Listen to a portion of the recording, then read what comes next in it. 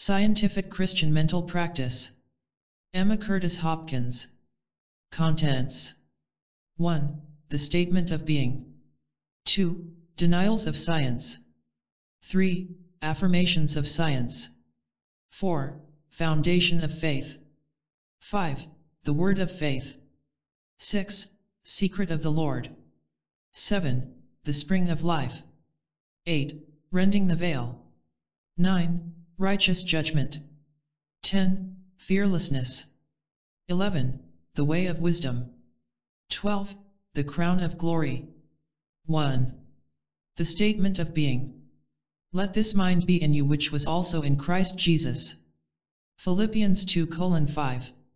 There are twelve doctrines of Jesus Christ, this is to say that the one method of Jesus Christ is presented in twelve statements or settings.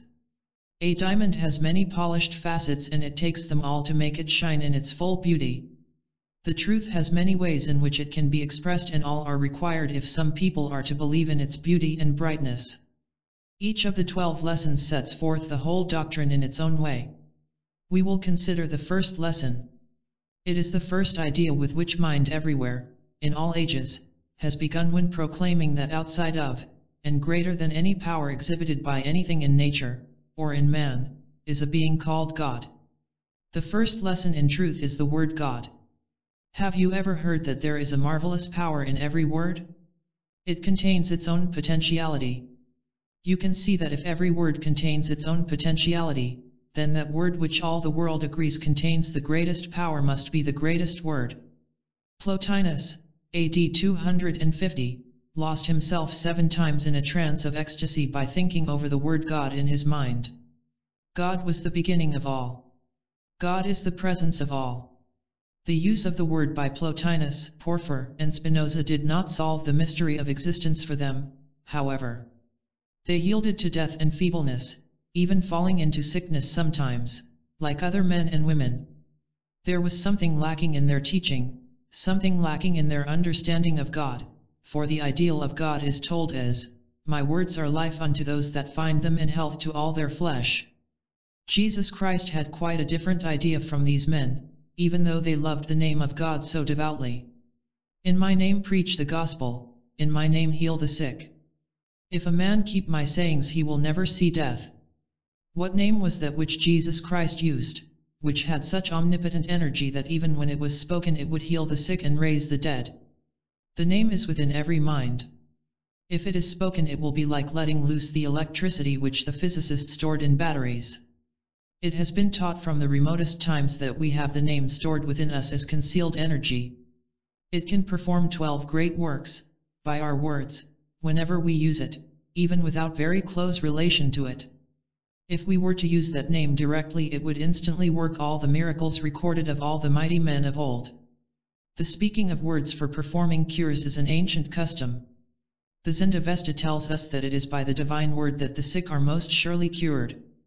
Sometimes the word is thought in the silent mind.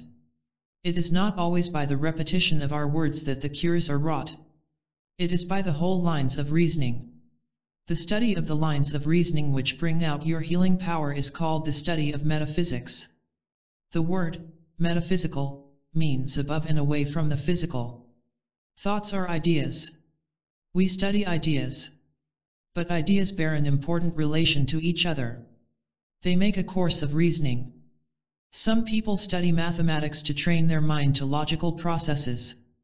But the study of mathematics does not make thoughts and words powerful to heal the sick. Some people have believed that there is a magical power in numbers just as there is great potency in words. Cornelius Agrippa of Cologne, 1486, ascribed to numbers and efficacy. But no mathematician is a healer because of his mathematics. He must use the healing word, or the reasoning which brings down somewhat of the power of the healing word. You may be filled with wonder as to what the healing word or name can be. It certainly is not the word God, for these men who used that word continually were not mighty healers. Spiritual science does not tell you the name. It gives you the most direct reasoning which the word God brings out, and consequently gives the best healing power of any line of reasoning in the world. There are twelve points of doctrine put forth in these lessons in plain terms. All the time you can trace other points of the same doctrine, finer and more subtle, streaming under them like fires from purer altars of meaning than words can kindle. The very finest fires of meaning I cannot tell you in words, you must be of an esoteric or spiritual nature to read them while I am talking. We call metaphysics the science of life, because to know pure metaphysics is to renew the life and make death and accident impossible.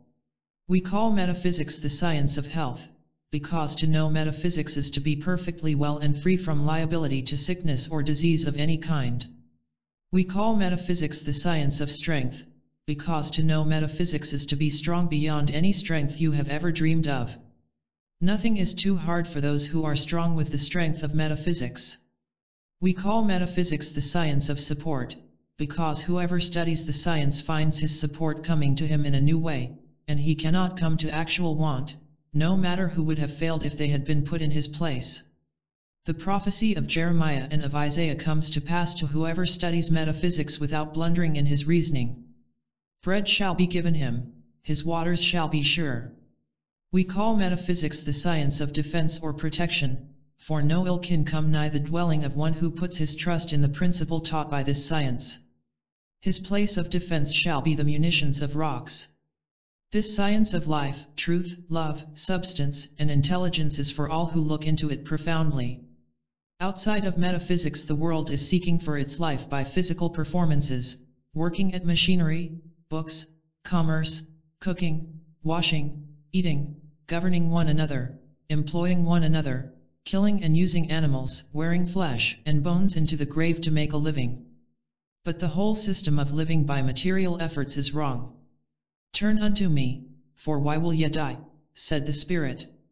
Death is the reward of hard effort to live by material actions. If you will look into the science of spirit you will see that your life is meant to be sustained by the science of God and not by the science of matter. God is spirit, therefore it is the science of spirit which we are to study when we open the reasoning with the word God. God is the name for that intelligence which out of its own substance bestowed upon you that intelligence you now have. Intelligence is mind. Thus it is plain that by opening our study with the word God we are beginning the study of mind. By mind alone we are taught we are to live and be strong. By mind alone we are supported and defended. The further on we get in the science, the more confident we become that it is by the words that proceed from the mouth of God that we are to live. Jesus Christ taught this. He was ministered by angels, and said, Man shall not live by bread alone, but by every word that proceedeth out of the mouth of God. This means that God has a way of giving freely from his mind words that will make alive. Jesus Christ told the people that his words were life. He spoke of the manna which the Jews had eaten while wandering forty years in the wilderness as being so far from the real bread that the Jews all died. He showed over and over again that the word is a bread that will keep life in the body forever. He that eateth of this bread shall live forever. As nearly as possible, the twelve lessons which we now begin will take the absolute meanings of the words of Jesus Christ. If we take the absolute meanings, dear friends, we are obliged to say that our life needs no material or physical effort to keep it forever. It needs only the true word of God. It is not profitable to say that our life needs no material support. It is only profitable to say that our life does need the word of God. The word of God is truth. God works only in truth.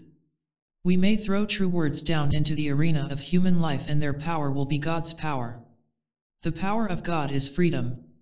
Jesus Christ said that all who knew truth would be free. What do you want to be free from?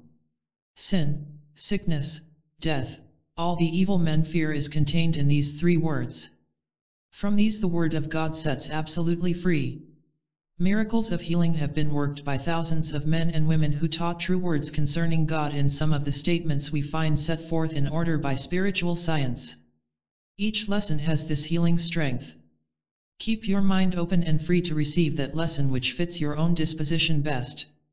No matter what type or character you are or what disposition of mind you have, I tell you that one of these lessons strikes your keynote, and by speaking over and over the words which that one lesson explains, you will let the fire of your own native healing gift from Jehovah kindle health within your own body and in those of all your neighbors.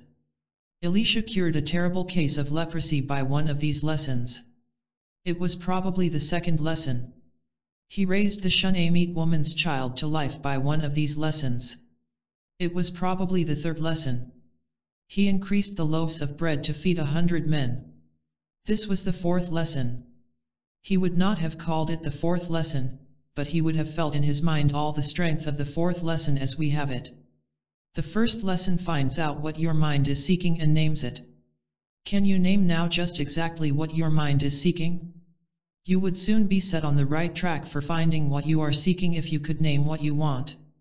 The naming of what the mind of the whole world is seeking is the first statement of Jesus Christ, and is the first lesson of Moses. It is the foundation thought, even in the minds of the insects.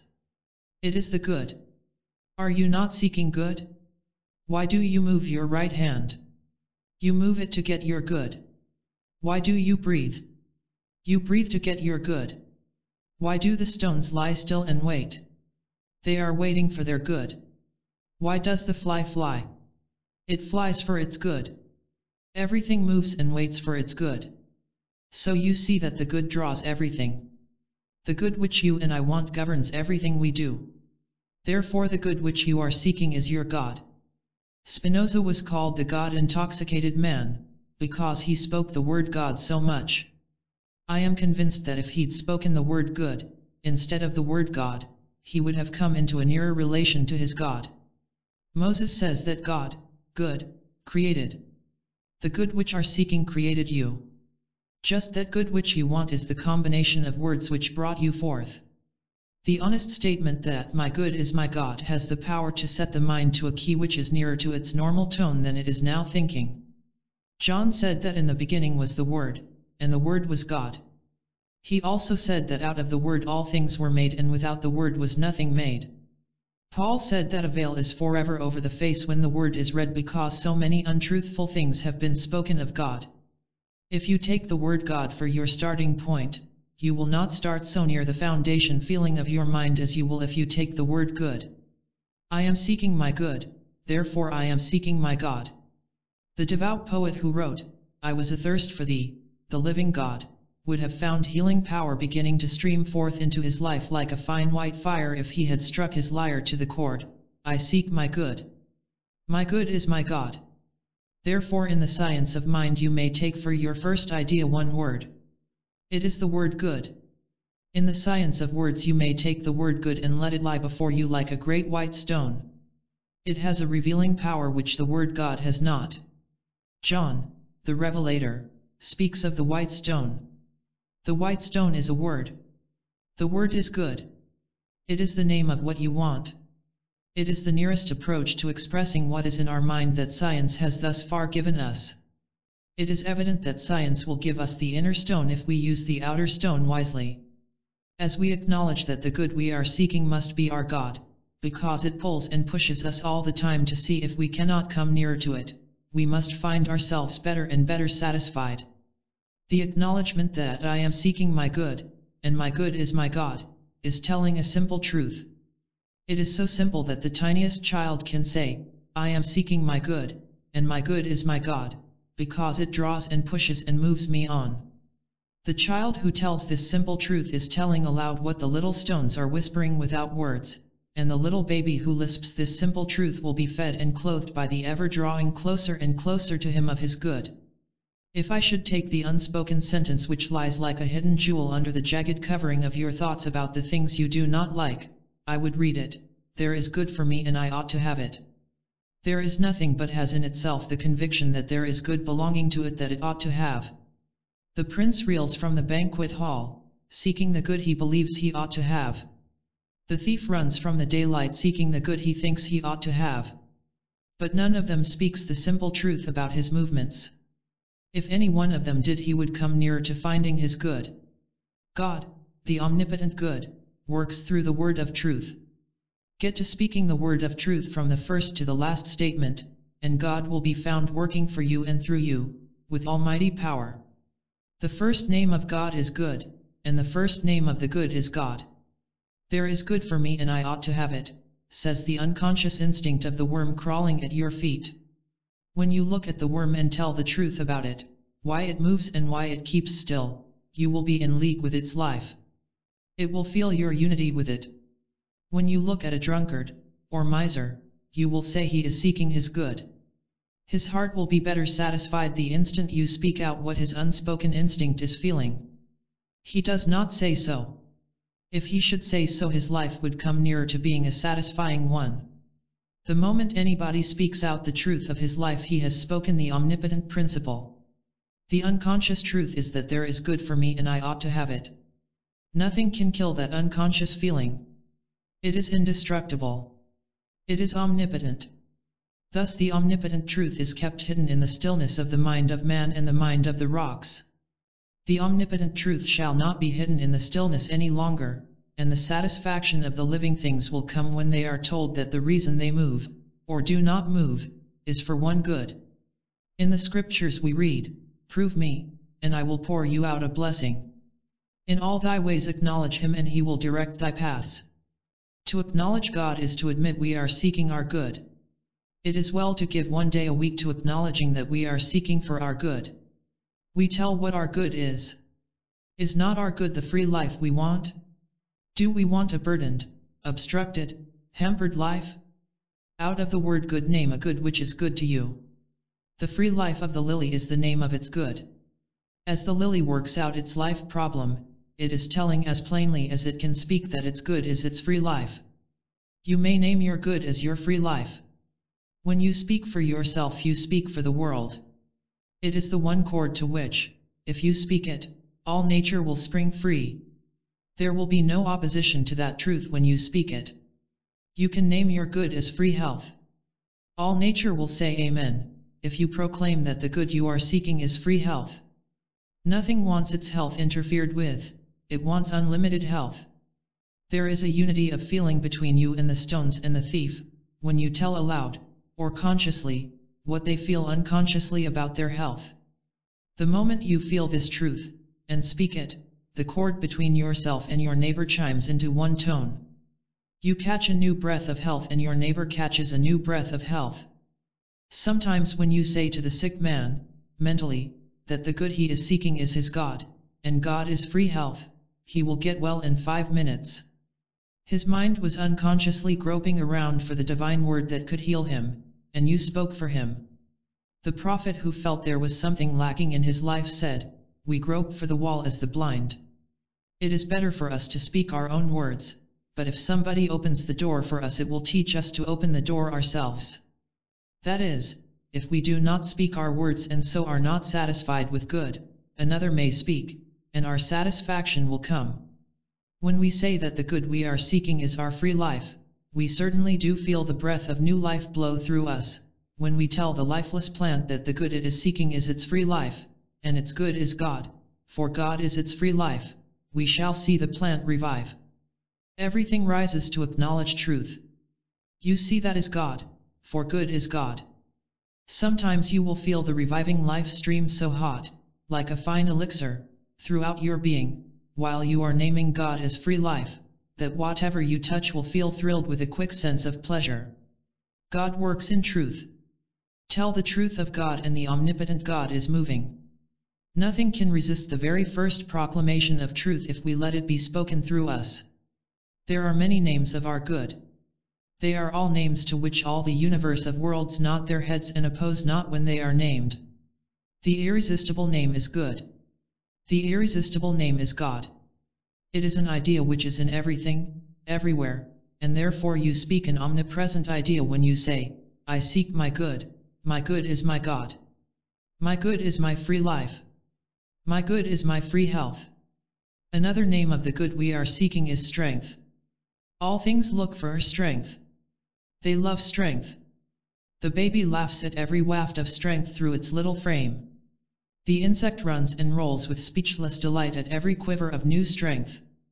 The good it seeks is strength unlimited. It wants free, boundless strength. So do you. If you name your good as unlimited strength, you will feel free and strong at once. As you look at some feeble woman, and think further that the good she is seeking is unlimited strength, she will let her mind shine with yours. She has felt that unconsciously. She will feel strength consciously. Everything you tell the omnipotent truth to, that its strength is God and God is its strength, will rise and be strong, and you will be stronger the more you proclaim the irresistible idea which all creation feels. It is only naming God. It is telling the truth of God. Among the names of good which we name, surely our heartstrings will cord with one which will bring satisfaction into our life.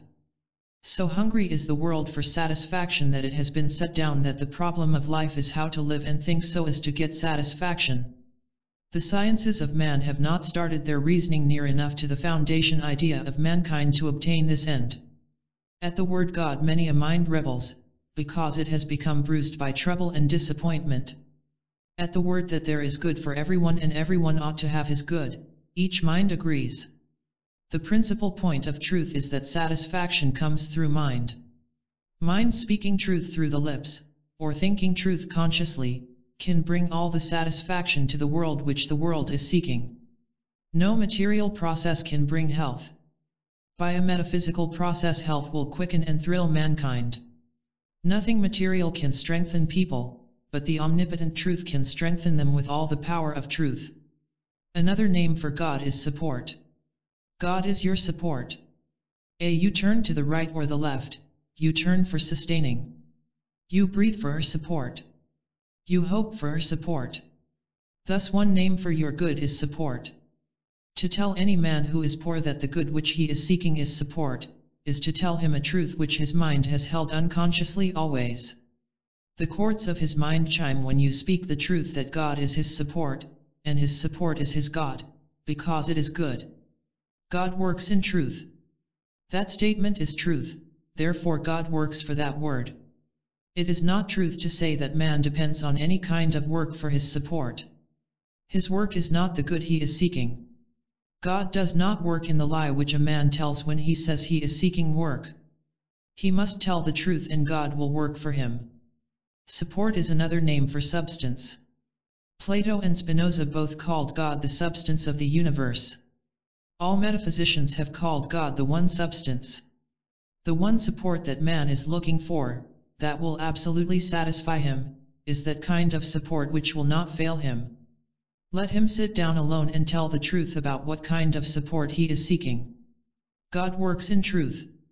Everybody, neatly, tries to cover up the main purpose of his life. He tells all kinds of stories to himself and others about what he is seeking. Often he tells that all he asks is just enough to feed and clothe and house his family. Let him tell the honest truth that he seeks for unlimited bounty. Nothing can possibly satisfy anybody short of unlimited supply. God is the idea of unlimited supply which men keep covered so deeply within their minds. If you name your good, do not fail to say, My good is my unlimited support, my unfailing support. The good will soon bring you marvelous support.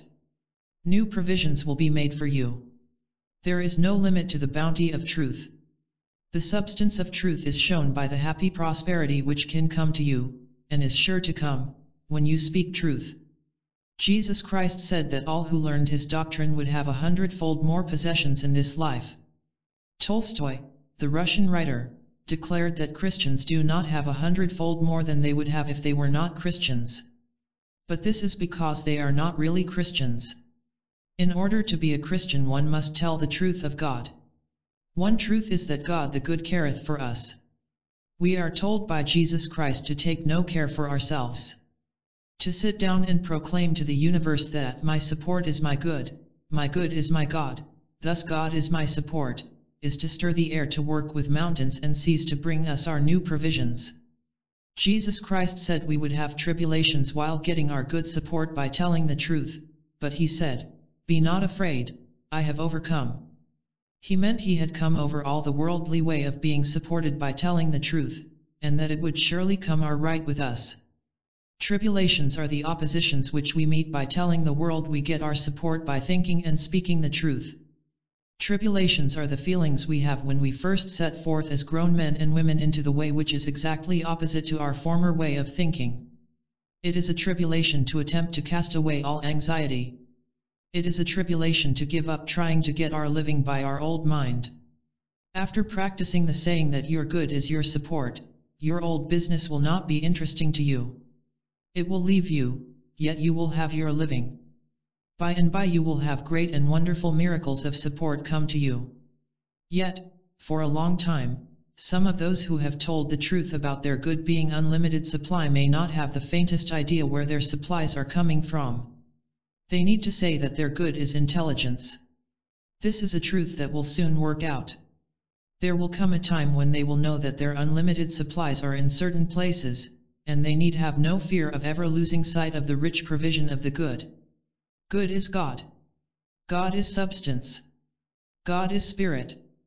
Therefore your supplies are to come from spirit. Your supplies, coming from spirit, are spirit.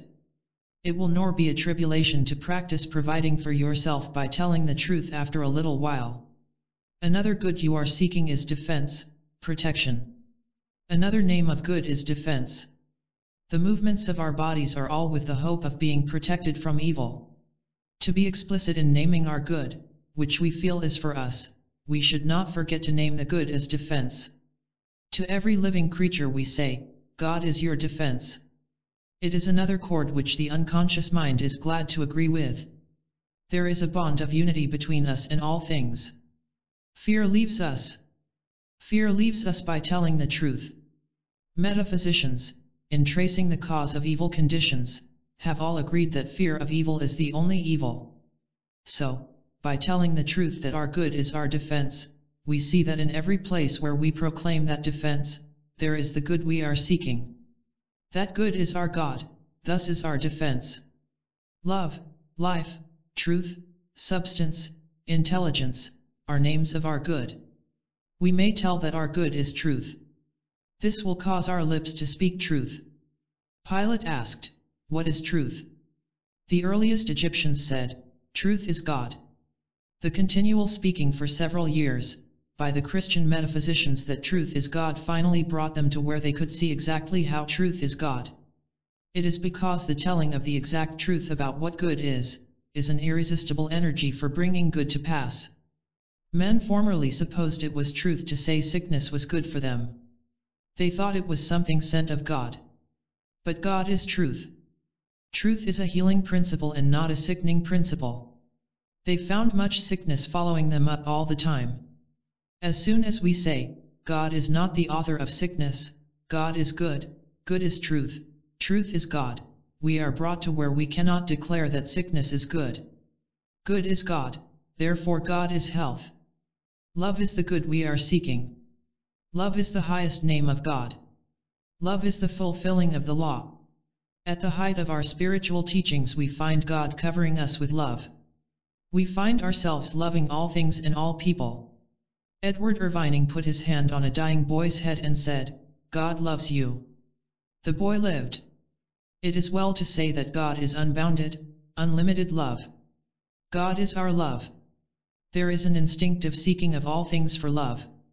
Love is another name for life. Many a dying man has been saved by feeling his mother's soft kisses on his forehead. Many a woman has lifted her dying face and lived when sound of her son's voice was heard calling her name. Love is God. Do not forget to say, the good I am seeking is love. The heights and depths and splendors of love have not been told.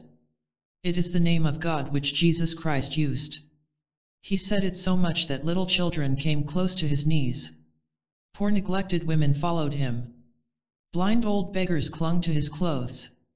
High dignitaries came by night to speak with him. I do not suppose it would be possible to name the good by the magic word love too often. Love is not something which comes to us in any one man, woman, or child, and then goes away. That is only the sign of love.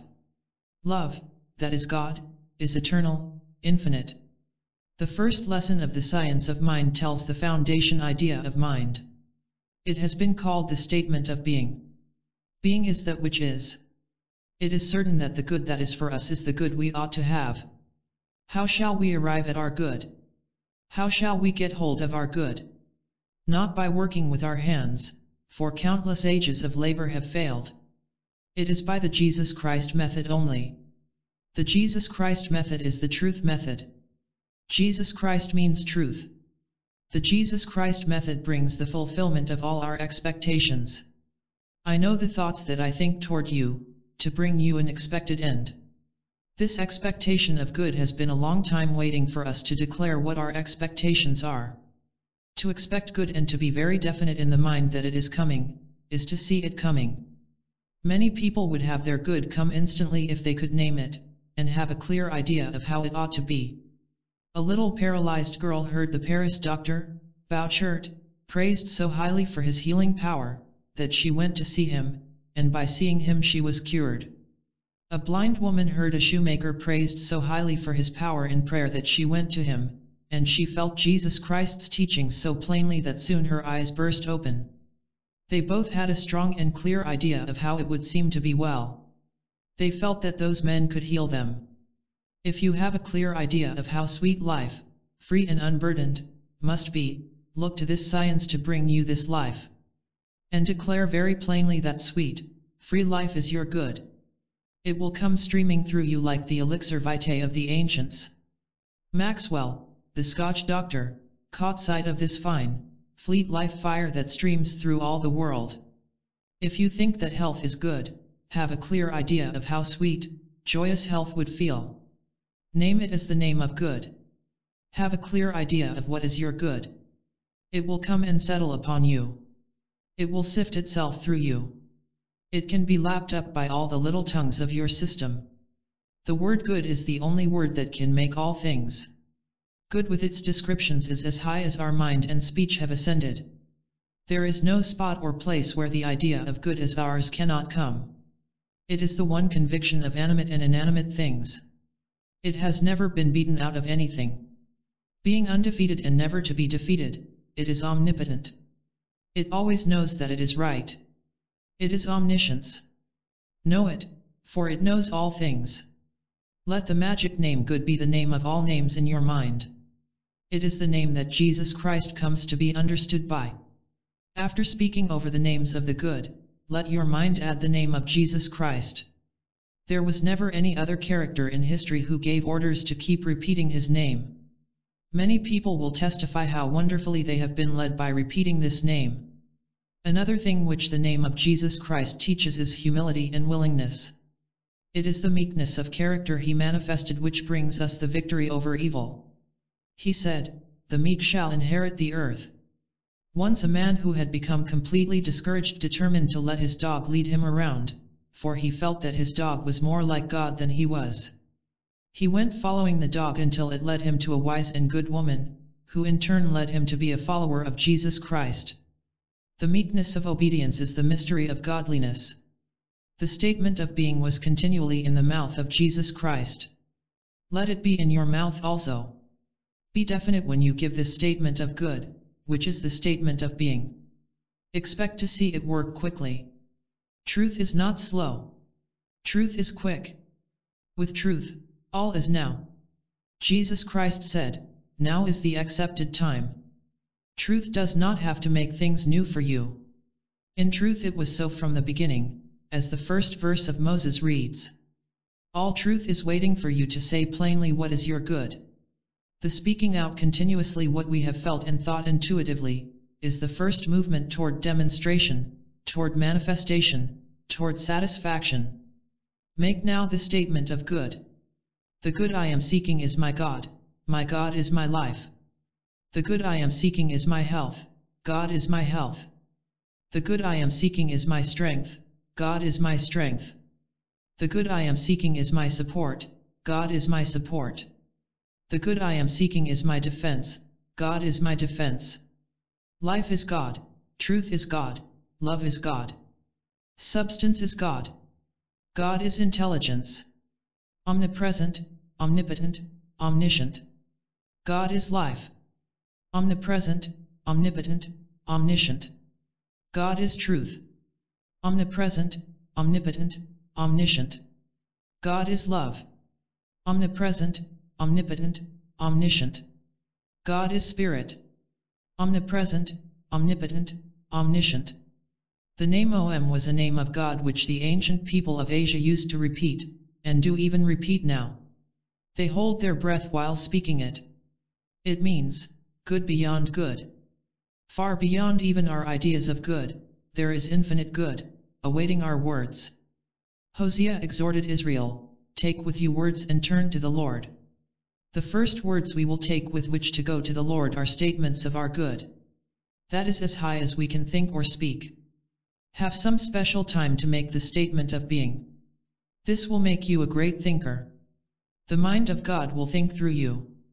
The words of God will speak through you. The joy of God will sing through you. The skill of spirit will work miracles through you. The judgment and beauty of God will inspire you. The love of God will melt the hard lot of mankind before you. You will be so one with your words that you will be able to say with Jesus Christ, I and the Father are one. You will drop off the garments of flesh. You will see that by speaking truth you are spirit, and that by speaking truth are omnipotent. God works through truth. If you give up your mind to truth you are all God. Your substance being the mind of God by speaking truth, you can see that no disease, neither death, nor sin, can touch you any more than disease or sin or death can touch God. It is through realizing this that so many strong young students have said that God had set his own name in their foreheads. They read where Moses was told to tell the Israelites that the name of the good which was working for them was I am that I am. If ever the name of this good, which is your God, comes to you, do not hesitate to speak it. All the names of your good which can name are right names. Write down the names of your good which you are seeking. Think over the names of the good which you are seeking. Speak aloud the names of the good you are seeking. That will be naming God. And such a practice will be manifested in your life. God is not slow to come into the life of him who acknowledges the good. God works only in truth. All truth is all God. There are students arising who give all their mind, might and strength to truth. If a man keep these sayings, he shall live forever. 2. Denials of science. If the statement of what is true from the very nature of our own mind is called to our attention, then we are able to see at once what is not true. Is there a conviction of good belonging to you now in your own mind? That is an omnipresent conviction. Everything and everybody believes the same way. You will notice that the instant you acknowledge that there is good for you which you ought to have, the thought arises within your mind that you do not have the good that belongs to you. You feel that your good is absent from you. This is also a universal feeling.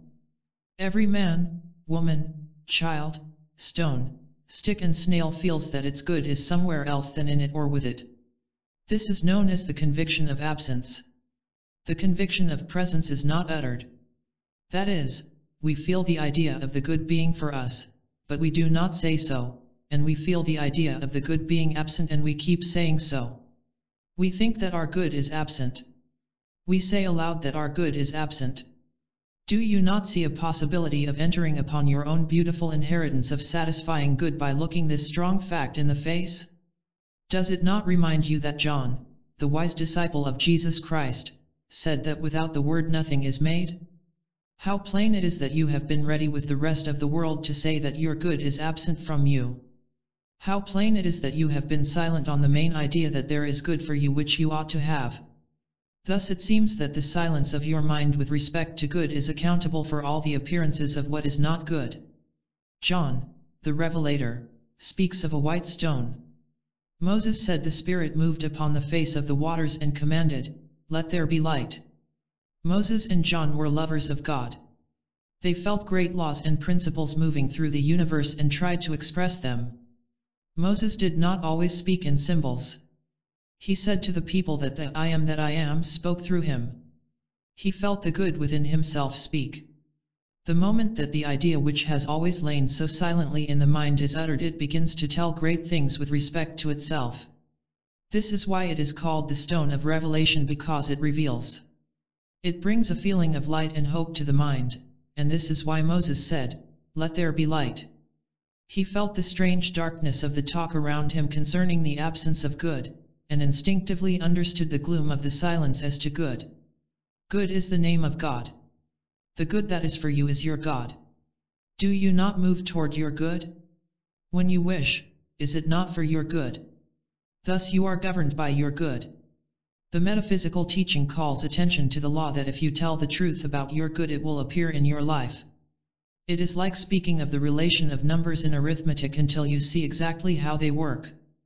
Repeat the multiplication tables, and sometime along the way, if you have taken the steps before multiplication, you will see that it is quick counting. If you simply repeat the tables at the dictation of another mind you may have to work a long time to find how to add by the tables of multiplication. But taking the adding and multiplication together it dawns upon you what the after process means. The science of mind always runs by orderly steps in the same way. The first chapter of Genesis is the science of mind stated in the exact order of coming forth as power, as intelligence, as substance. The idea of the absence of good is plainly spoken enough. The idea of where the good must be, and is, we are not talking about as a race. It is to the race mind that Moses addresses himself. John also speaks to the universal conviction of absence. I will tell you that between you and your good which belongs to you, and which you ought to have, is your idea of the absence of good. The second movement of your mind, after telling what truly is, you will find to be the putting away of your ideas that interfere with the substance of what you are seeking. You put away the idea of absence the first time you speak of your idea of good. Tell the absolute truth about your idea of good. Is there any absence of it? Is there any mixture of evil with your highest idea of good? Where do you keep your idea of good? Do you hide it in your mind and never express it? How do you know how much light might break over you and brighten your life if you would let it come up from the hidden place in your mind your perfect idea of good? It is like every other mind's idea of good. Thus we deal with the universal mind when we tell that in our highest idea of good there is no evil. We say that in our idea of good there is no absence. The good that we are all seeking is our substance. It must be substantial to us. It must be present with us or it is illusion it deludes. Here then you see why metaphysicians of all ages have made two great denials. First there is no evil. Second there is no matter. This is because they looked so steadfastly at the word God, or good, in their mind that its native action began in them. The stone of revealing makes you say that there is no evil and no matter. Saint Augustine said, there is no evil. Jehoshaphat said, there is no iniquity in God. Emerson said, evil is negation. They did not explain that it was their idea of good that should have no evil mixed with it. If every man, woman, and child expressed his idea of good it would be found to be like every other person's idea of good. Spinoza said, I choose to know spirit rather than to imagine matter.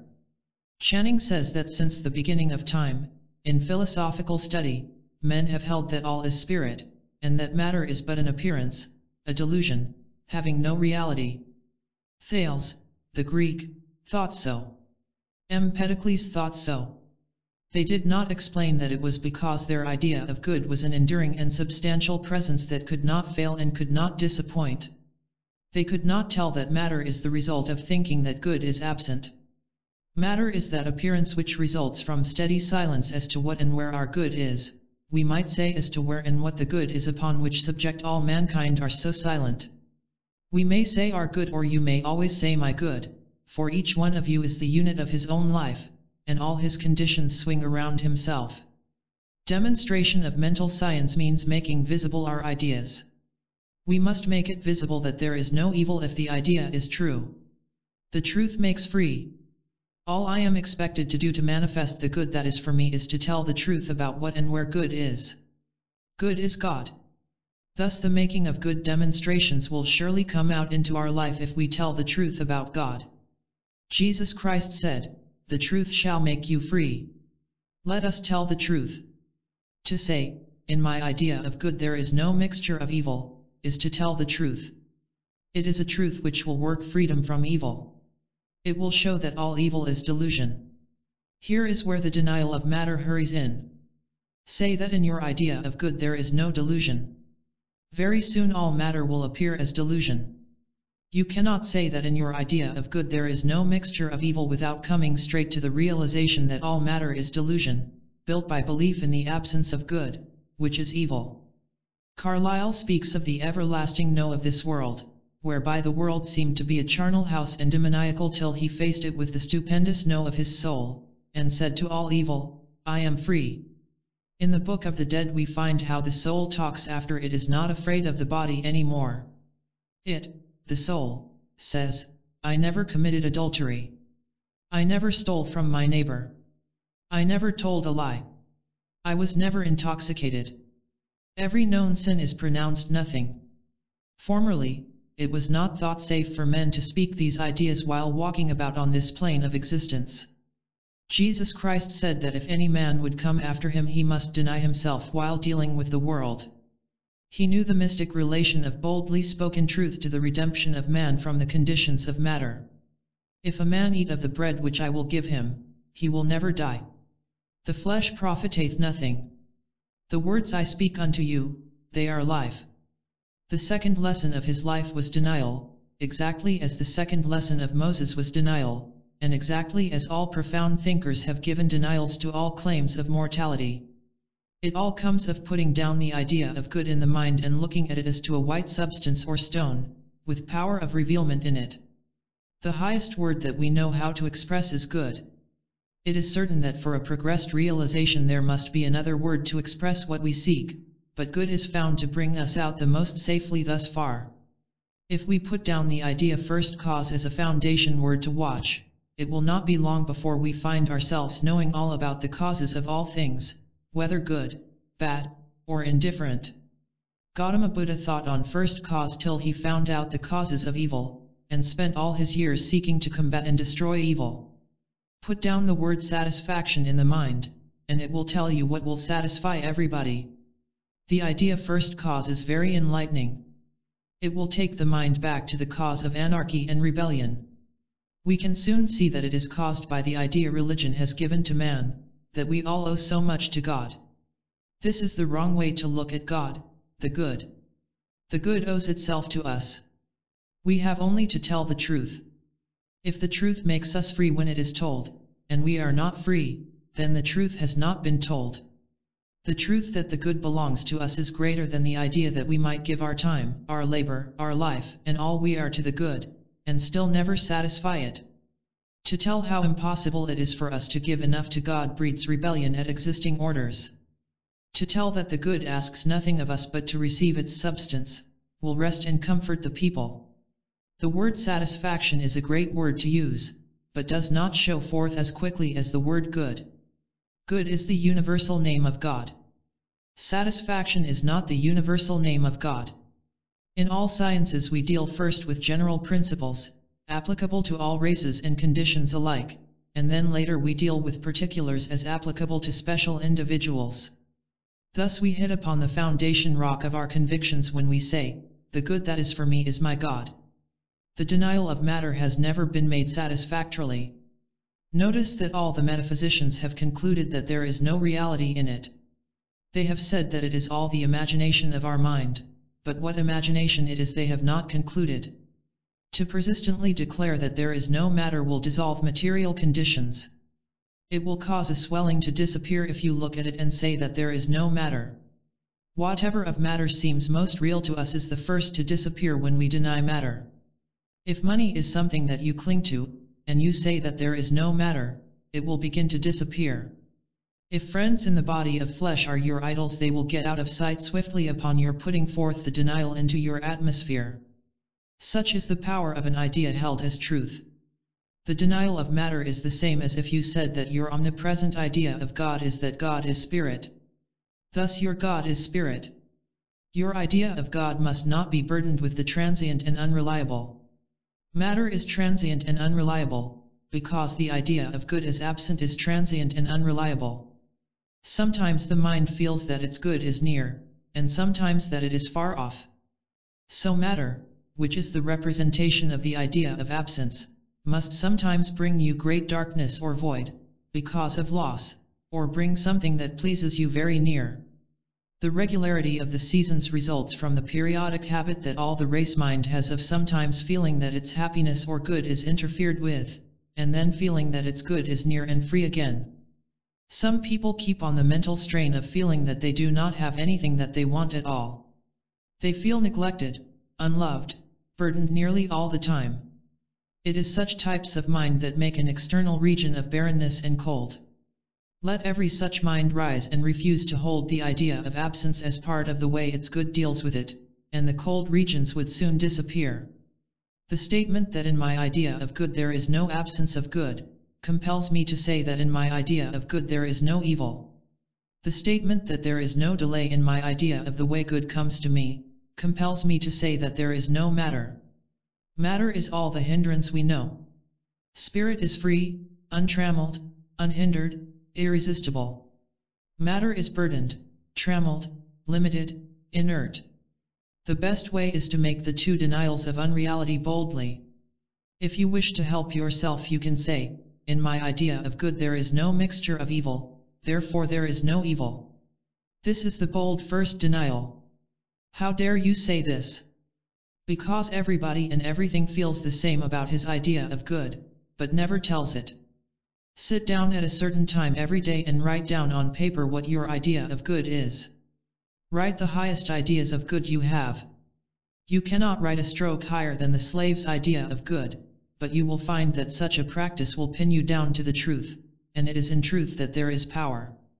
All the sacred books of the earth tell that God is truth, and that truth is God. The bold second denial is that there is no matter, all is spirit. If you notice that you are opposed to any interference with your good, you can write it down that in your idea of good there is no interference and there is no matter. If you will speak boldly that there is no matter, this will handle all your affairs on a new basis. If you say, all is spirit, nothing is matter, that is making a denial of matter. Every time you refuse to believe any statement you are making a denial. Every time you say that a thing is not so you are making a denial. Negating what is told you, or what seems to be real, but is not real, is a denial. Looking up suddenly from their deep thoughts, metaphysicians have declared that there is no life, substance, or intelligence in matter. They have affirmed that all life, all substance, all intelligence is spirit, and therefore there is no life in matter, no substance in matter, no intelligence in matter. Spirit occupies the place that matter claims to occupy, therefore life occupies the place matter claims to occupy. In the spot where matter even seems to be a dead substance the life of the spirit is moving. Spirit is the substance where even the stones seem to be. Spirit is pure intelligence. There is no place where matter seems to be intelligent, is there? Yet, there is no absence of life, substance, or intelligence. If the metaphysicians had said this, rather than there is no life, substance, or intelligence in matter, they would have demonstrated life better than they have. For if life is spirit, never absent, why speak of no life? And if spirit is substance omnipotent, why speak of substance as no substance anywhere, and the same of intelligence? It was subtle agreement with absence on the part of the metaphysicians to speak of intelligence as absent from anywhere. One reason why the substance of the metaphysicians has so often failed is because of saying, there is no substance in matter. Yet, that denial in particular cases is a very healing one. As for instance, if a tumor claims to absorb the life of the body, it will disintegrate it to tell that there is no life in matter, as well as to tell that there is no matter. If darkness seems to act with an intelligence of its own or if insanity carries on as if it had shrewdness, it is a claim of matter to be something, and to have an intelligence of its own opposed to spirit. In such cases you can see that it is wise to say that there is no life, substance, or intelligence in matter, as well as that there is no matter whatsoever. The metaphysicians who have had their minds set upon healing disease, insanity, deformity, etc., have been successful in their work by using this denial. In the second lesson on general principles we are speaking entirely of certain revelations of our own mind, of the truth, as they come forth from laying down the word good in the mind and making it express what controls and moves us, and what we seek. Therefore, the third denial is, there is no absence of life, substance, or intelligence in my idea of good. Life will thrill along through every pore and cell and fiber of your being if you declare this. It will soon seem thrilling and vibrating to every particle of your environment. Nothing can seem to you to be dead. If you speak often, there is no absence of substance, it will not be long till you feel how unmixed with the miseries around you is your free spirit. No matter what people seem to be doing they cannot draw you into their network. You live your free life in spirit as a substance of reality, quite separate from their delusions. All things take on an enduring substance in your sight. You feel supremely real. Life seems real. If you should be in great trouble you could not get help from God by begging for help. You would get help at once if you would stand aside from your trouble, as above and greater than it. Then you would feel the help of the omnipotent God. Reality is the strength of your free spirit which refuses to be mixed with evil. The only cause for evil is the idea of absence. That is all the evil there is. The belief of apartness from good is the foundation of the word evil. The idea of absence of good had to be called something, so it was called evil. Ideas always make conditions. Thus the idea of absence, being named evil, finally made a host of phantoms of appearances called evils. Ancient metaphysicians taught in their practice, there is no apartness. They hit upon the most perfect denial that could be spoken. It covers all the ground of evil. It touches the cause of evil at its root. If this idea is persistently adhered to it cannot fail to make a vacuum around you into which all good must come streaming to fill you with delight. The truth is that good is God and God is omnipresent and omnipotent, thus the good is omnipresent. If the good is omnipresent, the evil is nowhere present, and there is no apartness. This is the reasoning. All reasoning has the effect of controlling the environment. Your whole life conditions change if you change your modes of reasoning. Having been trained for years to reason your life out on the basis of good being absent from you, you now begin to reason from an entirely different basis. You judge not by appearances, but by righteousness. Many conditions slip away almost instantaneously. They were built up by your false general reasoning, and with these gone they have no props. As for instance, you have poor eyesight. It became so because of some little notion you persistently held. You now give up that notion. You cannot help giving up that notion, because the new reasoning makes it impossible to think that way anymore. The poor eyesight must fall away for the good eyesight to show up. Some changes occur instantly and some are more slow. You take an entirely new basis when you say that if God is intelligence, then intelligence is omnipresent, for God is omnipresent. Here then you must say that there is no absence of intelligence.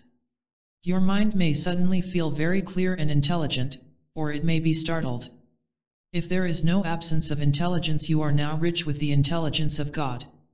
You know all things. There, where the idiot seems to be, you must see that the intelligence of God is present. Why does a man not seem to be intelligent?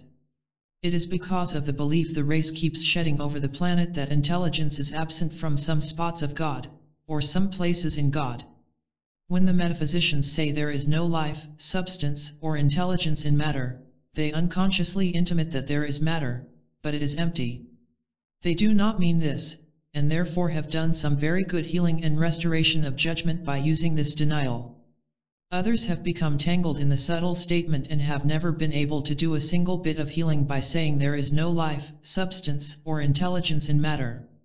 They have believed in matter so strongly that the mention of the name made it seem present.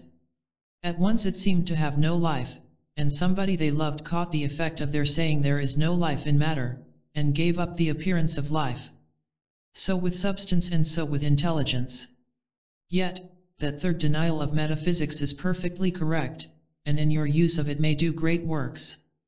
If it tangles you at all make the third denial in a simple speech, as there is no absence of life, substance, or intelligence in omnipresent good.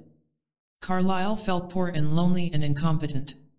Hardly one on the face of the earth has not had these feelings. They come from the belief of being apart from God apart from our good. Those who have met the feeling with a strong no have rooted it out of their premises. Such feelings are the no to good. We meet them with the no to evil. Carlyle calls the meeting of the no to good with the no to evil the everlasting no. He was met so strongly that it seemed as if all nature told him that the universe was void of life, of purpose, of volition. It was one huge, dead, immeasurable steam engine, rolling on its dead indifference to grind him limb from limb. All at once he entered his protest. His whole God-created nature rose and said, I am not thine, but free, and forever hate thee.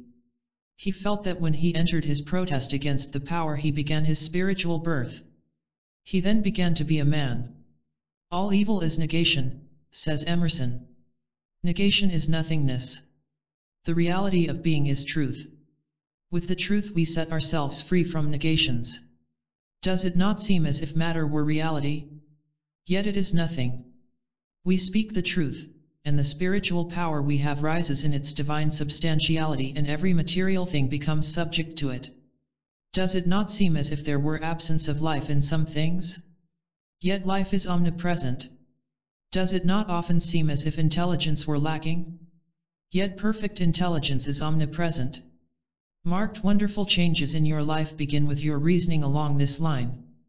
The fourth protest we make against the claims of matter is to deny that sensation is a physical or material experience. Sensation is a faculty of soul. Soul is God. God is spirit, mind. Thus sensation is a mental process. As God is omnipresent, sensation is omnipresent good. For ages metaphysicians have called the fourth denial of metaphysics the denial of sensation. But sensation is sight, hearing, tasting, smelling, touching. God is your sight, therefore you cannot lose your sight. God is your hearing, therefore you cannot lose your hearing. God is your skill in every faculty, therefore you cannot lose any faculty or the skill of any faculty. The main idea of denying sensation was to get rid of the sensations of pain to which mankind are subject. Grief, pain, horror, indignation, are hateful sensations. Had life been all delight, all pleasure, nobody would have chosen to deny sensation. Many, with their minds set upon sensation as painful, or ending in pain, have cured pain in patients by repeating over and over the statement, there is no sensation in matter. If they had trained their mind to the high truth that there is nothing to hate, they would never have come to the position where they met pain or grief or indignation, or any of the hateful sensations which all stand for the universal claim that good in the way of sensation is absent. If good is not absent, then the sensation of good is never absent. At thy right hand are pleasures forevermore. With thee is fullness of joy. Thus the protests against the absence of good as joy should not be that there is no sensation, but that there is nothing to hate. The race mind is exactly like your mind in its willingness to make all the protests of metaphysics. It is ready to see that a course of good reasoning will bring out a happy life if a course of wrong reasoning will bring out sickness and misery.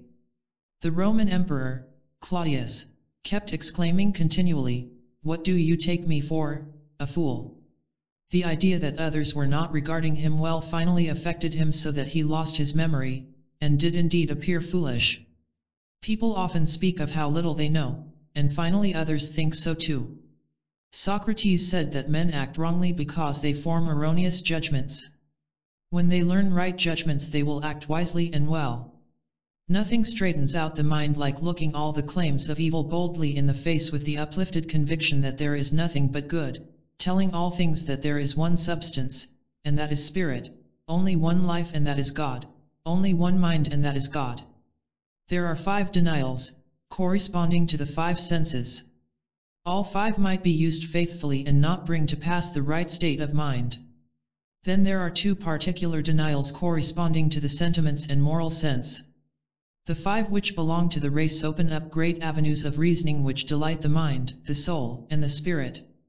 The two which delight the life and love of the heart are the two which relate to your own disposition and will. Plato's five denials did not touch his character.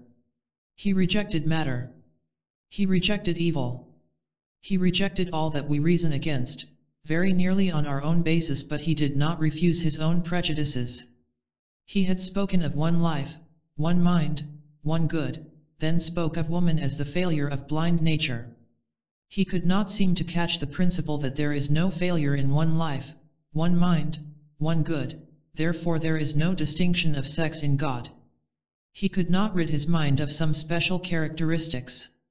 He did not seem to know that it was as necessary to free himself from prejudice as from the belief in matter. So he was always speaking of failure including failure on his own part. He worked over the ellipse to discover its significance and confessed himself baffled by the problem. Socrates told his pupil, Alcibiades, it is therefore necessary to wait until someone may teach us how it behooves us to conduct ourselves, both toward the gods and men. And Alcibiades asked, When shall that time arrive, O Socrates, and who shall that teacher be, for most eagerly do I wish to see such a man. Jesus Christ had no prejudices. He condemned nobody and nothing. He felt that all things were under the care and protection of the loving Father. This made his life easy for him to handle. He could lay it down and take it up at will. There were two schools of theology in Elisha's time. At one of them he found the water very brackish, so much so that the students, who were all men, complained. He put into the water some salt, and the water was instantly healed.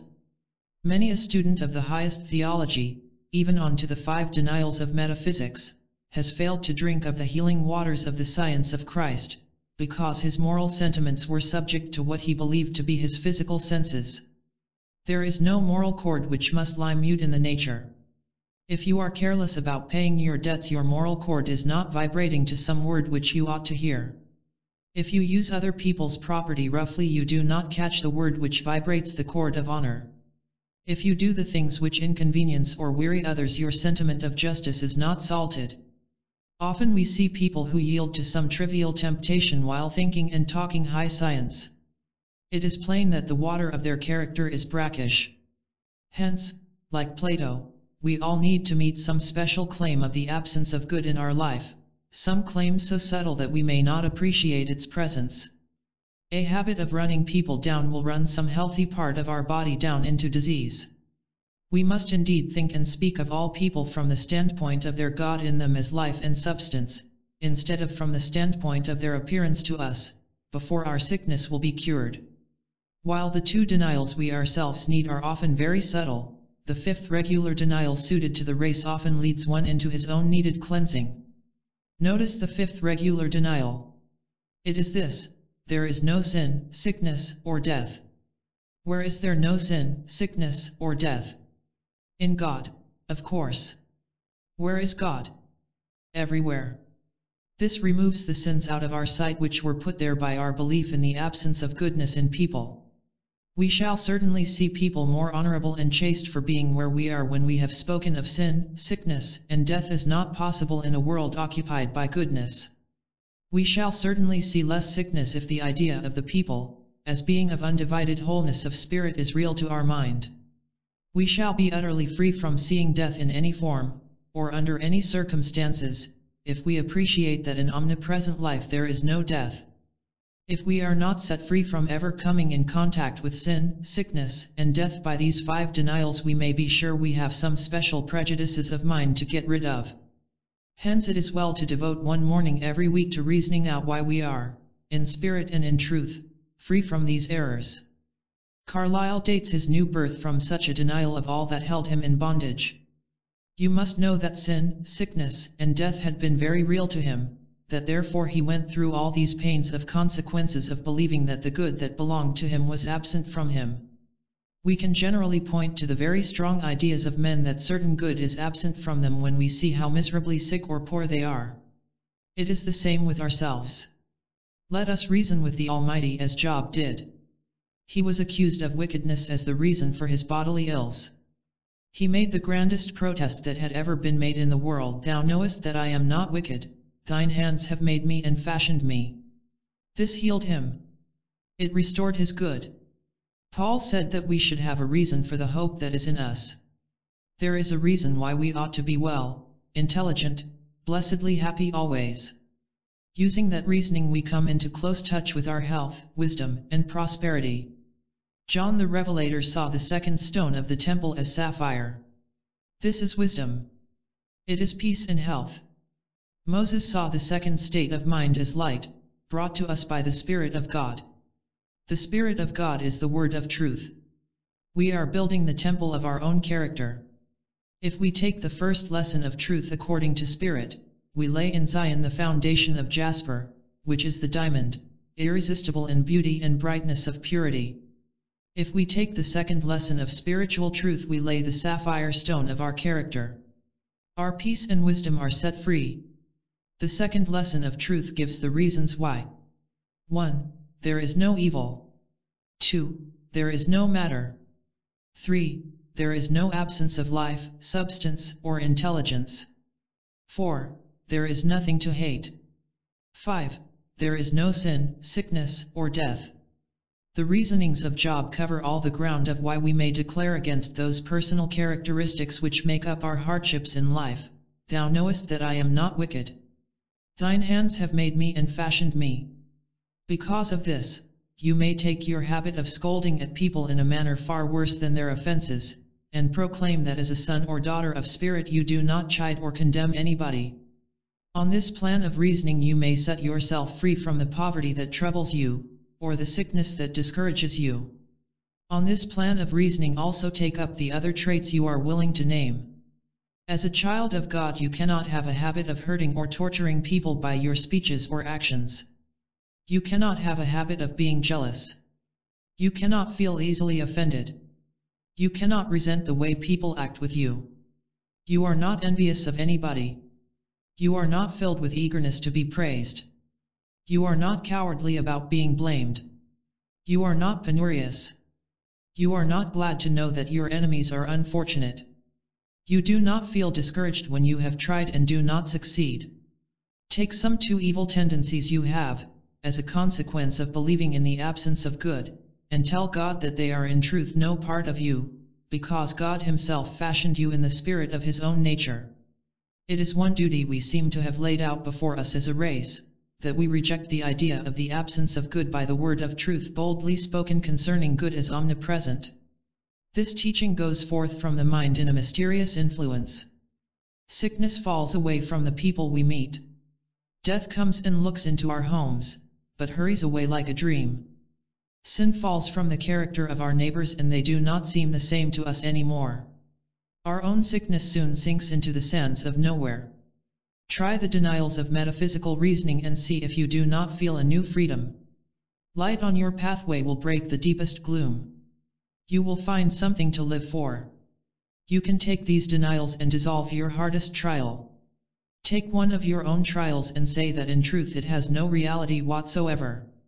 Say that as God fashioned you out of His own goodness you have never had any trait of character which could result in absence of good. Tell now that you reject the common feeling of the absence of good. As God is not absent, good must be here. We do not need to wait to be free. As God is free now, so we are free now. 3. Affirmations of Science The text of the third lesson of spiritual science is, God saw the light that it was good. God is mind. Light is wisdom. Mind perceives that wisdom is good. Mind understands the good. You will perceive, as you go on thinking of first principles, that it is your nature to be happy and powerful in proportion to your ability to appreciate what is good.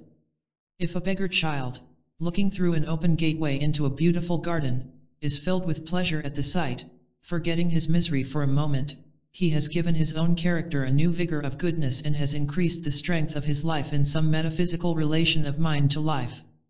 He has unwittingly given himself a treatment for prosperity.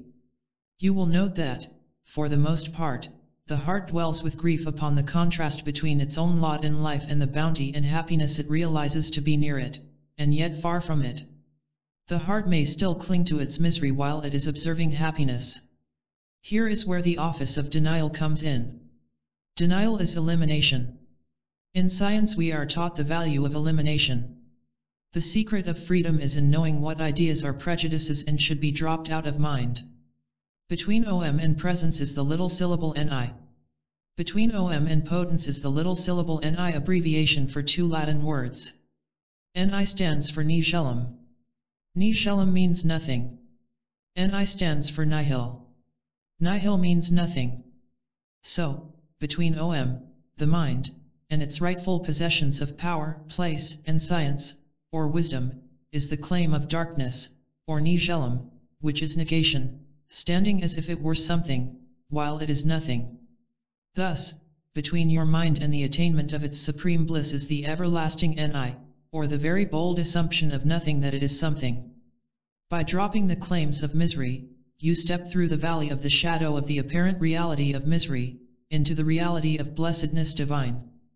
Now this ni, which lies between you and the presence of your good, is as apt to be one of your virtues as one of your vices. If you are one who takes pride in never speaking or acting from impulse, and who feels a sort of contempt for people who act impulsively, your virtue is the claim to be something when it is nothing. Does God take pride in never speaking nor acting from impulse? Let that pride in your virtue be eliminated from your character. Here is the Apostle Paul on the subject, though I bestow all my goods to feed the poor, and though I give my body to be burned, and have not charity, it profiteth me nothing. It is as sounding brass, or a tinkling cymbal. It is well to act with discretion, but your virtue becomes as sounding brass if you take pride in your discretion. Suppose you are very prompt in paying your debts and take pride in it, speaking scornfully of people who do not pay promptly, this pride in your virtue hides the virtue. One good day you may believe yourself unable to pay your debts, and if it causes you to be more lenient with people who are careless you will pass the shadow ni that stands between your mind and its satisfaction present, so near, yet with the distance of a personal trait between. In our last lesson we named these ideas of absence. We called our protests against them denials. We spoke of the two particular traits of each human being. These are not innocent traits. They are the habits of thinking which belong to our manner of believing in the absence of our particular good. They are strong men, armed to the teeth, with the determination to stay by us as long as we live. Take yourself in hand, and, looking up to heaven, resolve to reason your special traits out of your life. Prosperity is the acknowledgement, either consciously or unconsciously, of the presence of God. He who is prosperous has eliminated from his mind some idea which the one who is seemingly not prosperous still holds on to with tenacity. We are often surprised to see how prosperous liars seem to be. It is because they have eliminated a belief in absence, which leaves a good opening for what they wish for to rush to them. Some liars make good healers on the same plan. They have dropped the one belief in the absence of good which the poor healer holds on to. The liars get their hardships in some other way than the absence of abilities. They may have some incurable malady in their own body, or some member of their family may be afflicted. There are seven thicknesses of the claims of negation standing between every mind and the security of its good. Five belong to us in common. The last lesson should have given you a clue to the claims that seem to master you, but over which you are in reality master. You can see that the claim of being ungrateful for your possessions, or for your education, or for your lot in life as it is, when met by you, melts down and leaves you the master you were when you first came forth from OM, the divine mind. So it is with selfishness, enviousness, jealousy, revengefulness, anger, etc. They are no masters at all, yet they seem to be our masters. So is it with all negation to good which faces mankind. There is a metaphysical, or mental, process for meeting them all, and utterly dissolving them, as the sun dissolves icebergs. In place of each protest that we make that is, in place of what we deny we put the statement of a great truth. What is it that abides here, or where your sickness seems to be? Is it not the fullness of the riches of God? The bold insistence upon what is here, or there, in reality, has been called affirmation. All science has affirmation and negation. In the science of numbers you subtract what is not wanted from what is wanted. In the science of geology you say, this is not aqueous rock, this is not igneous rock. You show as much wisdom by negation as by your affirmations. One tells you that this is a picture of Napoleon and a dear friend wounded in battle. You say, no, it is Aeneas bearing away his father, Anchises. One tells you that sin is a terrible evil which God permits. You say, no God is the only presence, and tolerates no other nature in his realm but his own nature. If you protest, all sin will seem like a dream of the night, not worth rehearsing. There are five affirmations belonging to the negations we make, to which I will now call your attention. These are the five wise virgins of the object lesson of Jesus. They are called virgins because they are the most simple and reasonable statements the mind can make when telling why the negations of its good are not reasonable. The two affirmations that belong to you each in particular we will describe under the miscellaneous affirmations. These affirmations are all mentioned in the Book of the Dead. Your two special affirmations are not virgins. They are strong defenders and providers. They are the strength and wisdom of your own life, in its unique relation to all life. As your mother cannot do your eating for you, nor your breathing, so no one can charge you with the strength of your own denials and affirmations. John the Revelator said that the third foundation stone of the temple was chalcedony. Our character is the temple, or the holy city. The chalcedony is the love stone, translucent like the opal, always gleaming with the purity of the diamond and the heavenly blue of the sapphire, shone upon by the hot sunshine of a light that never fails. There is upon the earth no chalcedony stone like that one John saw, gleaming with the white light of primal truth, of the omnipresent, omnipotent, omniscient goodness of God with blue flashes of wisdom and unchallenged peace, and the red gold of love, of truth and goodness, set on fire by challenging negations. Without this stone, character is not glad and strong and fixed and secure. There is no use making the affirmations until we have made the denials. You will see people affirming that they are God, who are quite willing to do ungodly deeds. This is because they have not met the everlasting NI of Carlyle with the irresistible no. They have not taken their unreasonable prejudices by names and told the reasons why they are free from such claims against them. The strange part about the claims of negation is that, whatever they are, everybody seems to see them. So the two mighty appearances of evil in man, not being met by denials, or bold reasons why they are not realities, leave the character making great religious professions but badly inconsistent therewith, and they fill their neighbors with disgust. When the right denials are made, the affirmations will be exceedingly hot and effective. James, the half-brother of Jesus Christ, said, The effectual fervent prayer of a righteous man availeth much. The photographer, in a yellow glass room, has light and heat enough for fixing beautiful pictures upon his films, but still there is a mysterious something lacking, and he cannot take the photograph in such light. Thus, in bringing out the answers to our prayers, the actinic ray, which is the cutting, pungent ray of denial, is as necessary as the sun ray called actinic is necessary in bringing out the images in photography. The day set aside for denials gives the mind a clear draft for the finest affirmations to blaze hot on the firmament of our daily life. If a great fire is smoldering under a house, it will never make a bonfire of the house until an opening is made somewhere for a draft. If a powerful steam pressure is set against the machinery of an engine, it will not move a wheel until a valve is opened for a vent for the steam. So the mighty truth, filling every mind with its energy, waits to move through the sluice-like ways made by scientific protests, like Carlyle's energetic I am free. Let your light shine, said Jesus Christ. He would not have the great mind, with which we are all stored, hidden under a bushel. He would have our mind free. It is a good denial of evil to reason out, as Carlyle did, why we are free.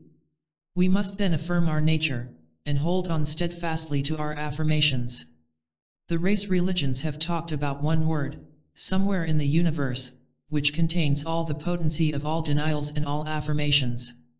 Jesus Christ used that word, evidently, but only to the ears attuned to it was its tone clear enough to be heard by man. So, as nobody received it, he told them to repeat his name. If you will repeat the name of Jesus Christ you will, step by step, come into his quality of mind. Then you will, step by step, become cognizant of the divine nature charging your being. You will feel a delight in your substance. You will see how the wisdom of God is your wisdom. You will see that your wisdom is God. But you will never realize this till you have given free vent, or clear passage, through your mind, for the powerful pressure of the God mind to speak and think through. The syllable ni which stands between om and presence, is the thick wall of belief in the absence of good. It is sometimes called the dark river. It is often called a veil of flesh. It is sometimes called a bridge, over whose mysterious claims we are to walk into the presence of our good, or over which our good comes to us. Many men who have accidentally, as it were, stumbled upon the denials of science, have made some of the affirmations with good effect. They did not make the personal denials. You have seen that personal cleansing is as important as general doctrine. David cried out, Cleanse thou me from secret faults. You would, like Carlyle, give a reason why there is no reality to the appearance of faults. To the great OM, which is the pressing intelligence and wisdom of your own mind, you would say, Thou knowest that I am not wicked, for thy hands fashioned me. You would take your selfish disposition, and to the great OM, or OM mind, you would say, Thou knowest that in spirit and in truth I am not selfish, for thy thought sent me forth, thy mind thinketh my life, thy hands fashioned me. It would not be long, after wise and earnest denials, before you would be uttering mighty affirmations of science, and your life would be consistent with them.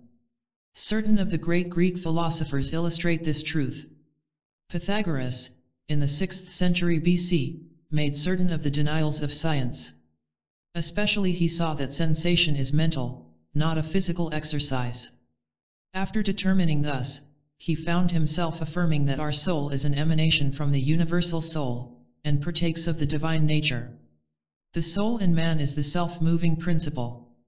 Anaxagoras, born in 500 BC, said that matter is only the result of ideas. Soon after this he had to make an affirmation on the subject of matter as being absent, and spirit as present. He said the force which shapes the world is not in the nature of matter, it is not impersonal force. It is mind. This supreme mind is distinguished from matter by simplicity, independence, knowledge, and supreme power. Plato, a century later, found that evil is a way of believing and not omnipotent. This denial opened the way for him to affirm, God is goodness.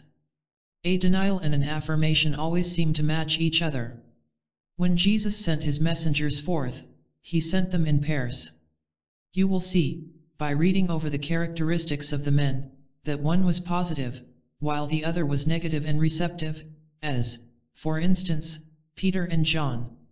Peter was impulsive and positive. John was trusting and yielding, and therefore coincided with all the eloquent impulses of Peter. Jesus Christ spoke his sentences with negation and affirmation, as, Call no man your father upon earth, for one is your father, even God. Come unto me, all ye that labor and are heavy laden, and I will give you rest. He put his negations sometimes as if they were realities, as, for instance, he seemed to be admitting the reality of labor and weariness in this quotation, but he called flesh nothingness, so he was not making a reality of its operations. A young man who was seemingly very sick indeed, said suddenly, Satan, get out of the way. God Almighty, do your work. Now the young man had been brought up without any belief in Satan, so he was only meeting a condition of unreality by a name applied to the whole ni of the whole world, to the whole run of evil in creation. Jesus often called our belief in the absence of good by the name Satan. Job called it Satan. A strong scientist said he had to meet all his lack of supply by a strong negative statement, or form of expression, or his mind would not work it out into view quickly. If he was requiring money he never said, I am supplied with all I can use. He said, I do not need money. And thus he made a clear way for his bounty to come to him. Some people who cannot sleep will fall into peaceful slumber by saying, I do not need sleep. For, you see, they made the word need a great reality. It is the name of their belief in the absence of good. The belief in absence takes many ways of exhibiting itself and clothes itself in many words. Some of you may have the belief in the absence of good take the form of being grateful that you are so much blessed, more than others. There is no point where one is blessed more than another. It sometimes flatters our vanity to have people tell us how much more of science we know than they know. Be not deceived into admitting it for an instant.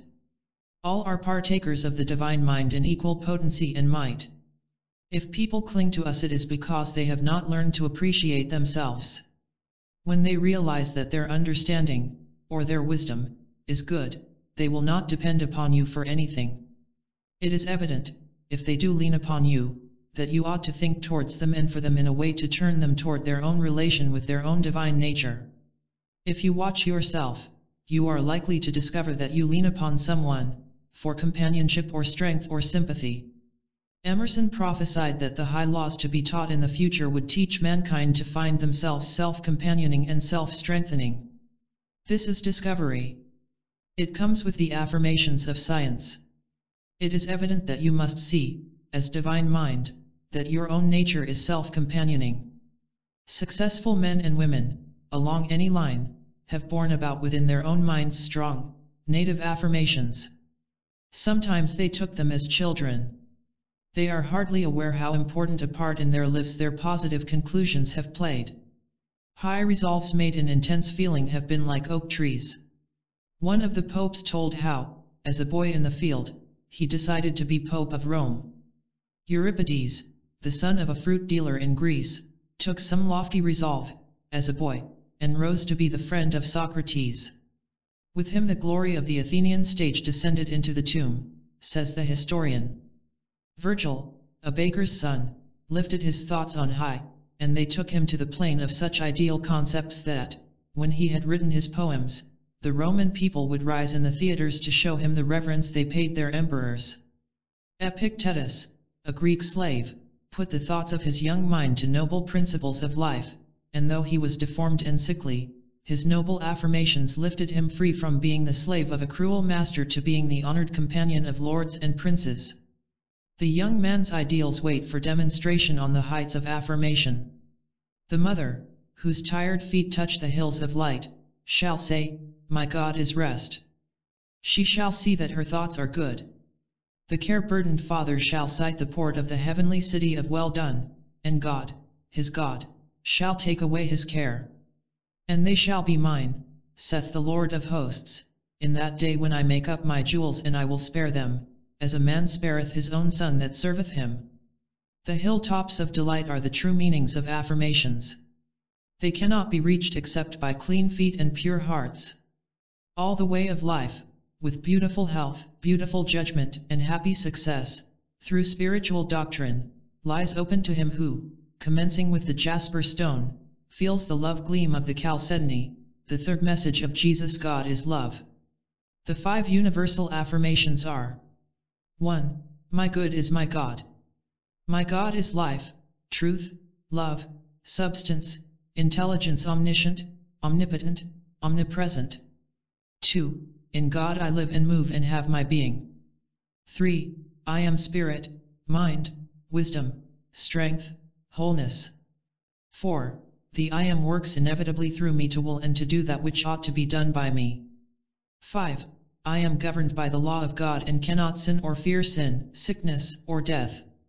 Set apart a morning each week to making your mind touch the mountain peaks of the most noble thoughts. They have many ways of being expressed, but these have the substance of them all. Your own two affirmations, which, if you would use them would lift your life out of bondage, must be sought out and spoken by yourself. If your life seems turbulent, you had better speak of peace. If your life seems defenseless and unprotected, tell of the defense and protection of the Most High God. If you seem to fail in everything you undertake, tell how your God can take the small and insignificant things of human seeming and glorify His own name and nature thereby. It is not to the seeming failures of your life you must look for your reputation among the angels of light, but to the purpose you have held. What matter smile or frown, if angels looking down, shall each to other speak of thee, in tones of love continually, until the name on earth but seldom heard, hath come to be in heaven a household word. There is no storm of adversity that can shake your name through the ages, if your affirmations are lofty enough concerning the dealings of your God with you. There once was a woman who held on and held out that she must cast all her care on God. She would never admit that she got her support from any other source than Almighty God. She would not admit that her life was assisted, or kept, by any other means than straight from divine mind. She feared nothing and nobody, because the everlasting God was her rock and fortress. From being the child of adversity and misfortune, in the seeming, all the conditions of her life grew easy and bright. She took as a principle to hold in her mind, that the yoke of Jesus Christ is easy and his burden is light. You may take any position you like and hold on to it, until it makes your life demonstrate it. It will be your own affirmation. Many people change their affirmations. You can add to your affirmations, but you should not change them. You may explain your affirmations, then the repetition of them will help you. Let us explain the first affirmation that makes the first denial. My good is my God. My God is life, truth, love, substance, intelligence omnipresent, omnipotent, omniscient. Why do we each say, my good? Because we are each the unit around which our good swings. If we are right, entirely right, in our relation to our good, and we can explain how we secured our good, we can tell the world how to attain its good. Jonathan Edwards made a noble discovery under this point. He said he found the supreme plan to be that he should attend to the salvation of his own soul. He put the idea crudely, and spoke in the language of his time, which called the exhibition of our divine nature the salvation of the soul. You can see for yourself that your soul does not need saving, it needs to be made visible. The power of your soul shows itself upon the least little exhibition of determination not to believe in the reality or power of evil. On any plane of thought you will find that the resolve to be on the side of good and right will win victories for you. Health will come plainly into sight. Prosperity is certain to come to you. Happy life comes to you. Why do we say, my good is my God? Can we not see that every move we make is to get some good to ourselves? Do we not breathe because we think it will be better for us? If you wish to stop breathing, even that will be because you think it more comfortable not to breathe. You feel deeply that there is good for you, so all the time you do your best to get that good. It makes the good your governor. It makes it the governor of your life. Thus it is your God. It is for you to choose to make your God either the most high principle which Jesus Christ taught, or the incidents and happenings of your everyday lot in life.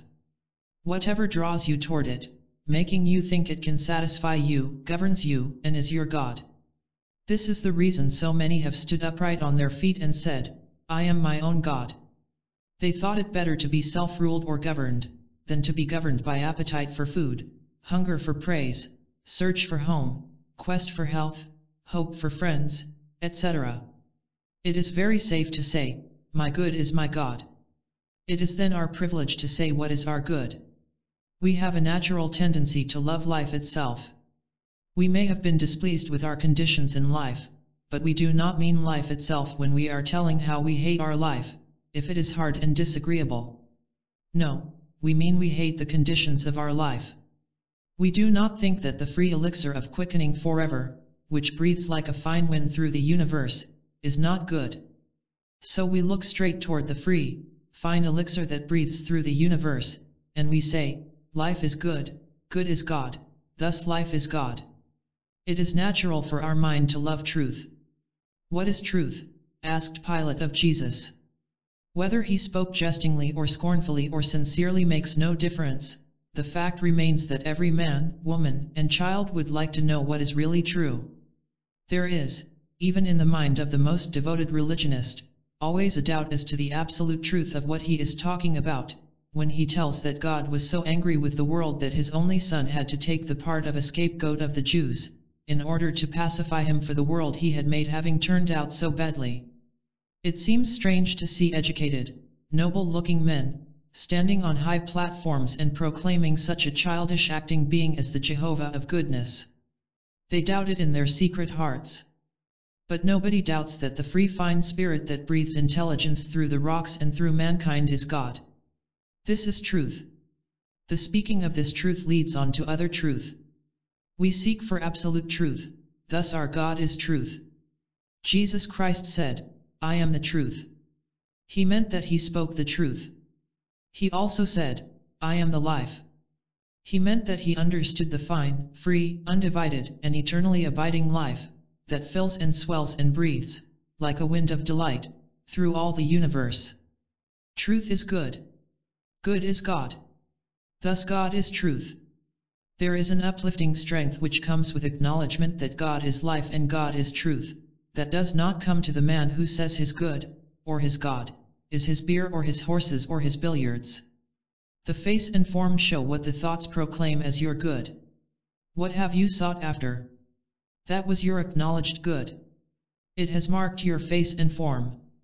Take a true thought in your conscious mind and say it, either silently or audibly. Soon you will mark your face and form with another light. Moses said that the acknowledgement of the right and true God would be like a wind moving across the face of the waters for the light to break over. Waters are conscious thoughts. If we have occupied our thinking mind with what we shall eat, drink, wear, and such subjects, we are in a dark state of mind. It is the Egyptian darkness. If then we begin to occupy our thinking mind with the subjects we call divine principles, we feel the glow of on high shining either suddenly or slowly over and through the mind. Again we name our good. We keep on naming our good. We say our good is love. We do not mean the selfish clutch of some human being upon our time or attention, our body, or our thoughts. We do not mean the clutch we sometimes feel upon the time and attention of some other human being. We do not mean the clutch we feel toward money, toward food, toward home, toward animals, or friends. No, we mean the free, fine life of delight, that streams with kindness and mercy and gentleness and entrancing beauty through the universe, and draws, with its irresistible kindness, all things and all people to love it and feel its love. I drew them with the bonds of love and they knew not that I healed them, said the goodness of divine love, that never clutches at us, nor is caught by our hungry clutching. It is the most high good, nameless in the life of man while he seeks material good, and nameless in our thoughts while ever we think there is some power operating against us, nameless in our thoughts while we believe there is something good absent from us, nameless in our mind while we think we have inferiority or hardship or suffering or loss. The most high good is life, truth, love. There is a wonderful uplifting energy in the words Most High God. The mind is lifted to higher feelings of truth and love. The most high good is higher than any good we have yet realized. So we speak on the lofty heights of our highest words. Out of the reach of words we have the love that draws the universe, and keeps all things seeking and seeking it, but never finding it, until the mind meets the great plane of unreality, and strikes it with the omnipotent no. Yet, I have loved thee with an everlasting love, therefore with loving kindness have I drawn thee. It is the true and eternal substance that woos us with its everlasting love. To lay hold upon your good is to be satisfied.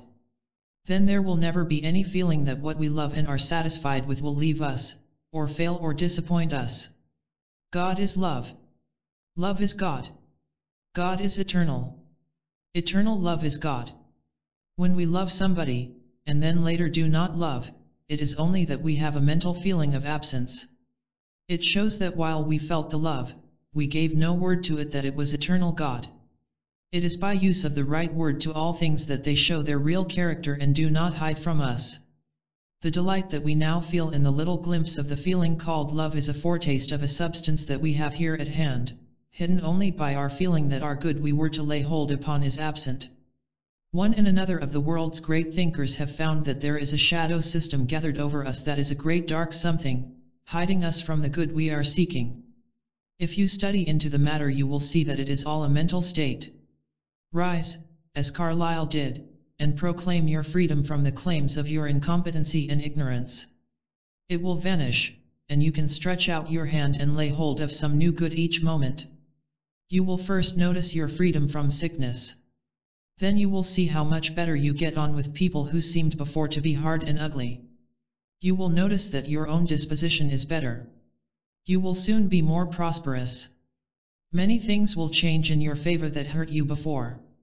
It is the only way offered to mankind to change by a method at all worthy of the idea of the easy yoke and light burden Jesus promised, by accomplishing great works through a doctrine. To some it seems an easy task to sit down alone by themselves and reason out their freedom. To others it seems almost like nonsense. The reasoning seems right enough, but its basis is so different from that of the world that it seems that there is a fallacy in it somewhere. To such we recommend the fact that many have stumbled upon the process without knowing they had touched the keynote to all power of God for all men. For instance, a Russian general once said that when it seemed as if his body were too sick or weary to undertake the hard tasks of the day, he would say to it, You must be strong and able, you cannot be sick or feeble. Do as I wish you to do. Be up and about your business. Soon he got his body so trained that it would rise from a great claim of misery. The father of Henry Ward Beecher would say to his overtaxed mind, Go out, every thought. I will have none of you in my mind, I will shut the doors and lock you all out. After a while he could shut out every thought. Napoleon Bonaparte could do the same thing. If it is hard for you to fasten your mind to a treatment, such as this, write down just what you would like your body to do and be, and read it over at intervals. Read it aloud. By and by you will accomplish with your body exactly what you wish. We are entirely built up and moved by our thoughts. In the Theologia Germanica, a religious book written about the time of Martin Luther by an unknown writer, we read that if any practice in religion seems at first hard and almost impossible, one should persevere in practicing it, until it becomes easy and natural. In this statement of what God is, we say, God is life, truth, love, substance, intelligence, omnipresence, omnipotence, omniscience. Everything that is evil seems present enough. That which we call good may seem to fail us easily. Presence which endures is substance. That which we can take hold of, and keep, is the kind of good we would have. Paul tells us to feel after God. God is substance. God is good. Our good is substance. It is a very good part of the statement of truth to say that God is substance, present with us. Our good is substantial presence. For people who believe that their good is absent it is a helpful word. There is no poverty, no lack, no loss, no want in this word substance. Our God is near as substance. If you are one who believes that you are absent from your beloved friends, this part of the statement of truth will bring you great satisfaction in some marvelous way. Nothing is out of reach of the power of these statements. After a while they come around with their fruit like seeds to fruitage, or like planets to their orbits. It must not dismay you if you do not work with your mind as quickly as others. There is always one thing in which each one of us is quicker than others. It is a great practice to offer glad praises that God has made the way of the Holy Spirit through you so successfully. There is a self-supporting power in the Holy Spirit which, when you let it operate unhindered through you, leads straight to your substantial support. People will think you fortunate, but it will be simply because you have thought on a high plane of provisions till you have opened a gateway of mind. Support is substance. Skill in action is substance. If you can do things skillfully you have the substantial action of the Holy Spirit. The Most High Good lets fall the easy touches of her all-powerful fingers. Give glad, joyous praises every night, before going to sleep, to the Most High Good, that the Holy Spirit fills your thoughts with ardor, and fires your affairs to splendid achievements. Your good is practical, substantial satisfaction. You must be satisfied in mind to be utterly satisfied, must you not? If the beggar child, looking through the window into a home of plenty, and forgetting her physical misery because her mind is so happy, can keep that up for five minutes, she can cause her mind to draw someone to feed her body that very day.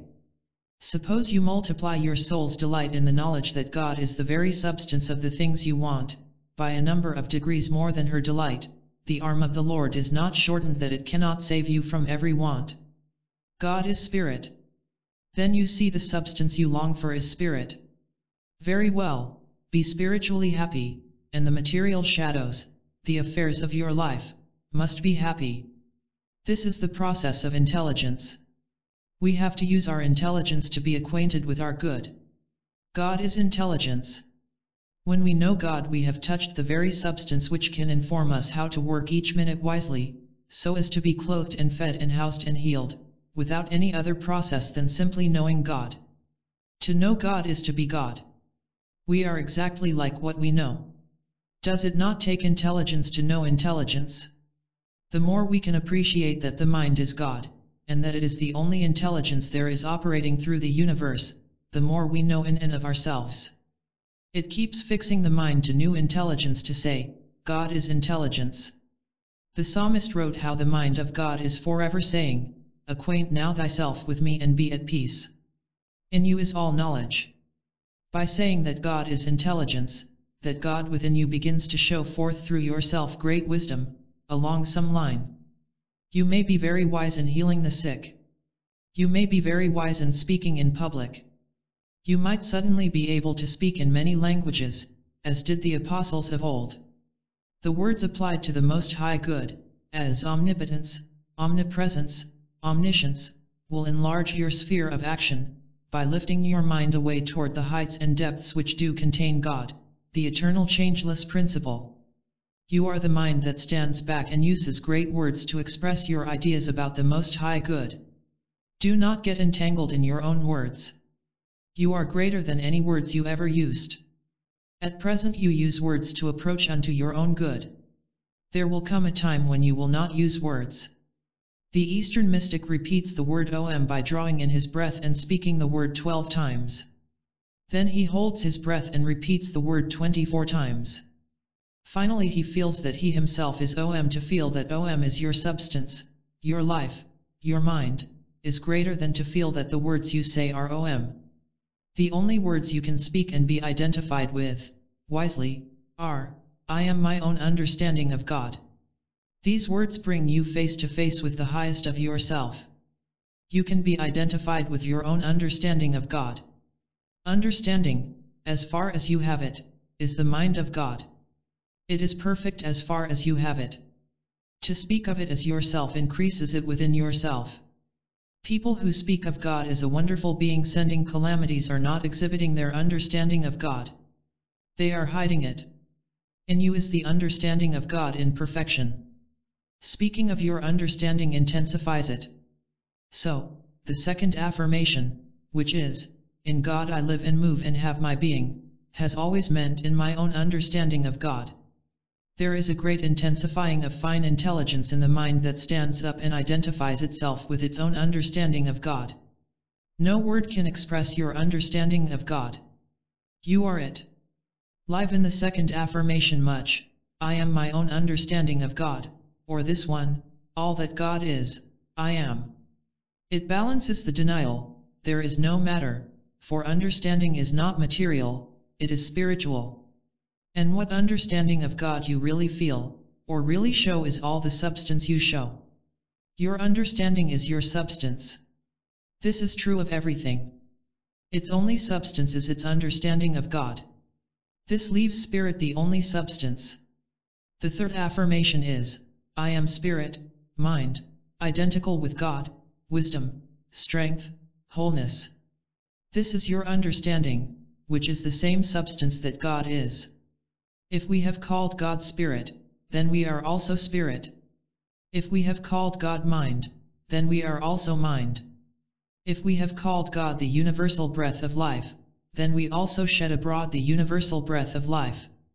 It will seem to cause fine, free nature to make itself felt through you in power. Wisdom will beam from your countenance. Did not Aristides tell Socrates that his presence illuminated him with wisdom? So, all who let the Spirit be themselves, as it is God, will show the same Spirit as God. So, all who let the mind be themselves, as it is God, will speak and think the thoughts of God in wisdom. There will be no loss of mind, no weakness of mind. Thoughts will flow free and strong. Thoughts will shed a broad healing. Thoughts will reflect their thinker. That is, we mean by reflect, that they will shed abroad the mind of God by wonderful thoughts, which can accomplish great and wonderful things. All power is given unto mind. All accomplishments are given under the power of thoughts. The world will uncover from its shadows of grief and sin by right thought. The world has covered itself with pain and poverty by wrong thought. The fourth affirmation is, God works through me to will and to do whatsoever ought to be done by me. That is true. Our understanding does all that is done for us. We are clothed and fed and housed and healed, we have all our blessings by our understanding. This is God. If we would have these marvelous works increased or perfected, we must intensify our understanding. This is being more of God. We may be all of God or we may be as little of God as we please. Being free to speak what we please, and thus free to make our understanding show forth great or small, free to make our world, we therefore make what we now experience by our understanding of God. If you put up with many small annoyances, thinking that by such conduct you smooth things out, is it not your understanding of good which causes you to act that way? If you would have your conditions perform to please you better, you must understand a larger good. Whatever you do, and whichever way you turn, it is certainly by your understanding of good. The statement, God works through me to will and to do that which ought to be done by me, can be put in this way, my understanding makes my world according to itself. Either way of putting the affirmation will perfect your understanding. Yet, when I say, perfect your understanding I do not mean that your understanding can be perfected. What I mean is that you have never loved your understanding enough. There is nothing you can be so well pleased with as your understanding. Watch it, and give it credit for all the good you receive. You will soon love it, and this is loving God. Thus you will be in the same idea with God who saw the light that it was good. It is the mind seeing that its power of understanding is good, that brings it all its good. The fifth affirmation, which matches the fifth denial is, I am governed by the law of God, and cannot sin, cannot suffer for sin, fear sin, sickness, or death. Do you remember the fifth denial? It was, there is no sin, sickness, nor death. Why do we call them regular denials and affirmations?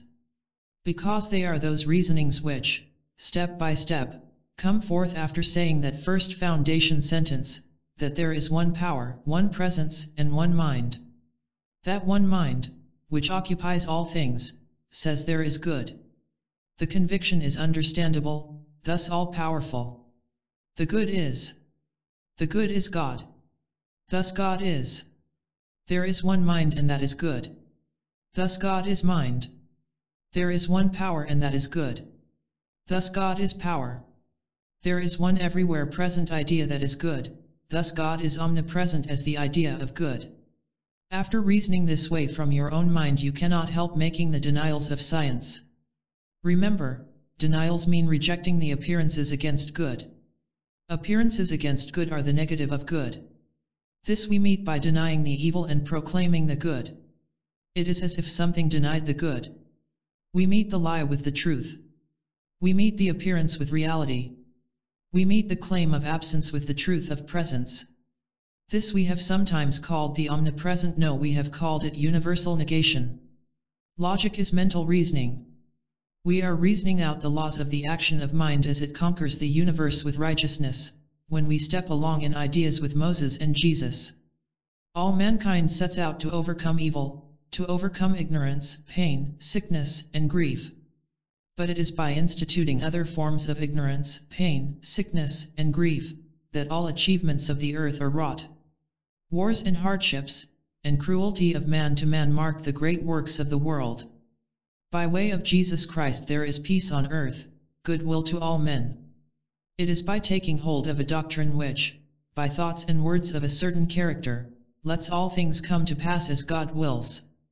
It is that action of the mind whereby all mankind would let the reign of God come on earth, and be glad to let it come. Their whole nature is changed by seeing the reasonableness of the reasoning. The fifth affirmation is the same as saying, I govern my world by my understanding of good, without sin, sickness, or death. I understand God, therefore I love God.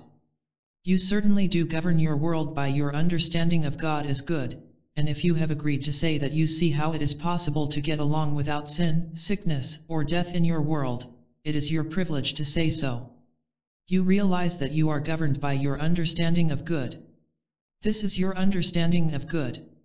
This is your God. It is God. It is all the God there is. It is principle high principle. He who knows the unreality of sin does not fear it nor grieve about it. He who knows the unreality of death pays no attention to it. To him there is no sin, no sickness, no death. To him there are other affirmations easy to believe. He can say with the psalmist, With me is understanding. I am strength. He can heed the voice that came to the prophet, Say not, I am a child. See, I have this day set thee over the nations and over the kingdoms. You will feel that you are a transcendent nature. You cannot help feeling that all power is yours to use. You cannot help using your divine wisdom and power. You cannot help understanding Christ, and as you understand Jesus Christ you have his mind. When you have his mind wholly, you have an understanding of the Apostles' injunction to let the same mind be in you that was in Jesus Christ. Then you will understand how so many scientists have spoken of their divine nature as God, and you will see that it is through not yet understanding that others have criticized them. Your nature is God. Your possessions are power, wisdom, and substance. Between you and your possessions lies the claim of the absence thereof. You proclaim your right of way, and down falls every evil. Try it, and so prove your divinity. It is written in the scriptures, prove thyself. We prove ourselves by uniting with our power we are married to God, our good. We are identified with our understanding. This is marriage. Jesus Christ was married to God in that he was united to his understanding. All your noblest aspirations are to be fulfilled by being in full understanding of God. Set apart one hour, or one day, each week, to affirm your divine relation to God, your God. 4. Foundation of Faith The words omnipresence, omnipotence, omniscience, grant revealing. The dividing syllable ni between om and presence means nothingness or absence, as explained in Lesson 3. If a principle is nothing to us until we know it, this principle of the value of words in relation to our lives may seem to be unreal until we watch the difference which knowing the nature of words makes in our lives. We silently speak the words omnipresence, omnipotence, omniscience. Soon we feel larger and more powerful and wiser. Perhaps we do not see that our duties increase. Our power to carry on large affairs enlarges. Our judgment is better. Perhaps we do not see all this quickly. The Brahmins attained to great power and wisdom by meditating much on Om, their name for God. The presence of the Om is substance. They dealt wisely with the great negation, except in some instances. When the claim of the ages met them, saying that Brahma had made woman without a soul, they did not say, it is not true, the soul of woman is Brahma as the soul of man is Brahma, for he knows no partiality. They neglected other negations in the same way. They did not meet them with the right no. In our own time we have similar things left undone which we need to do. There is always one perfect way of meeting every situation and every affair so as to adjust it rightly, and see it come out well. Carlyle tells us, the situation that hash not its duty, its ideal, was never yet occupied by man. In your life problems every one of them has a way, has exactly one way of being dealt with, so as to have it come out right at once. There is a way to raise the dead instantly. There is a way to heal the sick instantly. There is a way to educate yourself in all art, science, and language instantly. In the science, as far as known, we are conscious of putting in ideas needed and leaving out some non-essentials. We keep our mind's eye fixed on the science, with our whole mind that we may drop what we do not need from our statements and bring forward what we do need. If a scientist has a sickness which he cannot meet with prompt nullification, he has not touched the keynote to his own power. If he has poverty or grief which he cannot make leave his premises, you may not scorn him, you may simply see that he has not touched that sentence which, if he would speak it as truth, would heal him of poverty or grief. The main thing to do for a demonstration is to notice what sentences work quickly in your behalf, and use them all together. They have revealing power, and will quickly put you on the track of your right line of thinking. This is wherein the orderly arrangement of the science is, so far as we have it, of the greatest benefit. It follows the order set out by Moses, and is so arranged that we can tell on what line of thought we are strong, and on what line we must add to our strength. The first, Lesson I, is a statement of foundation principles. The second rejects whatever contradicts those propositions. The third rallies every idea that confirms them. The fourth tells our relation to them, as to why and wherefore our lot in life is as it is, and may become what we please. Jesus Christ called this fourth lesson faith. He did not say, according to thy denial or according to thy affirmation be it unto thee, but, according to thy faith be it unto thee. Moses said, Let there be a firmament in the midst of the waters. Ment means mind, from the Latin word mens. We call a firm mind faith. If you see a tailor cut up a long strip of broadcloth, you know he will bring forth a beautiful coat from the apparently useless cuttings. This is confidence in the correctness of a process. We see the sick child receiving the right thoughts of a practitioner or healer, and we commence to believe, although there is no sign of healing as yet, that the healing has begun. We have this confidence in our life conditions when our affirmations are working. Paul noticed that the people who accepted the Christian ideas had moments of great exaltation, then they suddenly fell into deep depression. He said, Call to remembrance the former days, in which, after ye were illuminated, ye endured a great fight of afflictions. He saw how often it happened. Moses called trials water. We have it in poetry and song to this day. When peace like a river flows over my soul, when sorrows like sea billows roll, etc. Again, the waters of sorrow are drowning my hopes. Then is the time, says Moses, when we must show firmness. He who shows firmness in the midst of surging miseries solidifies a firm character. He makes a substance of his mind. Faith in the success of good, when evil seems to be harrowing your life, will act like a gallant ship plowing the stormy main. People often know the promise passages of the Bible by heart, but when trouble strikes them they have no confidence in them as absolute truth. Just once holding on to them when you are in trouble would give you a good start in faith. Holding on to the great principles set forth in Scripture, while you are in trouble, will invigorate your character marvelously. It is the very mystery of godliness. How sure people are to come out right who have a strong, honest confidence that they will come out right. It is a perfect proof of the teachings of Jesus Christ, according to thy faith be it unto thee. As a result of your being certain that the thing which has come surging over your life cannot hurt you at all, soon the perfect condition will show forth, and things will come out right. Bacon said that he had never made up his mind that a firm conviction that things would turn out right helped them to turn out right. He thought it helped us to bear things cheerfully, but was not certain that it affected conditions. We will not take Bacon's shaky uncertainty of the omnipotent. Jesus said, Thy faith hath made thee whole. It is rather strange that Bacon did not have confidence in the wisdom of Jesus, enough to take his teachings for granted, whether he himself had proved them or not. We must know what we are to have faith in. We are to have faith in God, said Jesus. Thus we have faith in the good as cutting out our life conditions just right for us, no matter how much evil there seems to be operating against us. God is life. Thus we are to have confidence in life as the outcome, no matter how death may seem to act. Life will win. We must be firm on this point. God is truth. We must believe that the truth about the good will act anyhow. We must be sure of it. We speak boldly that our patient will live. This is the truth about good. Moses said, Be firm. Paul said, Stand Jesus said, Thy faith hath saved thee. Truth about good is God.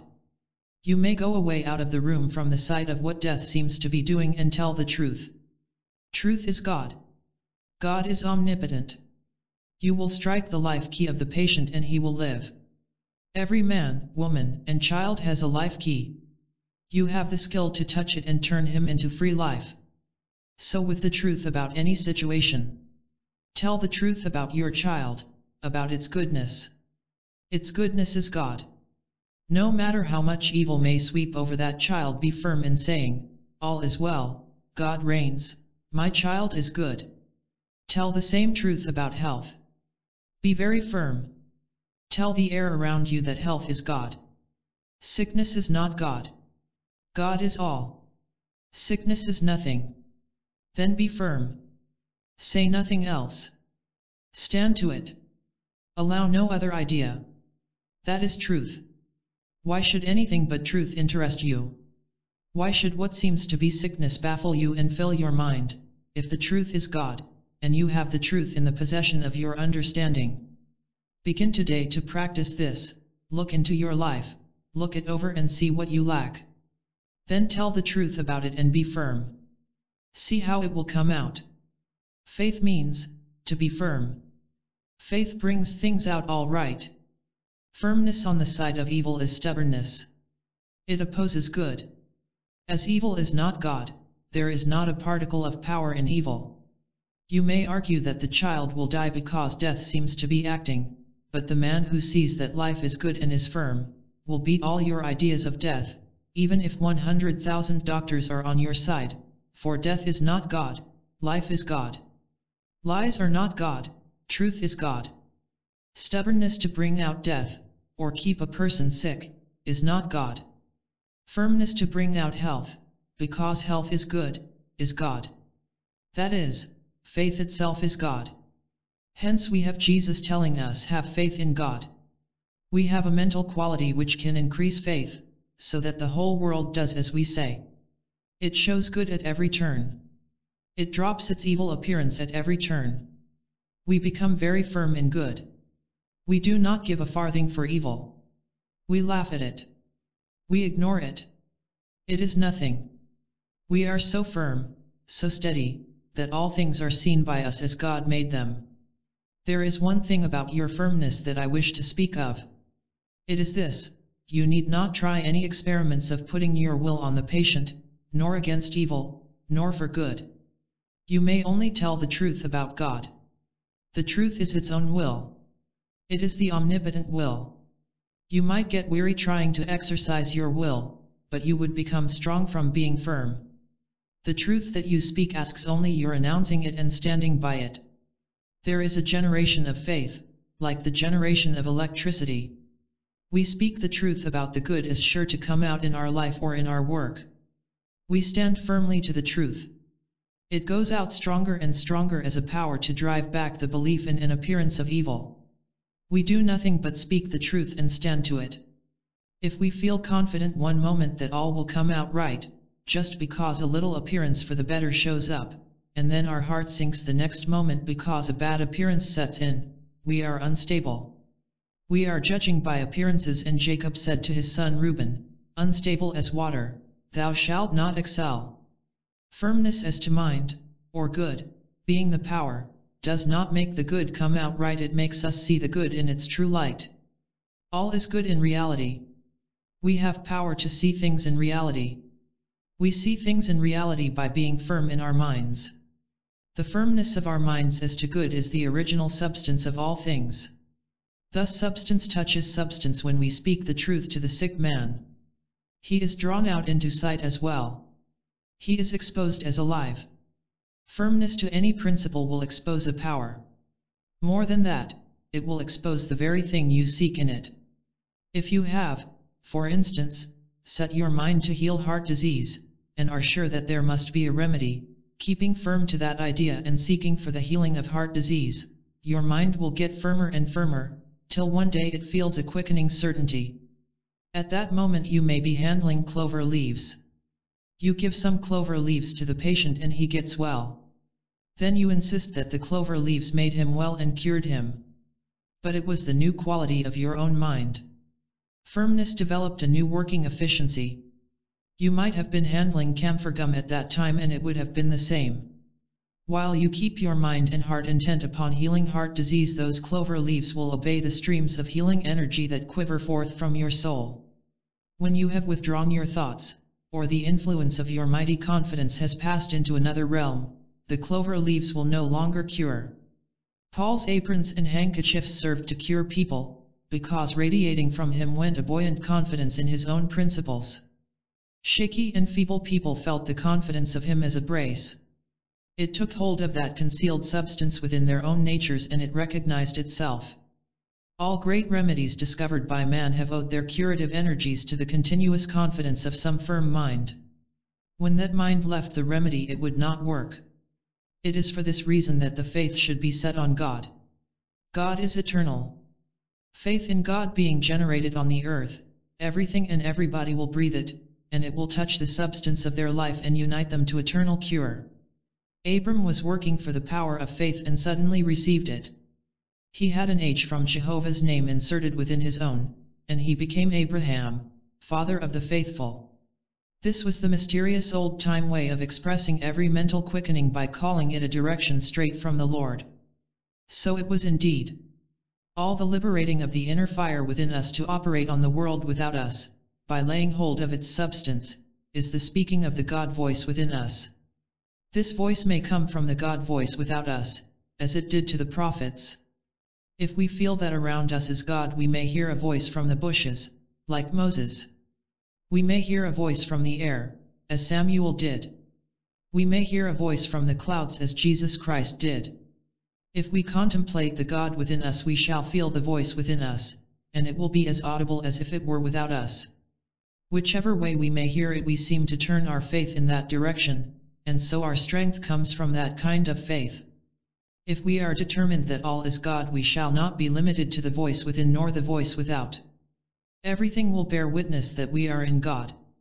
Then there is no seeking, and no command to be firm. We are firm and fixed in our eternal Godhead and power. This science pursuit has four accomplishments to work out. Jesus Christ said it would give you power to preach the gospel, heal the sick, cast out bad tempers, and raise the dead. Every time the waters of opposition float over us we stand firm, and the good comes into sight. The fourth idea with which this science deals is the doubt that the good is working to prove itself quickly in our behalf. This doubt has a rushing and overturning action with us. You all know what it is to fear that you are not going to have things come out your own good way. This is doubt. It shows that either consciously or unconsciously you have been taking some high thoughts of God. Likely you have thought of God from a much higher standpoint than your minister or preacher or anyone ever spoke to you. It was so much higher than the world that when the trial came you could not reconcile the conditions with the great goodness of God, which you felt to be true. So you doubted that good was cutting out the pattern of your circumstances to please your heart. Here is where you are to remember your highest thought of God which you have ever held. Hold it firmly. If need be you may speak over your truth rapidly and constantly, so as not to let any other idea be spoken by you, even in thought. Nehemiah, the builder of the walls of Jerusalem, would not listen to anything but his own ideas of the presence and power of his God, so he succeeded, to the astonishment of his enemies. Ezra built the temple in conjunction with Zerubbabel, when neither of them would listen to one word against the power of Jehovah to take a feeble and weakly congregation and out of it build a mighty people. Miracles are nothing to the power of this faith or firmness, when it is once liberated in you by your firm holding out for the omnipotence of good, for the omnipotence of the truth of good, for the certain action of the principle of goodness. This was so plain to Jesus that he said one grain of faith would move a mountain. Faith is a self-increasing property, just as jealousy is said to be. The jealous person, you know, sits down and imagines a whole sequence of actions. He then feels so strongly that he acts upon his feelings and does dreadful things. His jealousy feeds itself by his thoughts until it handles him entirely. Faith in goodness will feed itself and increase itself in the same way, till we rise and work miracles by reason of it. We do not seem to handle our faith. It handles us. We become faith. We always were our faith. It is, in its intrinsic nature, God Himself. So, one name for God might be faith. In pure spiritual doctrine we have an axiom for the science of denial in its relation to environments. It is that mind is as free as it has courage to deny. Looking around us we perceive that what our mind determines the environing circumstances demonstrate. We are as free from evil as we refuse to think about it. Whatever of evil we think about, that we are mixed up with. Whatever we positively will not think about we never get hurt by. There is another very beautiful axiom. It is that mind is as great as it has courage to affirm. This also will demonstrate in the life. I will be Pope of Rome, said a little boy, and he was.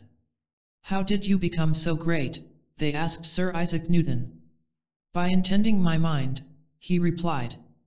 An intention is a strong affirmation. I will be an artist, said a child. He could not even draw a plain picture well. Yet, he became a wonderful artist. For this fourth lesson there is an axiom which is very true in demonstration. It is that mind will certainly demonstrate as much greatness as it has courage to stand by its intention. It is not so much by what we do as by what we think that we stand by our affirmations or intentions.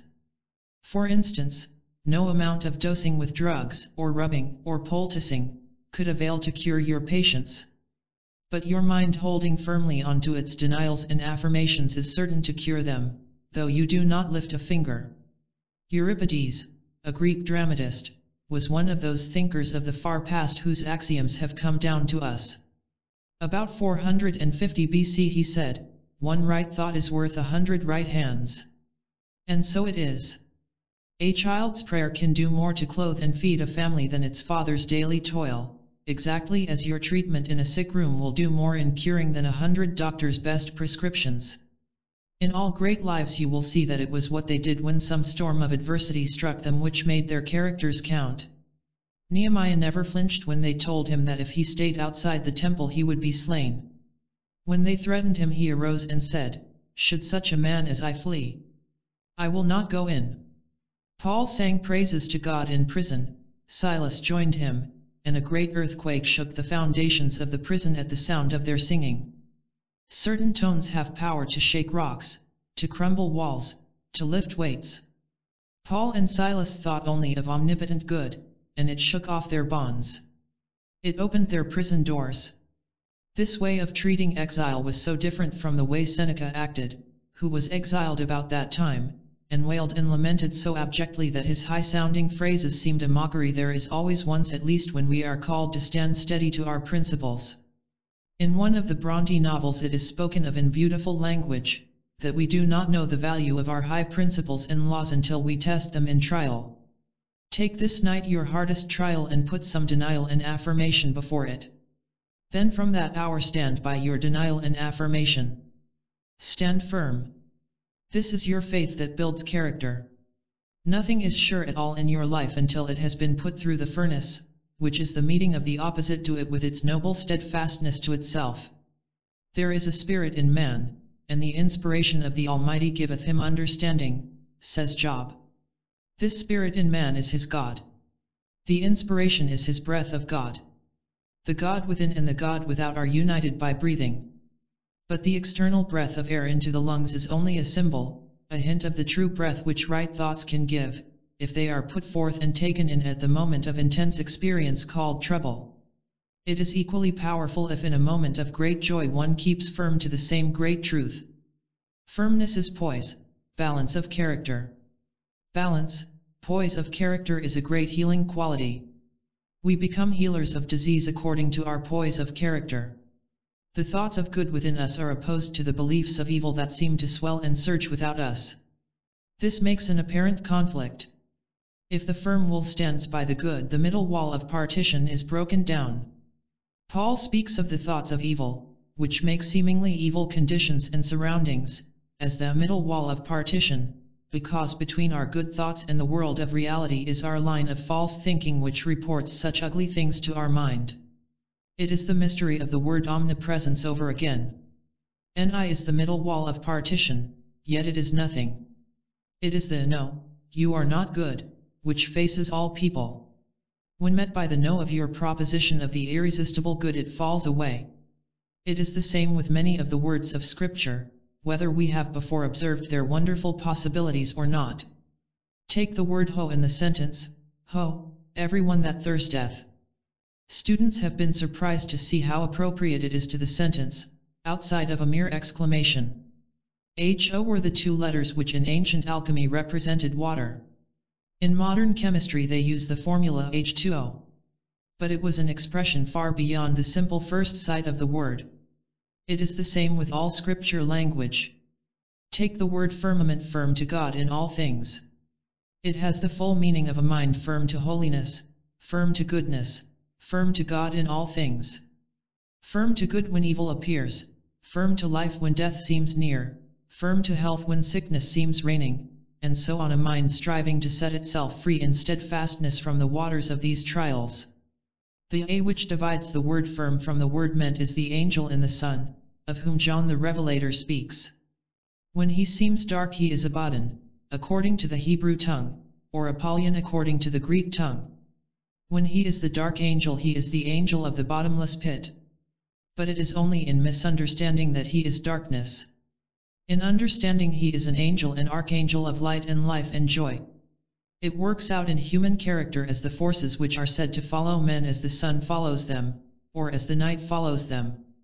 The first force or quality for which this A stands is approbativeness, and this is very strong in all mankind from early childhood. The second is amativeness, which comes later. The third is ambition, which comes in its fullness still later on. The fourth is acquisitiveness, which is yet later. When the character is in the light, these four are seen to be, first, artlessness, which is innocence, second, attractiveness, which is beauty and judgment, third, aspiration, and fourth, ascension, or the complete absorption of the mind and life in spiritual themes. The transformation of character from the first four to the last four comes when we meet temptation with the right spirit. One may say, I cannot help being afraid when I see sickness showing its mastery over health. Yes you can. No man is ever tempted beyond what he is able to resist. There is always a way of escape from the greatest or least seeming evil. One may as well say there is no omnipotence as to say that he cannot help what it is his very omnipotent nature to throw off easily. One may say the drunkard cannot help drinking any more than a child can help crying. This is an insult to the omnipotent spirit resting within him. It places a man where he is not divine in nature but is Satan. It puts him in mind of where he must be restrained. It is siding with the great Nihil claim against him, which comes as, you are a weak-willed fool. You must not side with the claim that man is too weak to resist drinking. You are the weak fool you say he is, for we are what we accuse our neighbors of being. Some say the sharp-tongued scold can no more help her hateful words than a child can help breathing, because it is her nature born with her. Who told you that anybody had a mean, wicked nature? Did Jesus say so? No, he said all came forth from God. Stand firmly to your Jesus Christ principle that all are strong, that all are well. Stand in the waters of seeming and see the real nature come smiling up. Some say, I cannot help crying when I see my best feelings, my generosity, my kindest efforts insulted. What is that omnipotent spark within you for? If it is not the principle to be agreed with when the waters of grief come rolling toward you. That is the way to talk. There is no seeming temptation that is too great to be met with the good and put down into the nowhere and nothing. The woman who speaks sentimentally of how the poor drunkard cannot help his drinking, and with condoning smoothness puts up with him as a weak thing, will be severe enough with her own children. The man who sentimentalizes over his drunken partner will vent his rage on his wife and daughters. It is because they themselves do not resist their own weaknesses. Hence it is part of the right action of the mind in its relation to environment that we take one half day to changing that old angel of accusation of weakness into the angel of ascension, by saying, I do not believe in a mixture of good and evil in the world, or in myself. All is good. There are not two sides to this question. There is only one side. There is only one being to make your covenant with, and that is omnipotence. To make a covenant with, is to agree with. We agree with principle by declaring that we believe in it. Did you ever say that it was your feeling that justice and right would sometime be done in the world? Did you say that the time seemed very long? Did you think that it would be far ahead in the millennium time of the poets and prophets? Tell me why you thought the time for the triumph of good to be far ahead? I am sure you are judging by appearances. Why do you do so? Can you see that when making a choice as to whom to believe, you chose the poets and the prophets rather than Jesus Christ? He said, This generation shall not pass away until all be fulfilled. If he was speaking to the people, can you not see that he meant that if they took his doctrine they would see the fulfillment of their words in their own day? He said, This day is salvation come. It is certain that when you put out great words of truth into the air you may expect to see them come to pass any moment. Notice the way these texts read, immediately his leprosy was cleansed. Immediately he received his sight. He lifted her up and immediately the fever left her. Immediately she was made straight and glorified God. And immediately he was made whole. And immediately I was in the Spirit. The idea of spiritual science seems to be entirely of instantaneous demonstration, if the words of Jesus are believed, rather than the ideas of the poets and prophets. The whole fact of demonstration rests upon wise choice. Today, if you will choose the teaching of Jesus Christ, you will be based in mind, you will know where you stand. A good base of mind is a good healing power. It is a better policy either to believe in something entirely or disbelieve entirely than to be up and down in changes of feeling about matters. A businessman who believes in nobody is a certain man to deal with. You are sure he will show no favors, so you do not whine and shake around where he is. You stand up and keep your eyes on your own affairs. A businessman who believes in everybody has exactly the same effect, only that he braces you to believe in yourself because he believes in you. Then agree with some principle. Stand to it. Here is a commandment of Solomon, keep sound wisdom and discretion, so shall they be life unto thy soul. Hear this idea of the power of faith, the Lord shall be thy confidence, and shall keep thy foot from being taken. When the Lord is your confidence you will never find yourself at all deceived by the ways and speech of men and women, though they be very brilliant, if they speak outside of the principle that demonstrates healing and goodness in life. Do you remember two pieces of statuary by Thorvaldsen, the Danish sculptor, which he called Day and Night? On the breast of the woman, who symbolizes night, repose twin babes, death and sleep. So limp and terrible looks the little figure of death, so absent from life looks the little baby sleep. On the shoulders of day smiles the child of quickening life. Life and joy and vigor laugh in every curve.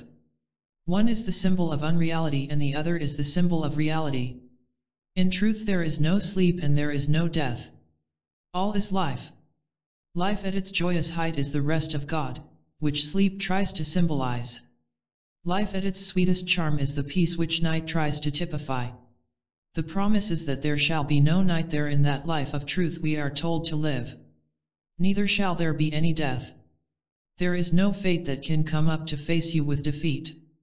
You were not made for failure, no matter who you are, nor how much you know, nor what anyone has told you.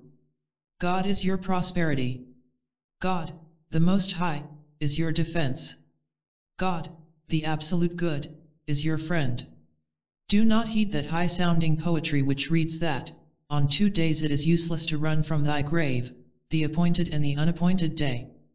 On the first neither balm nor physicians can save, nor the on the second the universe slay. It is good poetry but it is not the truth.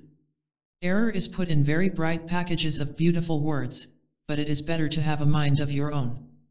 Do not covenant with the principle of limitation to believe in it.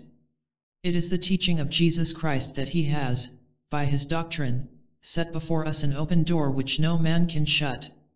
We have unlimited power. If we do not use that power it does not alter the fact of its being our inheritance. We have a store of unlimited wisdom. If we do not draw upon it, that does not alter the fact of its being ours. We may tell how little we know. We may complain of our feebleness, but that touches not our strength. We have exactly what we say we have, so far as appearances go, but appearances are nothing. Principle is so generous and full of faith that it takes it for granted, if you say you are ignorant, that you surely must want to be ignorant, for man's word is his own to do with he pleases. And a man's word is the weapon with which he cuts out his destiny. Or it is the stuff out of which he builds his life. If you have the use of all wisdom by saying, I am wise, and the use of all ignorance by saying, I don't know anything, you are rather ungrateful if you choose to complain. In the years of travel through the wilderness the Israelites provoked the Lord with their complainings. Complaints increase the conditions. You may hear people who profess to have confidence in the Holy Spirit, telling how badly their stomach feels, how weak their limbs feel, how heavy their head is, how blue they feel. They do not show any signs, by such drafts on the ethers of blankness, that they have any communion whatsoever with the Spirit. Do not take your ways of thinking or acting from them. Look to your own relation to the Spirit. When anyone speaks on the side of evil you will say, within your own mind, I do not believe a word of it. Thus you will be on the reality side, and will call them out of their sleepiness, for all talk on the side of death or weakness is sleep. There is no life in it. The subjects which interest the mind are the stuffs out of which happiness is made or not made. Only one theme is full of life and beauty and increasing strength. Let me tell you the twelve effects of thinking of the Spirit, you will have life, health, strength, support, defense, thinking faculty, wise speech, ability to record well your ideas, joyous song, skill in carrying out your principles, beauty of judgment, and great love. The musician thinks he is skilled at the piano because he practices hard. Not so. It is because he has in some moment covenanted with the spiritual feeling or ideal that stirred him, and it has come forth so far as to lead him to be willing to practice to give it more freedom. It is certain that if he really knew that it was the Holy Spirit expressing itself through him, he would see that it is not his practice but his free mind that enables him to be a good musician. It is the Spirit that doeth all things. It is never anything else but Spirit that does all the good that is done. All the beauty of life, all the love of life, all the kindness of life, is of the Spirit. The Spirit is God. David says that God proclaims, I have made a covenant with my chosen. The chosen are those who speak in the Spirit. They have chosen to speak on that side, and that covenant God will not annul. He will not break it. It is His promise that, Thy seed will I establish forever, and Thy throne to all generations. It is ours to choose our principle. It is the way of the principle we have chosen to deal with us according to itself. Jesus Christ said, His ye are to whom ye have yielded yourselves servants to obey. He also said, No man can serve two masters. John the Revelator called the fourth step of science the fourth foundation stone of the city of peace. We have great peace in the spirit, there is no turmoil whatever in the spirit. If there is turmoil it is a signal that we have tried to believe in both evil and good at the same time. It cannot be done. When turmoil comes before you, make haste to say, I do not believe in a mixture of good and evil, I believe only in good. If the turmoil is within your own mind, you will make haste to say, I believe that my God is now working with me to make me omnipresent, omnipotent, and omniscient. I believe only in the good as ruling in and with my life. I have the faith of God. It shows that you have to make some decided choice in and with your mind. It is the experience which comes after realizing some great ideal in spiritual life, which your human lot seems to be far from carrying out. Its symbol is the emerald stone, symbolizing that the choice on the side of good is made. Joel, the prophet, was looking over the people of the earth, and when he realized how we see principles and how we judge of life, he cried out, multitudes, multitudes, in the valley of decision. That is, not yet decided. Goethe wrote, choose. Choose well. Your choice is brief and yet endless. The choice is ever before us, for evil always seems very real and very powerful, until met with the truth. Our way of believing deep down in our convinced mind is our faith. We are sure to speak out from that faith. If we talk against our faith, that is, do not quite believe that the health principle is most powerful and yet we keep on talking for health and will not admit that we are afraid of the sickness, we surely will find our faith coming around to the side of omnipotent health. This is the way of entering into faith by a straight line of procedure. If, when we are trying to talk for health, and talk for prosperity, and talk for wisdom, everything seems against us and everything hurts us greatly, we must put great vehemence into our saying, I do not believe in sickness, I believe in health. I do not believe, or think, that misfortune has any power whatsoever. I believe in prosperity and success. God is working, as we put deep feeling into the circumstance. For instance, if you feel grieved, you must put as much feeling into your declaration of faith as you have grief in your mind. The two states of grief and of vehement words of faith will act together to form a new base in your character. They are like silver in solution, which a certain kind of acid can precipitate into fine flakes of silver again. So the right circumstances are hidden in the solution of your grief. You put strong words into your feelings, and a new state of mind comes forth, which is a great power.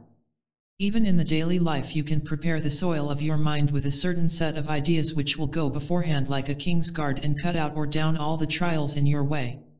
Your own radiance of mind, engendered by your noble thoughts, will go like protecting fire before you and stop calamities, stop sickness, stop the tongues of your seeming enemies, and do all things for you. It is the Spirit that goeth before to guide, as it is written, I will guide thee with mine eye. All your days of ease from sickness and calamity should be filled with words and thoughts which have this protecting power. Divide your days into statements that can accomplish miracles. Take Monday for one kind of thought, Tuesday for another, and so on. And when Thursday comes around, why not take that day for discussing or meditating upon the fourth lesson in science, since Thursday is the fourth day of the week's activities. This law of thought concerning spiritual doctrine is the law Jesus Christ taught. That is why it has been called Christian Science. If you will look up the history of art and science, especially chemistry and physics, you will see how often practical usages of great principles are named after the men who first used the principles. Jesus Christ taught that we may uplift our life by uplifting our thoughts. Jesus Christ taught that the only uplifting thoughts are the thoughts of God. The true thoughts of God were given to us by Him. We now take them and resolve them into twelve definite propositions, which are not only in the same order in which He expressed Himself on spiritual matters, but are the actual processes of our own mind, as soon as we give it freedom. The statements usher us into a new realm of life. We find that it is not spiritual nobility to be brave in warfare, nor to be able to cure the sick, nor to be able to rise above temptation to do wrong. By thinking wisely ahead of these circumstances we never come into them. If you say in a moment of anger that you are unlucky, and that brings you a stroke of hard luck, can you not see that it is no special credit to you to get bravely out of the mess into which you have deliberately plunged yourself by your words? Can you not see that you would be far more noble to do the right thing beforehand? Getting bravely out of a mistake is just like putting your hand into live coals and then asking us to praise you because you are a good surgeon in cutting it off, and so patient in bearing the deprivation or loss of your hand. We make our own conditions. And this brings us to the preparation of our feet with the gospel so perfect that we never enter the seas of misery. Paul said, Have your feet shod with the preparation of the gospel. The new covenant which it is prophesied in the scripture the Lord will make with his people, means this agreement with the Spirit, by which Spirit is to do all things for us, and we do nothing for ourselves, our only relation to the perfect way being that we agree to leave ourselves entirely in its keeping. On this account, if you will make your covenant with the omnipotent, eternal Spirit, to do all things, and you will do nothing but trust it entirely, you also will be that people with whom the prophesied covenant is made. You will find it mentioned by Jeremiah in his 31st chapter, Behold, the days come, saith the Lord, that I will make a new covenant with the house of Israel.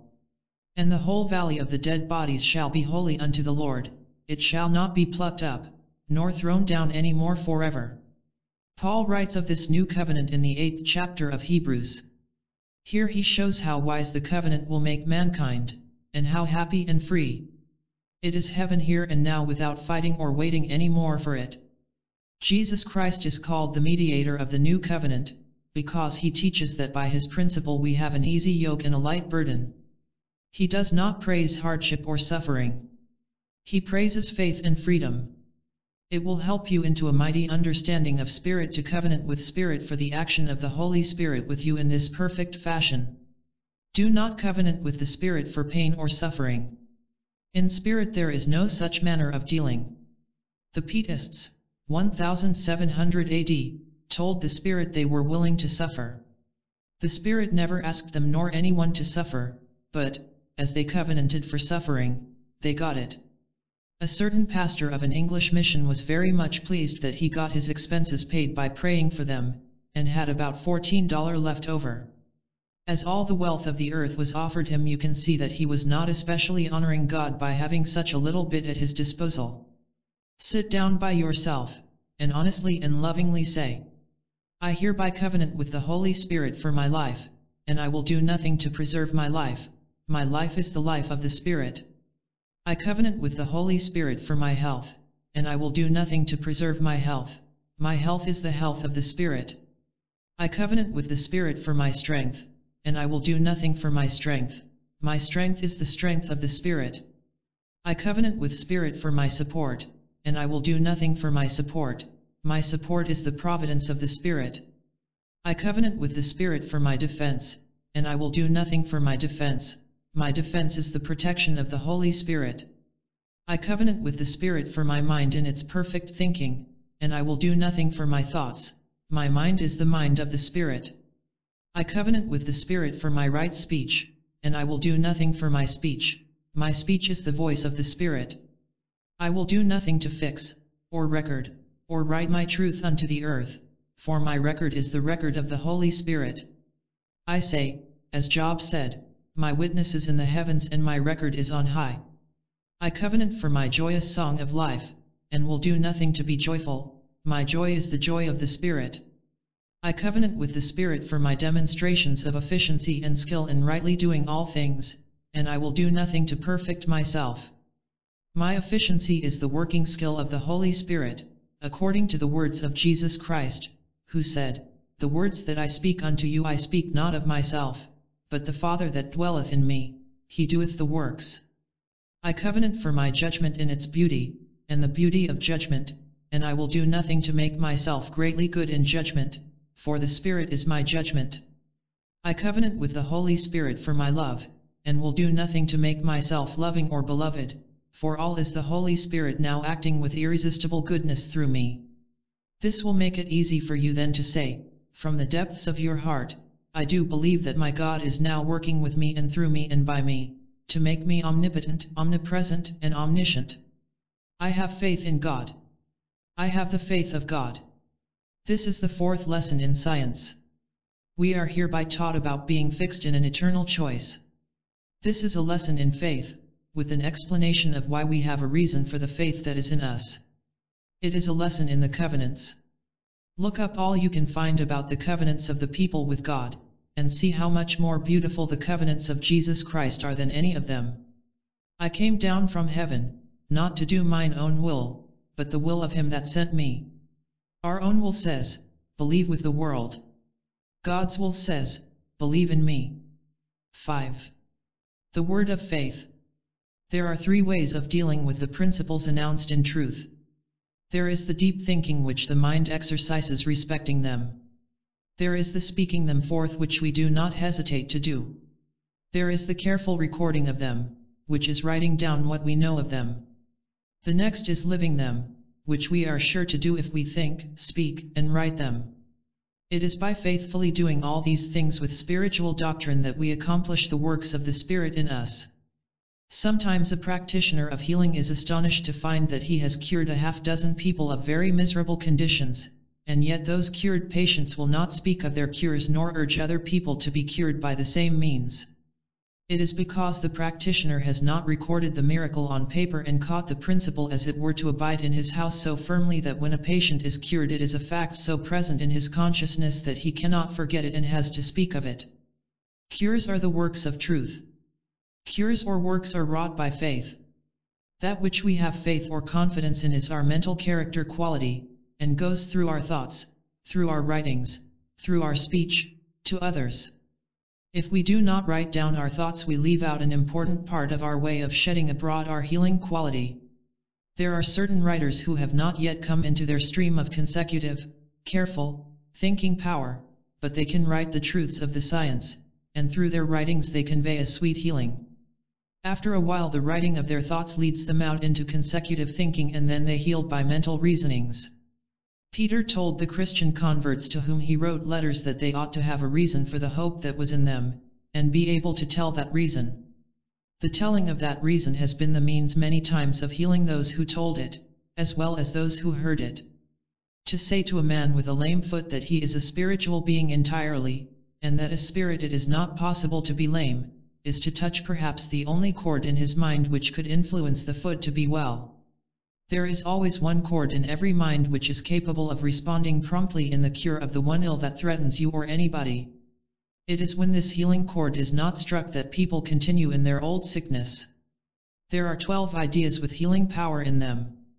There are thousands of ways of presenting these twelve ideas. Sometimes a practitioner of healing will find that he cannot make his thoughts train his body by positive or direct statements. He has to come to his nature by negative or indirect processes. For instance, he cannot make his thoughts work out his affairs aright by saying, My prosperity is satisfactory to me. He has to say, I do not need prosperity. I do not need anything. It is all a matter of belief. Thus we often hear people telling about having a belief of this or that malady. It sounds strange and affected, but quite expresses the state of affairs. If they are strictly in the faith of Jesus Christ they do not believe at all in sickness.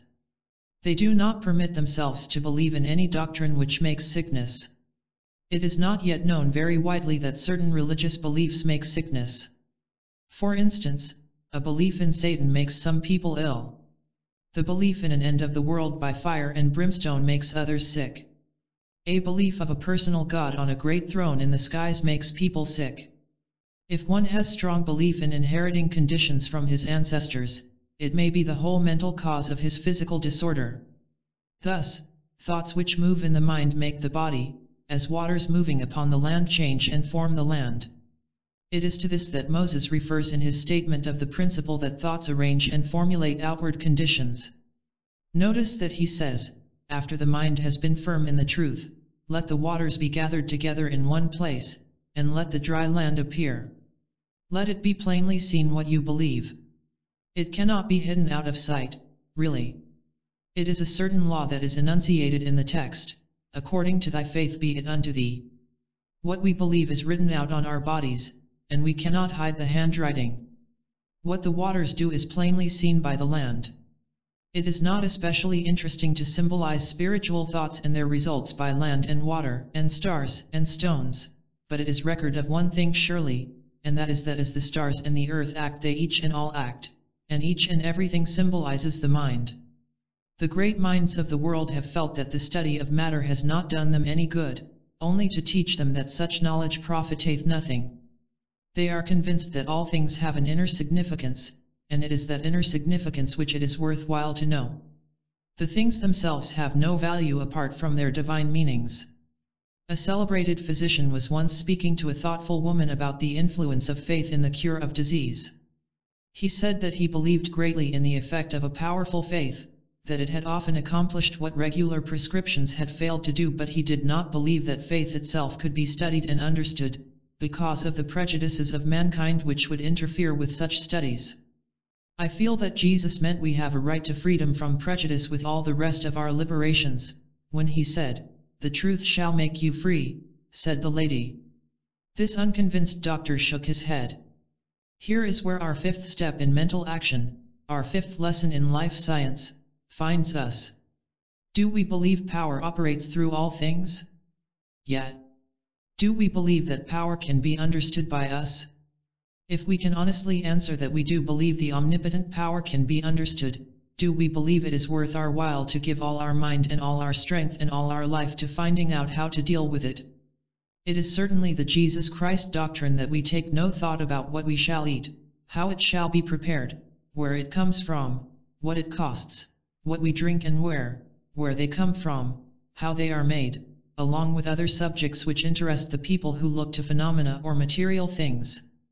He would have us know all things, have all things, without trying to have them, and be filled with power without long practice in science or art, and so on through the list of worldly ways. It lies often to our choice how far we will undertake to follow Christ. The choice sets our mind to a keynote. This keynote we always strike when we meet people. They feel our mental tone. They feel it with their mind. If they have thought along our lines they respond gladly. If they have thought quite differently they feel mentally opposed to us. But if we do not change our base, do not falter in our faith, there will be a constant sounding of our tone that will break down their opposition. They will come to respond with their own tone which is like ours. They will be healed. They will be uplifted. Our mental conviction that evil is nothing real, causes evil to falter in their feelings. Our mental conviction that spirit is the only substance will spiritualize them. The more firmly we hold to our own thoughts, the more the conscious reasoning which we keep thinking will change and alter their conditions. Our own conditions will change for the better, and still on for the better, world without end. Our words along the nature of our faith make our faith a working principle. The waters of a river might be walled up into a great basin, but if a channel is made for that water, it flows down over the lands and makes them fruitful. Thus our words are the outlet of our faith. Our words in the silence of our mind are as potent for good as our spoken audible words. If our faith were small, and we should keep talking, keep thinking, keep writing ideas absolutely true, our faith in those words, which lies hidden in our nature, would finally come forward. If we did not greatly believe something, but should keep speaking it, or thinking about it, we would construct an artificial faith in our words, and make conditions like our persistent ideas. You will remember that Napoleon talked much of what he would do in case of defeat. So his defeat came at Waterloo. Jesus Christ taught the importance of the word. By thy word thou art justified and by thy word thou art condemned. If a man keep my sayings he shall never see death. Two ministers of the old school of theology were accustomed to call themselves miserable sinners, and also to tell that there is a dreadful place prepared for sinners. One of the ministers came back, it is told, after he had passed through what is called death, and communed face to face with the other. He said, I am condemned to a place of burning, and justly too. He tried to say more but could not. We know why. It was the justice of the law, that if it is as we speak that we are condemned, then he who had said that miserable sinners, of whom he was one, must all be burned, must, honorably share the fate of the rest of the sinners. He had not really had faith that he should burn, but the waters of conscious speech fixed the lands or settled the places of his lot. So we are told to guard our heart's thought. So we are told to watch our tongues. Some minds quickly translate their thoughts into actions. You, yourself, may have a habit of fearing some little thing and it keeps coming up till it finally begins to seem real. For instance, you fear that the old pain in your head may trouble you if the railway car is warm, so you open the window and yet your head aches. Now suppose you had risen in mind with calm self-poise and said, I am not a victim of headaches, I do not believe in them, neither do I believe in material causation. You would have, by your very words, compelled things to be as you said. You would have been free from pain. You, yourself, are the arbiter of your own destiny. Why give in to the old ideas? Old ideas are old beliefs. You are not obliged to believe that you are a being liable to misery. This changing of all events by thoughts is called works. If the faith is good we do not have to take many conditions in hand specially. They take care of themselves and let us deal with the principles. As for instance, if your faith is established in truth, you will probably find people will be well and easily recover from their maladies from association with you, while you keep on thinking the 12 propositions of mind science. On that day which you devote to the fifth proposition you ought to see people very well, without especially thinking for their particular health. If they are not well you must speak specially to them. Do you remember the fourth statement? The fifth is like unto it in showing how we make our own happiness or unhappiness so far as this phenomenal world is concerned. The spiritual or real world is not changed by our words. It is the same changeless good yesterday, today, and forever. All our faith, all our reasonings, are to the end of opening our eyes to see the real world. From the standpoint of truth it is thus with us always. From the phenomenal standpoint we have chance and change and unhappiness. The fifth statement is, As divine mind, which I am I preach the gospel, heal the sick, cast out passions, raise the dead. I work the works of God, who works through me to will and to do that which ought to be done by me, according to the doctrine of Jesus Christ, the words that I speak unto you, I speak not of myself, but the Father that dwelleth in me, he doeth the works. Such an affirmation makes you realize that you have nothing whatsoever to do, for do you not see that if the spiritual world is already perfect, if that is the real world, you do not really have anything whatsoever to do? Thus the highest working power is the power to see that we have nothing to do. Our demonstration of this will come out in many unexpected ways. For instance, we are in hard straits with our business affairs, and we insist that it makes no difference to us in reality. This may show out in our power at healing, or in our bodily health, before it shows in our affairs. Even at their best what are our affairs? They are symbols of our real life. If they please us they are pleasing symbols, but nothing is real except spirit. So this idea will come step by step to make our environments right. We cannot fail while we are daily speaking the lofty principles of that kingdom on the earth, though not of it, which will come up before our vision more and more. We were not made to fail. We were not made to be burdened. Probably you will notice that the fifth lesson seems to take away our own management of things. It is therefore the great lesson in meekness. It touches most nearly that word of Jesus Christ, not my will but thine be done. We are willing to submit to the law of our words. We are willing to give up old words to let the word of God be spoken in us and through us. God hath given the Holy Spirit the speech and thought of the universe. In us is the Holy Spirit. We let it speak and think through us, then we are like John on the Isle of Patmos. We cannot realize time or people or events. They come and go as we hasten nearer and nearer to our sight of the heavenly city. If we speak of preaching the gospel, we mean telling the world of the spiritual kingdom speaking from the absolute standpoint. If we tell of healing the sick, we do not mean that there are sick people, we mean that we see people more nearly as they are. If we speak of casting out passions, which are called demons and devils in scripture, we do not mean that there are devils or demons. We mean that we see the Holy Spirit in mankind instead of passions and tempers. We mean the same by raising the dead. There is no death, yet we speak of raising the dead as a work of science. How is this? We mean that we see life where we have believed in death. If we should say all the time, I see life, I see health, I see strength, I see prosperity, and so on, we should mean exactly what we do by saying that as divine mind we heal the sick, cast out demons, raise the dead. There is only one mind. That mind is the source of all thoughts. We think the first thoughts of that mind when we think according to Jesus Christ. All other thoughts are no thoughts. All other words are no words. Thoughts and words not in science make thicker and thicker fictitious conditions. They are all subject unto us. Do not fail to keep some of the words of truth running in your mind continually. It is well to have the truth ideas running because they lead the mind out into the events of the day. If we are involved deeply in thinking mathematical problems we would not carry a healing presence. If we were the greatest musician that ever lived we would not carry healing power by our scales and chords, but at the first trump of the doctrine of Jesus Christ within our mind we are filled with healing presence.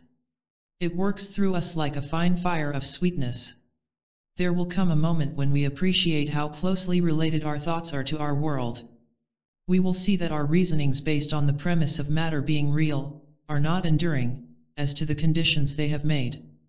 If we have spoken of riches as being the possession of material things, and then reason why we should have riches, we are talking entirely of nothing. Riches are the presence of the Holy Spirit in us. All reasoning based on that premise is solid reasoning and will demonstrate in good symbols. Swedenborg thought so much upon God that his face shone so that sometimes his servants were afraid of him. Do you suppose he asked that his face might shine? No, he was thinking beyond faces. Madame Guyon, the French pietist, could heal the sick wonderfully. Do you suppose she asked to heal the sick? No, she asked to be married to God. This meant she desired to give up her will entirely to the divine will. She had a few wrong notions of what the will of God is. She said God's will is that we suffer great tortures of mind and body to discipline us, She thought it was through suffering that God perfected his people. If all miserable conditions result from miserable ideas of God, it is no wonder she had miserable conditions. Other religious people had miserable conditions. They had them as the outcome of their mistaken ideas of God. Job's friends tried to persuade him that it was God who had afflicted him. He denied it. That is our duty also. We deny the being of a God capable of afflicting people. Guyon, Fenelon. Kempis, Luther himself, all ignored the doctrine that according to thy faith so be it unto thee, as related to human experiences, and accepted what others taught them. Luther never seemed to apply the doctrine to the persecutions he received from mankind. You remember he was so unhappy by reason of the ill treatment and maligning he received from people that he was in the depths of despair a great deal of the time. Now and then Luther agreed that faith could heal the sick. He himself healed the sick sometimes by the prayer of faith. He had the same privilege in the matter of stopping persecutions.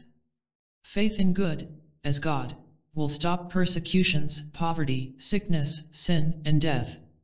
The greatest mystery about the goodness and intelligence of the Pietists was their ignoring the Jesus Christ idea of God, already implanted within their own good intelligent minds, and taking the teachings of other men about the ways of God.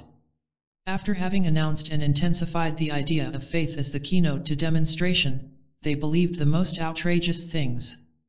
They are our examples. By their lives we see how faith in evil operates as well as how faith in good operates. An accepted writer on the dominant theology of today says to the world that the sufferings of good men are not explainable.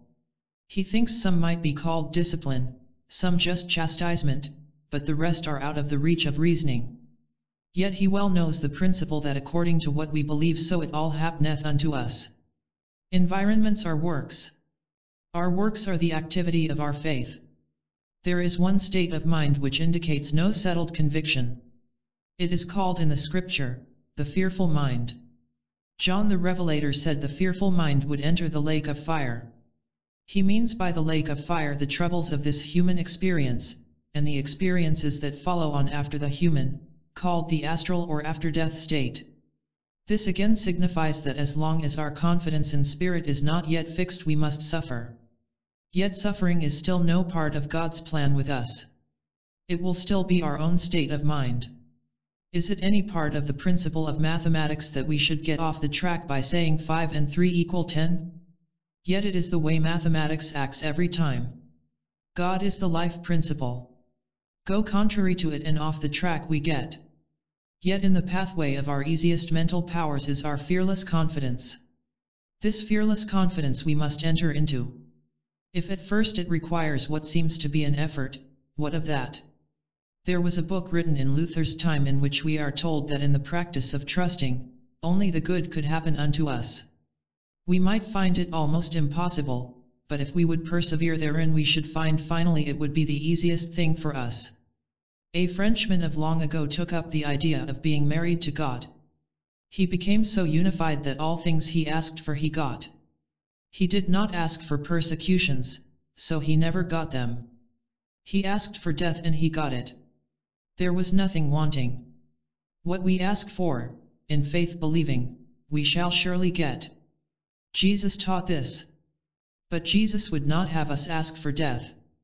My words are life, he said. Because the world works out its homes, its health, its friendships, its prosperities, on the plane of believing in evil need not make you work out your home, your health, your friends on that basis. This is the only point in Christian doctrine wherein strict reasoning compels us to sever from the best religious ideas of even the professing Christians of all ages.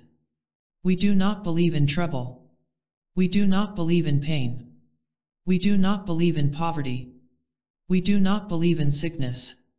We do not believe in our fears. Only joyous prosperity can come to us. Only plenty and abundance can come to us. Only health can come to us. Only safety can come to us. Al-Ghazali, a Mohammedan, said that faith is the point of contact between God and man. Abraham joined himself to God by faith. Faith is God. Our substance is our faith. We have only so much substance in us as we have faith in the good. We can control our destiny only so much as we have faith. We have the use of all faith. We can lay hold upon all the faith of God if we please. The disciples cried unto Jesus, Lord, increase our faith. He said unto them, Why are ye fearful? Be not faithless, but believing. If this great confidence were not something we could easily secure, his orders would make the Christian way just as hard as the preachers have made it. He never called his way hard. He even made healing the sick easy for us all. All things are possible to them that believe, he said. Very soon his disciples got so strong in faith that they wrought miracles. Those to whom they preached wrought great miracles also. For three hundred years there were great works of healing brought to pass by the Christians, then slowly the ministry of healing ceased. It came to be a sign of power in spirit, and sometimes people not high in church office could heal better than the high officers. This aroused jealousy.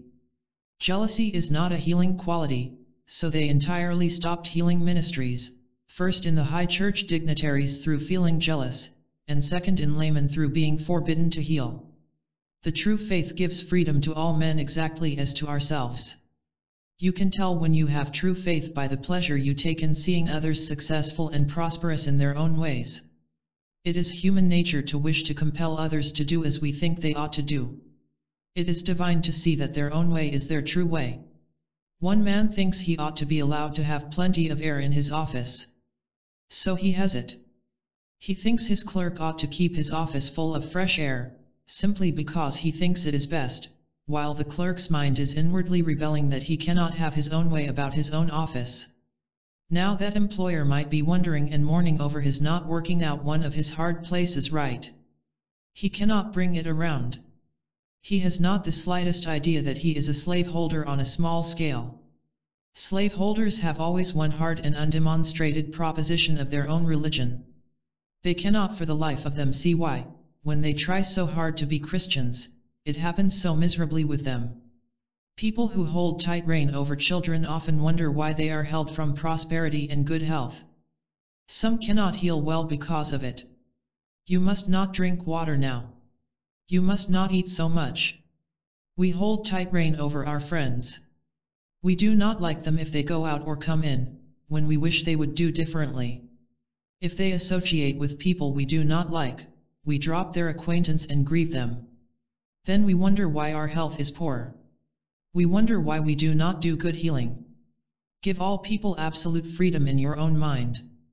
This will cause them to do right exactly. In Norway the merchants leave their wares in booths and write on cards that people who wish the articles may leave the price in the box and the merchant will come and get the money at the end of the week. This freedom from suspicion causes the buyers to leave the right change. They do not steal. There is no question that giving our neighbors freedom from our ideas of them, that they need our counsel or need to do our way, will cause them to do right. Right, which is good, which is God, acts only through freedom. If I am of a mournful type of mind, I am thinking that the divine mind has disappointed me in some way. This suspicion is a kind of blot between me and the sight of good health in my patients. If I hate tobacco, or hate rum, or hate any man or woman, I put up a dark steel-like screen between myself and the sight of good health in that patient I am trying to cure. If I think the doctors of medicine are in great error because they think that healing is possible by the use of drugs, I stop some energy of the Spirit from being free through me. I am the one to tell the Spirit how free it may be, but the Spirit never acts through accusation. Doctors think the healing power acts through drugs, and you think the healing power acts through words. All the time that healing power is operating through that one who has confidence in the good as health. God acts through confidence in good. God acts through freedom, because the feeling of freedom is one form of confidence in good. God acts through our toleration of doctors, because toleration of the rights of others is a sign of confidence in good. Any act and thought, any feeling which evinces confidence in good, will have the power of God acting through it at once. This compels us finally to have our confidence in the law of the good itself, not in the drugs themselves, not in words themselves, but in God, the good. I take my refuge in thy order, O M, said the Brahmin.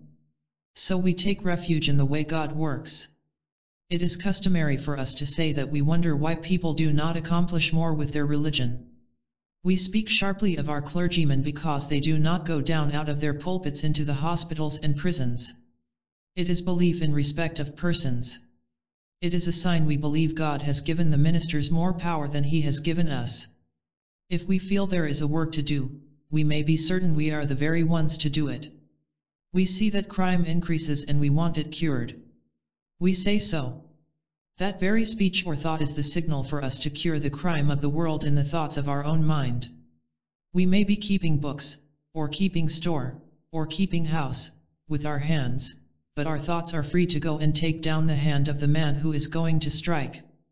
We may go on the free thought to the hungry child, and lead him straight to the house, or place, where he will get all he wants. We have no time to waste condemning people for not doing great works. We must get on about our own business. All crimes shall cease. And ancient wrongs shall fail. Justice returning, lifts aloft her wand.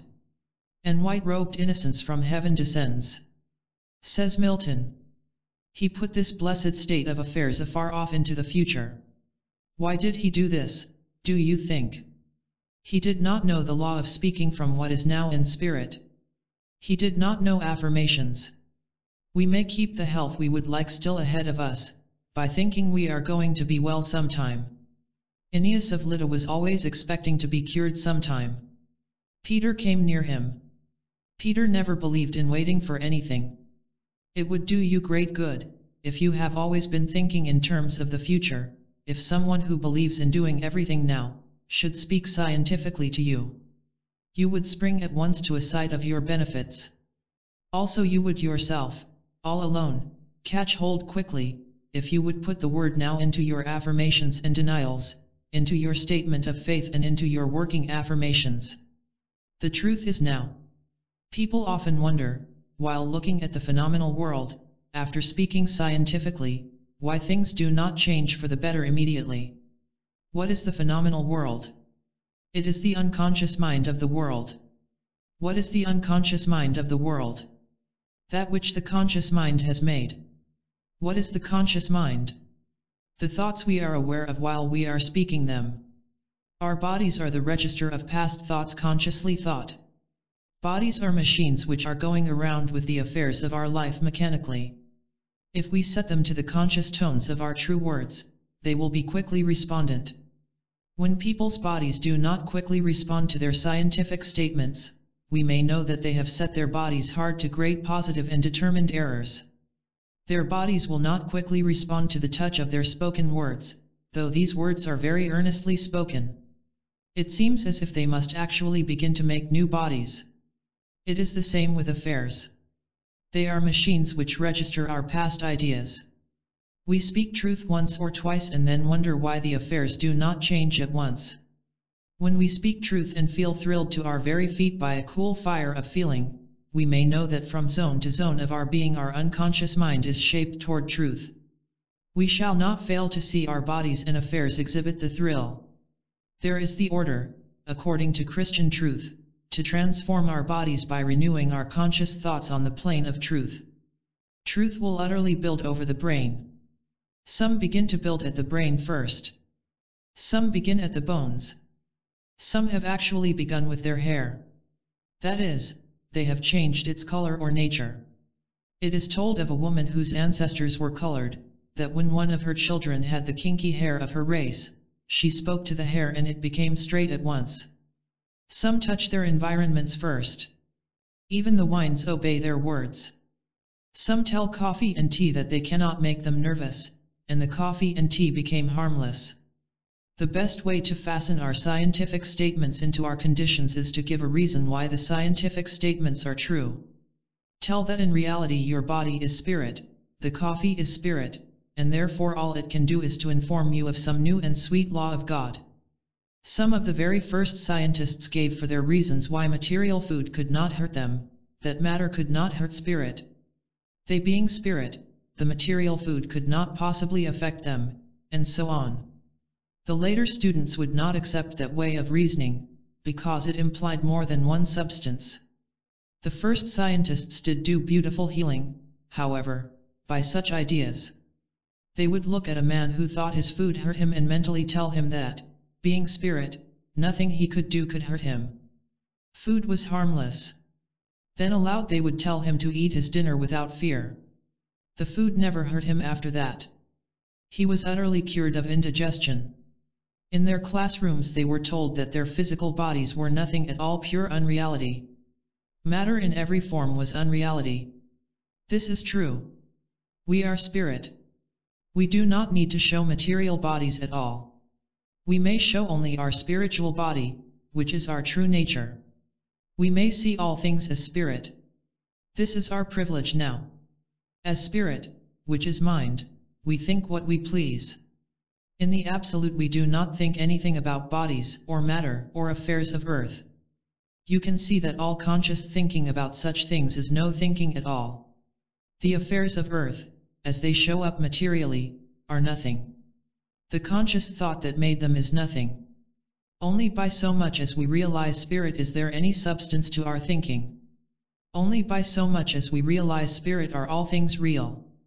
Every realization of spirit brings our bodies out from their unconscious machinery into their glorious reality and freedom. Jesus Christ could manage matter in all its forms instantaneously, but he did not teach anybody else to do so. He taught what to think that would eventually result in instantaneous demonstrations. The disciples could do everything but save themselves from persecutions. We take the conscious teachings and train ourselves till our machine-like bodies spring to as quick intelligence as our consciousness itself. People were perfectly astonished when they first found that there is as great intelligence in the feet as in the brain. There being no material brain, no material feet, all being the Spirit of God, who is this that dares say that one part of omnipotent God is more intelligent than another? It is no mind which is called the conscious mind. What is wrought out by thinking of material things as reality? Your bodies, of course, with their troubles and pains. But as it was no mind that thought these things, they are nothing. They must disappear. They disappear for the true conditions to show out. Even thinking the truth about numbers will change the shape of the head. The mathematician will keep thinking and thinking about numbers till he seems almost discouraged, he is so far away from his right answer. He keeps on calculating, however, and someday his mind is capable and strong in numbers. His very head has changed its shape. His face looks different. He did not ask to change the shape of his head. He did not expect it would happen so, but it did.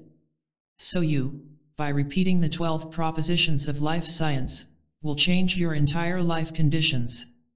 You must consciously think what is true. This is what Moses called the waters of being. You will soon be what is true in all your looks and actions. These are your fixed estates. These are your mechanical tablets, your records. If you can set the red blood coloring your face by a thought, you can also straighten your crooked bones by your thought. When you rise into the highest thoughts you can write, or think, or speak, you see your body as a white glory of beauty, as transfigured by your thoughts as Jesus was transfigured by his thoughts. Yet, he was not really changed. Peter and John and James had been saying the words he had told them, and suddenly their eyes were opened to see him as he is. So your eyes will be opened. So your mind will perceive things in their reality. So your own body will show forth its hidden beauty like unto the transfigured Jesus. John called this accomplishment of the mind, the sardonyx stone of our temple of life. Every stage of this manner of reasoning has power to heal. From the ways of the first scientists in their earnestness, to the ways of the new Christian truth healers with their determination, there is healing power in the truth, whether you ask to be healed or not. There is power, and there is beautiful prosperity in the truth, whether you ask for them or not. Keep one early morning every week for the fifth word of the truth of life. Let us close our lesson with it. You will find your thoughts going out to their works with obedient kindness if you keep this saying faithfully. As divine mind, which I am, I can preach the gospel, I can heal the sick, I can cast out demons. I can raise the dead. I work the works of God. Who works through me to will and to do that which ought to be done by me, according to the doctrine of Jesus Christ. The words that I speak unto you, I speak not of myself, but the Father that dwelleth in me, he doeth the works. 6. Secret of the Lord. It is said of a Western physician that he always spoke so encouragingly to his patients that every family liked to have him enter their house, because he radiated courage and buoyancy. He always told people nearest death that there was no reason why they should not get well right away. He lost some of those cases, speaking from the standpoint of appearances, but their loss did not seem to affect his practice at all, because other physicians who looked melancholy and hopeless lost more than he. He had no high standing as a schoolman, but drugs administered by him had more healing qualities than the same drugs given out by studious book doctors.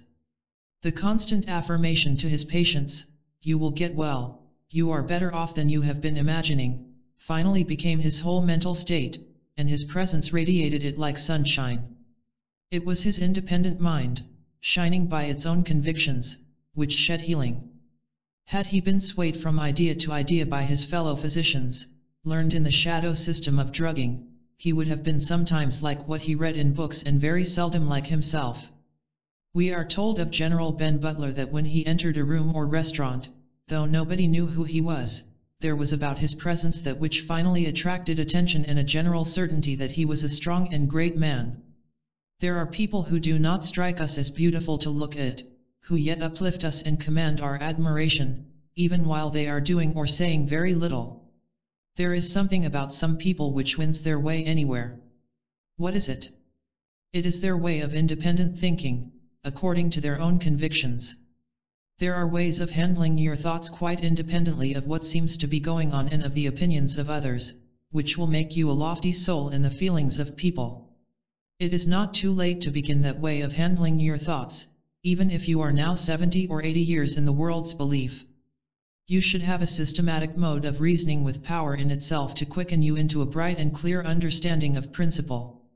You will not start out with your noble ideas for the sake of the respect and attention of mankind. You will start out with the noble ideas for their own sake. It is the nature of every man, woman, and child to choose great themes for the mind, if those themes are started within them.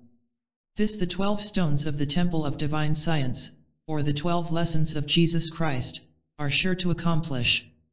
Nothing like their marvelous potency was ever discovered in the line of reasoning.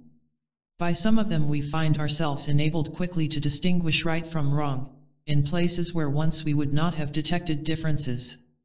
Paul said, I had not known sin but by the law, when he found how quickly his mind detected error. Your judgment of affairs will be quick and accurate. But this you will notice, that while you can instantly separate chaff from wheat in affairs, the evil, or imperfect, does not hurt or disturb or anger you, as it did formerly. The denials of science have the double effect of dividing off the erroneous promptly and making it harmless instantly. The fifth lesson showed the law of the word showed how essential it is that even after faith is established the speech and thought should express the faith constantly. Many people keep their faith so secret that it does not work outwardly. Emerson spoke of the unreality of evil. He spoke of the omnipresence of God as his faith. But he said that the gods overload with great disadvantages those whom they would compel to do mighty tasks. He said this so powerfully that it affected his human lot powerfully. He lost his family. He had great opposition to meet. He had softening of the brain or a strange loss of mental faculties. This was his overloading to keep pace with his words, for he was great and must therefore take his own drugs for greatness. It is this law of the word which carries the faith into quick and irresistible action. Moses told his people, after they had been wandering forty years in the wilderness, to keep all of the words of the covenant with God, and do them, that they might be prospered in all their undertakings. Notice how like our lesson it runs the covenant first then keep the words thereof, then prosperity. Jesus called prosperity the kingdom of heaven. God saw that it was good. God is mind. Mind sees that all is good. What it sees and smells and tastes is good. Nothing hurts. Nothing offends. This is the power of the covenant kept with God. We covenant with death and receive death. Isaiah prophesied that there shall be an action of spirit with men sometime whereby their covenant with death shall be annulled and the agreement with hell shall not stand. All the refuge of lies shall be swept away. Then comes prosperity. Judgment also will I lay to the line, and righteousness to the plummet. Behold, I lay in Zion for a foundation a stone, a tried stone, a precious cornerstone, a sure foundation, he that believeth shall not make haste. Read the 28th chapter of Isaiah and see how it fits the lesson of science in the best way Isaiah could interpret his own prophetic feelings. Nobody need strive or haste for his prosperity if his faith is fixed, and his words keep repeating his covenant. There surely comes a moment when the full power of the words comes surging through us. The power comes through the words the power is the kingdom of God. You remember Paul said, the kingdom of God is not in word but in power. So we really do not see and hear and smell and taste and feel that all is good until the sixth lesson of science has come with its meaning and potency. It is not until the power of the word has come that the word is worthwhile. The word is a pathway to the power of God. The great interpreter of the Bhagavad Gita is Mohini M. Chatterjee. He says, the powers of deity are beyond description and enumeration, yet both description and enumeration are needed for the benefit of the devoted. Hosea said to his people, Take with you words and return unto the Lord. We hear people telling how useless words are, because it is the power of God that accomplishes all. Yes, that is true. But it is the revelation of mind and the experience of mind that it is over the pathway of right words that the devoted come into their demonstration of power. You will notice a great difference in your power if you say that everything good that happens in your life is a demonstration of the presence of the Holy Spirit. Your acknowledgement of it will affect you mysteriously. It will not alter the fact that every good and perfect gift cometh from God, as James told his friends, but it will alter your relation to the good in appearance. I do not tell you that in reality anything is altered, but in appearance everything is altered. Maybe you think you have such a miserable life that you cannot be thankful. That cannot be true under any circumstance. Paul said, every man has his proper gift of God. He told Timothy to stir up the gift that was in him. So there is some special gift native to you alone. The thoughts engendered by the repetition of the twelve statements of science will stir up your own gift. They will open up a way for you to exercise that gift. Everything will yield to that gift stirred up in you. The third lesson, you remember, was full of praises and thanksgiving. Such an attitude of mind is very clarifying. Jesus always gave thanks before he wrought a miracle. He never attempted to raise Lazarus to life till he had given thanks. So far as externals went, he had nothing to be thankful for, except that he had the gift of God in him stirred up, with all this gift roused to its highest power. Yet he let himself be used exactly as if he had no power, in order to show each man what to do under all circumstances. He taught us to use the highest and loftiest affirmations when events are lowest and darkest with us. He said, My God, my God, how thou halt glorified me, when he was being crucified on a cross of shame. People looking on said that he cried out that God had forsaken him. That was the human or natural way of looking at the glory of the presence of God. There was the same misunderstanding of his glory when the voice from heaven spoke of glorifying itself through him, and called him the beloved Son. People said it thundered. It is evident that the power of God is exhibited only over the highway of righteousness, over the highway of a true premise with its irresistible sequences. What premise is nobler than, God is all? What is nearer irresistible sequence than to proclaim that if God is all, then that which is not God is nothing? If I am, what must I be? Must I not be God in substance, nature, and office? And if the I am of me is God, then that of me which is not God is not the I am of me. It is nothing. Then as flesh I am nothing, and as spirit I am substance. The rest of the reasoning based on the first premise is exactly as righteous. If this is true, then I must believe it. If I am the truth in my substance, I must believe in myself. I must have faith in my own truth. I must be the word of truth or my words nothing. By the utterance of this reasoning the power of God is expressed. It is by the word of the Lord that the heavens were formed and all the hosts of them. This is prosperity when we speak the word in power. It is time when we, as mind, put forth our perfect senses. The senses of spirit are called seeing, hearing, smelling, tasting, feeling, exactly as we speak of senses. Thou, God, seest. Thou hearest. God saw that it was good. Taste and see that the Lord is good.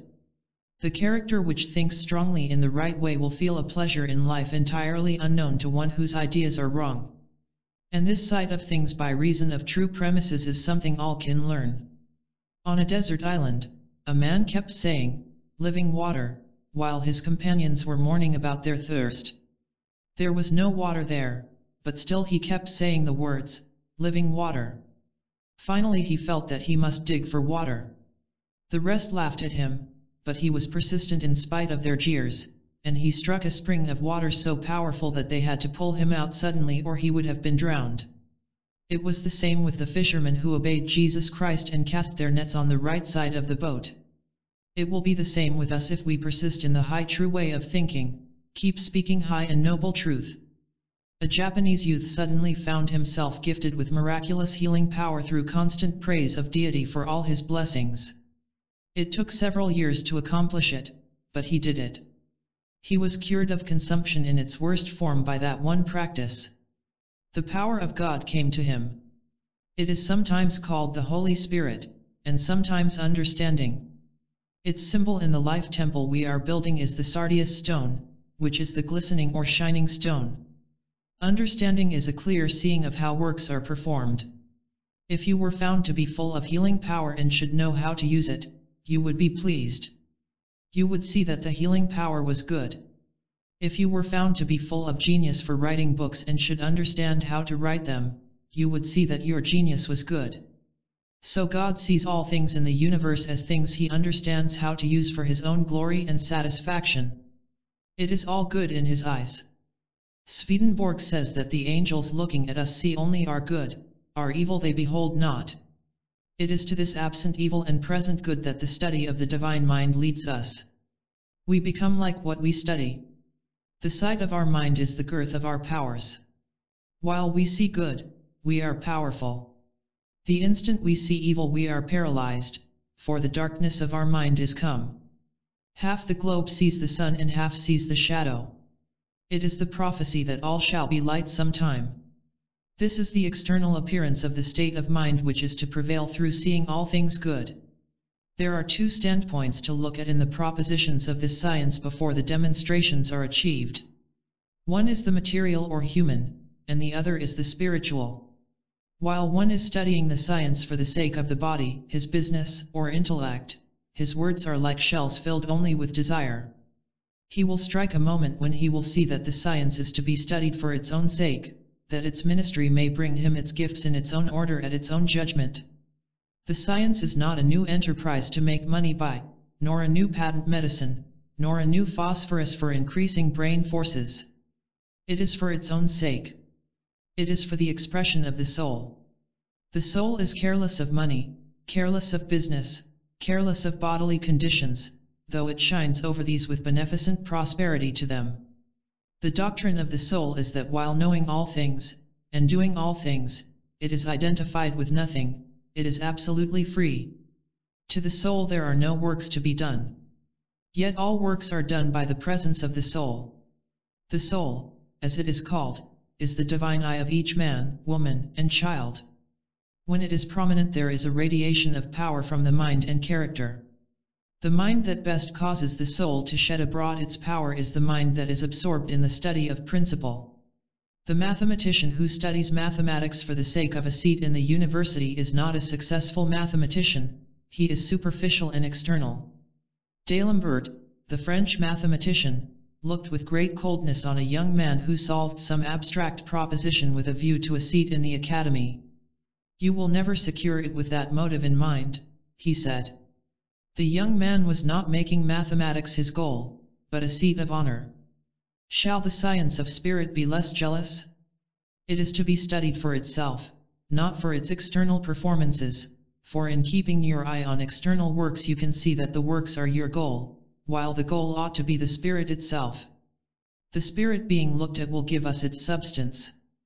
This is the meekness of spirit, that while knowing it does no works, it kindly overshines the operations we call works. The earliest teachings of Buddhism show that it is our part in life to stand aside and let the spirit within fight for us. Yet we fight the battles of life as though we, ourselves, external as we seem, were fighting them. He who best stands aside for the soul to do his work, while yet he does all, is as though himself were doing all, and is most powerful in overcoming and outdoing natural defects and unkind destiny. There are certain practical ways by which we are to read the science of mind. For instance, we do not fast in order to become spiritual, but often fast because we are spiritual. One does not speak true words in order to become spiritual, but because he is spiritual. If he were not already spiritual, it would be false to say, I am spirit. It is because I am spirit that I say so. The appearance may be that I become more and more spiritual, but it is only that I more and more show forth my real nature. I do not say I am health in order to become healthy, but because I, in my divine truth, am health itself. I tell the truth about it. I do not say I am wise in order to become wise, but I tell the truth, I am already wisdom itself. I do not say I am owner of the universe in order to get hold of great possessions, but because it is true that as spirit I am the possessor of all. In the scripture we read of the angel of life and death, time and eternity, spirit and matter, who is the angel of mystery, crying with the roar of a lion. Then the seven thunders uttered their voices. The lion always typifies the strength of purity. Pure truth is spoken. It touches the mystery of life and death, time and eternity, spirit and matter, and immediately all materiality thinks it is to be advantaged because health, strength, support, defense are named as the result of truth. But this is its bitterness, for the words of pure truth cause materiality to disappear. The pure truth is spoken like itself, not like what it is commanded to do. Thus the premise being utterly independent in spirit, will rouse the native energy to express itself, and we have a great and mighty character evolved. We do not take the premise that there are any sick to cure or any sinners to reform, but a spirit our energy makes nihil of sin and sickness. We do not take the premise that our brother needs to be cured of swearing or stealing. We say he is free to do as he pleases. This takes off the burden of our heavy supposition, and he feels free to cease swearing and stealing. This is more like the way of the Spirit than if we were to take the solid seeming premise that our brother needs reforming, and cure him of his habits by treating him. Do you catch the strong metaphysics of this idea? It shows that cures are often the result of a strong will coming against a weaker will and overpowering it. Thus it is that it is more like spirit to cure sickness, ignorance, and death by being in the spirit where there is no sin, ignorance, or death, than to rise in the power of an antagonistic feeling and overcoming. My spirit shall not strive and cry. To the Holy Spirit, all the life of the universe, all the joy and skill of the universe, is given, and one does not have to beg for it or work for it. It is so. That is all. This stately standing place is ours. The greatest miracles may be wrought out under the most unpropitious circumstances by holding to the loftiest ideal you can conceive of faithfully. Miracles are prosperity. They come for every type and kind of religious feeling which is addressing itself to its highest. Luther begged the God he described to have the men at the Diet of Nuremberg grant toleration to Protestantism. Suddenly he ceased praying as a beggar and shouted, We have won the victory. He was many miles away from Nuremberg, but his words burst over the situation with their power. Right in the place where we now stand we may work miracles. There is nothing in scripture about running away from duties that lie nearest to hand. Shakespeare, the student of phenomena, noting how certain types of mind act with environments they have wound themselves up in, makes one of his characters obey the fiend within him, advising him to run away from his obvious duty.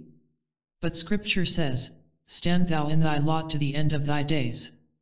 Stand and see the salvation.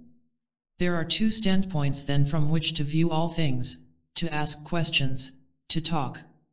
One real, the other unreal. There are two kinds of faith.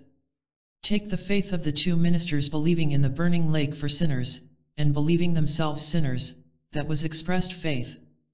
Believing not that they themselves ought to go into that lake, yet never saying so, that was unexpressed faith. We ought to trace our logic to its deepest practical outcome. This we ought to do by definite speech or thought. It will bring us up from the deeps farther and farther till the push of the springs of truth within us is externalized. Jesus called it, a well of water springing up into eternal life. At each pure realization the world takes a different turn in our feelings. It shows its best to us step by step. The lily in the night looks a different object from the same lily in the sunlight, yet it is the same lily. So this world in which we walk looks so different by this nighttime of thought. It will be the same world when the sunshine of pure truth strikes through our minds in its glory. Here in our midst abides the glory of God. Here all is good. There is a state of mind in which, if we get into it, we shall see what Jesus Christ called the kingdom of heaven. There has always been a teaching in the world that there is a kingdom of beauty and goodness near at hand. How to enter it, or how to see it, was the mystery. The people of the past fasted and prayed and limited themselves in every way in order to see it. Still it seemed afar off. Stephen saw it, just as he was breathing his last breath upon earth. Jesus walked therein always. Moses took the Israelites through the wilderness with such thoughts in his mind as the kingdom near gave him. Their shoes and clothes lasted forty years to symbolize the enduring kingdom of the good. Now and then in the wilderness spots of this earth, there are sights and sounds vouchsafed to the simple of heart which show that the less our mind, with its earthly descriptions of life and love, touches anybody or anything, the more we may see of heavenly things. A young man of 17 or 18 years of age went from Germany to seek his fortune in Africa. He used often to wander in the sands alone, hiding himself behind clumps of bushes when the Kaffirs came toward him. He says he used often to see on the sands ahead of him, beautiful cities with mosques and minarets and towers and wonderful homes. Going on and on he never found these cities. They are not in Africa. He has traveled over many countries but has never seen any cities like them. No picture of spots on earth represents such scenes as he saw when, as a simple youth, he wandered alone to make his fortune. The same kind of untouched cities may have been seen in the untrod fields of the far north. Many a long neglected spot of earth, not touched by the thoughts of man as he now thinks, has suddenly exposed some scene to the traveler in the early morning. It is promised that cities shall spring up in the deserts, and roses of tropical clime blow where not even a grass seems to thrive. This will be the new way of thinking which now comes with science. It opens our eyes to see things as they are. Intellect and matter call this idealism. It is pronounced transcendentalism. But under the reign of intellect and matter limitation is continually put upon even the power of God himself. Have you ever heard of learned men saying that a sick child must die? Did you ever hear of Jesus saying that a child must die? And he who feels most of the mind of Jesus thinks most of life. He goes to the child and cures him. He does not agree with intellect or matter. He is practicing transcendent teachings. They are all of unlimited, unhindered, untrammeled spiritual vitality, force, health, protection, provision, here and now, by the union of the mind of man with the mind that is God. The mind of man is the mind of God. The life of man is the life of God. The soul of man is the soul of God. The spirit of man is the spirit of God. Mind, life, soul, spirit, are names of God. They are the substance of God. They may represent to our way of thinking very different things, but being all names of God, they are one. The science of mind must be the science of life. The science of soul must be the science of spirit. There is no matter, so there can be no science of matter.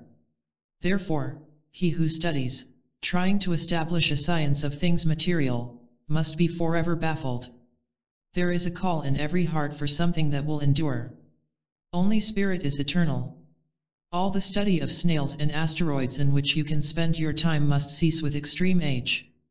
The brain fails, whose cells have been the dry and dusty storehouse of material facts, but there is no old age in spirit. The brain that is cleared to its tiniest cell of the facts about comets and earthquakes, gleaned from observations and histories of matter, will revive and renew strength and buoyancy, till there is no sign of a material brain in sight. The clear light of mind, shining with the understanding of eternal truth, glows like the aureole of the supernal visions of John and Jacob. Though this has been proved only a little way, it is strong enough, when once begun, to lead those who are ready to risk all to the marriage of their life with the life that is God, to persevere. He who hath led thee to this way, still on the way will show.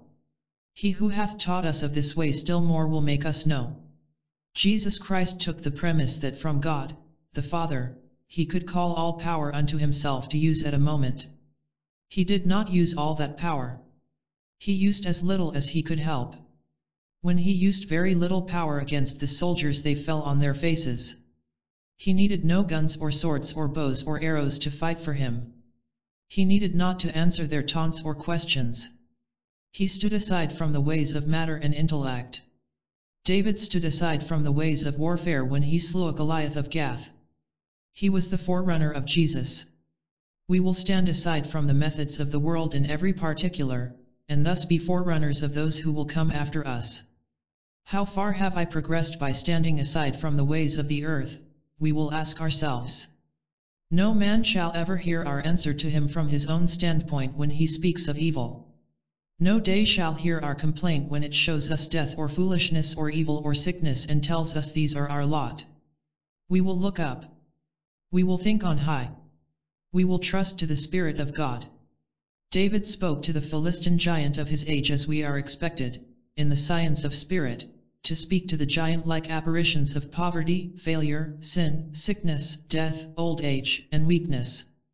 He said to the Philistine, Thou comest to me with a sword, and with a spear, and with a shield, but I come to thee in the name of the Lord of hosts, the God of the armies of Israel, whom thou hast defied. Does not the shadow system of pain and discouragement, from the study of matter, face us with defiance of the teachings of Jesus Christ concerning eternal life, eternal health, eternal intelligence, here and now?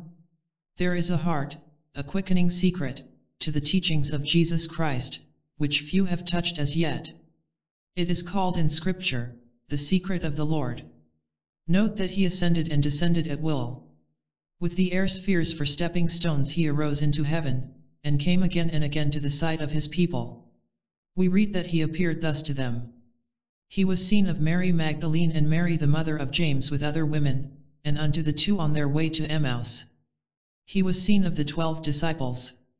He was seen of about five hundred at once. Then James saw him. Then again all the apostles. And Paul testifies that he too saw him.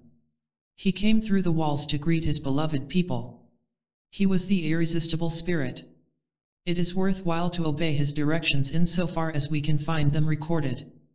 This science is the nearest primitive Christian doctrine of any being spoken on earth now, but there are some words yet to be spoken. There is a secret not yet revealed to mankind, even in this science thus far. How can we tell? We know by the signs. By these signs shall ye know when ye are my disciples. Though these signs are partially manifested they are far from his demonstration. Therefore, as Spirit, we must rouse our whole being to proclaim that we do understand the secret of the Lord concerning life, health, strength, support, and defense, without material means. By the utterance of this word of the inner Spirit, breathed deep into us all by the Spirit of God, we shall catch these thoughts beyond our thoughts, which whisper the secret of healing of the world. We shall speak those words beyond our words which tell the secret of divine love that can raise the dead. The sixth lesson deals with the secret. Its message is all about the quickening power of the Spirit in understanding. We tell of a mathematician that he understands numbers. We praise Euclid and D'Alembert for their splendid understanding. But theirs was not the understanding that makes and keeps alive. It was their manna in the wilderness, but it was not the bread of the true science. We praise the musicians who startle the world with their sounds of glory, but one by one they drop into the grave and only the echoes of their songs are left. Theirs was not the secret of the Lord. They knew not music and understanding. Like the manna the Jews ate, it fed their minds with what promised to be life, but it lasted only a season. The bread that Jesus gave is so alive that if a man eat thereof he shall never die. This secret he gave to the world, and he said, Abide in me. Keep my words. The Holy Ghost will come in my name. Sometimes to repeat the name of Jesus takes us closer and closer into his mind, where the living secret rested we speak of that spirit within ourselves which is exactly like his spirit, and of it we say, I understand the secret of Jesus Christ. It is not in order that we may understand his secret that we speak, but because, as spirit, we do understand. It is the truth of spirit we speak spirit works only in truth. It comes forth in freedom over the highways of truth. If you watch all the writings of the devoted and spiritually minded of all the ages, you will find them speaking sometimes of spirit as the reality and sometimes of matter as the reality. That was because they had not their revelations or thoughts in perfect understanding. In Genesis we find the first chapter telling how perfect are all the creations of God. They are good. Perfection cannot fall. Can God fall? Can goodness become badness? Can strength become weakness? Yet Moses tells in the second chapter how the perfect Son of God fell from his high estate of goodness into the dusty sinfulness of Adam. He is speaking in these two chapters from two standpoints, one is reality and the other is unreality. Christ, the Spirit, is reality. Adam the dust man with his world is unreality. Both these natures come calling our attention, even within ourselves. One is pure Adam nature, with its erroneous ideas of God and life. The other is our Christ nature, with its faithful ideas of God and life. One is our substance, the other is our shadow. One is our real and the other is our unreal. We abide in the light by acknowledging only our Christ nature. We are torn in the conflict of change and ups and downs, by acknowledging two natures. We abide in the darkness by yielding to the idea that we are matter and intellect. Intellect is the Adam intelligence, naming all things by material names, telling of them as matter. Intellect will subside in meekness when we give utterance to spirit when we admit that the spirit is all in all and the only reality. Understanding this we put ourselves in the ranks of spiritual being, fearless, satisfied, and powerful. We understand the way of our life. We understand God. There is no study that can bring forth this fearless, capable mind, except the study of the fearless spirit. By the study of spirit we become acquainted with spirit and realize that the trees are in reality spirit, whispering great secrets of how to be happy and free. We realize that the men and women on the streets of restlessness are spirit. In truth they are walking secrets of the splendor of God. We know that all that is real is mind thinking such thoughts as demonstrate goodness and health. All that is really thought demonstrates health, goodness, and peace. That which demonstrates otherwise is the shadow of thought the Adam claiming to be real but never real at all. True thought demonstrates intelligence, and somebody is wiser when we think a true thought. True thoughts demonstrate in peace, and somebody is at peace when we think truth. Acquaint now thyself with him and be at peace. Taste, and see that the Lord is good. Perceive in thine heart that there is only God. Thus shall thine eyes see thine own kingdom. Every sense faculty shall be quickened, intensified, extended out from the central fire which burns within us, till we perceive as the divine mind holy. To God all is good. To mind all is mind. To spirit all is spirit. To soul all is soul. As God I perceive that all is good says the Divine One within us. As mind I perceive that all is mind, says the Divine Mind. As Spirit I perceive that all is good, says the Holy Spirit within us. John the Revelator could only see the sixth movement of science through our thought as a shining stone in a foundation. It is indeed a foundation principle, which, being understood, makes life another thing quite from what it was when we had not the doctrine of spirit in understanding. Take now a right premise and reason on with it until the light of understanding breaks over and through you. With the sixth light of science we are prepared to meet the world with our own free independence of thought, able to make nothing of its worst appearances, 7. The spring of life. The seventh separate statement of Moses is, Let the earth bring forth. Earth here means mind. Let the mind bring forth. What can mind bring forth except thoughts? But Moses is talking entirely of the divine mind in man. It is not acknowledged by us as the only mind and thus is hidden entirely. Hide it not. That is letting it bring forth. Immediately we uncover the divine mind in man, it shows action in making fresh life in everybody and everything we meet. It brings out their original health. It strengthens them wonderfully. It brings provisions and bounty to them. It brings them defense and protection from accidents, from trouble, from afflictions. But all its ministry is only showing more and more nearly what is already worked out in spirit. Remember this, even healing is not healing, because mind needs no healing. Our saying that mind is given its freedom is also a statement of appearance only. For as God is free, so mind is free. Moses is using a figure of speech entirely in saying, Let mind do thus and so for the Spirit, which is God, which is mind, has its own way entirely. We are to see Spirit. We can see Spirit. And the more of Spirit we see the more perfectly we see things. The man appears sick to you because you see him that way. If you let your spirit tell what it sees there will be no talk about sickness, no discussion of what is distressing anybody. All things are waiting to be looked upon by us as they really are.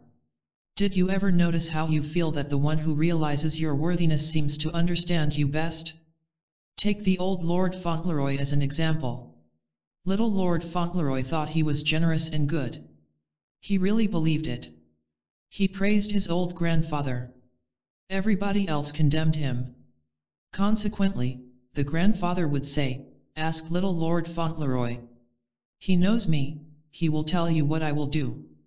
Now, even if the old Lord Fauntleroy had appeared to all other people to be savage and ugly, his soul was generous and good.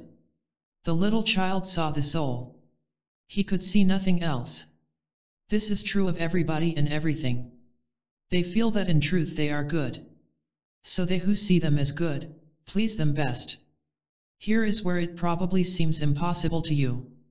You think that the beastly characters we read of must not be called good. You see very plainly the faults of those you meet every day, and it is impossible for you to call them good. Moses and Jesus teach the same story.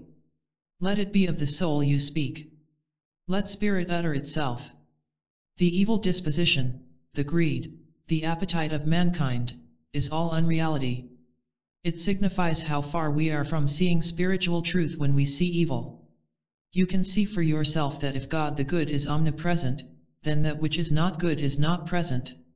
It is a tenet of the most ancient religions that what seems external exists not at all.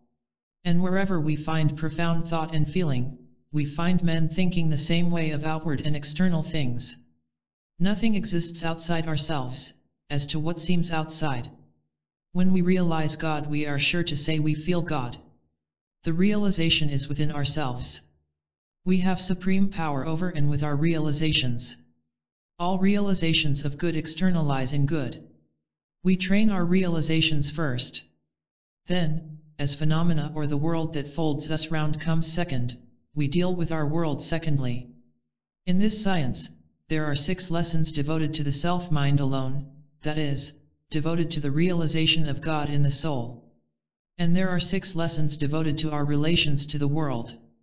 There is no religion which has not, in one way or another, taught that as a man thinketh in his heart, so is he, and, by thy words thou art justified. The words we speak and the thoughts we think constitute our breath of mind, as the air constitutes the breath of nostrils and lungs. There are words which exhilarate the mind, as there are airs which exhilarate the body. The Japanese believe that praise of all things will exhilarate first the mind and then the body. A young man in Japan, named Kurozumi Saki, in 1814, became very gloomy through complaining. Complaining and praising are two separate processes. They bring very different results. He had breathed in the spirit of gloom till he was in deep-seated consumption. Their theological term for gloom is inki. He suddenly resolved to cease mourning. It was hard for him not to complain at first, but he was one who could hold to whatever he had made up his mind to do, and he began to praise everything and everybody. He went on for some years, breathing into himself an entirely different set of words. He began to be very cheerful. His consumption kept growing worse, but he did not heed it. He kept on praising everything he thought of. One night, just as he supposed he was breathing his last, but while he was praising the early rising sun, a sort of buoyant ecstasy seized him. His breath grew deep and electrifying. He straightened himself up from the ground, where he was prostrated on his face, and found that he had breathed into himself the elixir vitae, the vital breath of health. The Japanese call it yoki, the spirit of cheer. He was more than well. He was buoyantly quickened. His very breath was a healing vitality, if he breathed on deformed or dying people. His fame spread abroad into all lands. He was a miracle worker. There is an elixir in the words of truth. Keep them going continually. They will change your entire life and change your powers. You are a miracle worker by inherent right. Give your soul the chance to do all your thinking, all your speaking. A young man had a cancer in his nose, which had gone so far that there was no material remedy. He betook himself to prayer. There is always God waiting for us to depend upon when we come to where we find that nobody and nothing else can help us. He had prayed and prayed and still no signs of healing, when he suddenly felt the cheerful elixir of his spirit breaking through him, and he was healed. In the Bible we read, In the morning sow thy seed, and in the evening withhold not thy hand for thou knowest not whether shall prosper, either this or that, or whether they shall be alike good. Again we read, Let us be not weary in well-doing, for in due season we shall reap, if we faint not. Agassiz was a great student of nature. He felt that there were secret springs within all forms which he would like to understand. When he did, it would seem miraculous how some other new points of interest would come up to lead him on. It is the very way the Spirit of God works with us, if we set out to make ourselves one with it. A young Catholic priest in Germany, about 200 years ago, was so buoyant and cheerful in spirit that when he spoke in a loud and authoritative tone of voice to a sick man's disorder to disappear, and commanded health to appear, they obeyed him almost instantaneously he would wet his finger on his tongue and make the sign of the cross over the sickness. The saliva on his finger was a symbol of erasure. The up and down stroke of the cross means that nothing has any evil power. The right and left stroke of the cross symbolizes that the good now reigns. If they did not get cured at his first order, they did at the second or third. He was persistent to his own ideas. The howlings of the people did not disturb him. He lived his own life alone with the Spirit. Why should you say that God has afflicted you, if saying such a thing makes your breath a disease breeder? Why should you say that you feel unhappy, if saying this shuts up a gate against the breath of the Spirit of the morning of joy? Are you not a chooser of the thoughts you shall think? Have an hour in the morning for some special message to the world, or about yourself.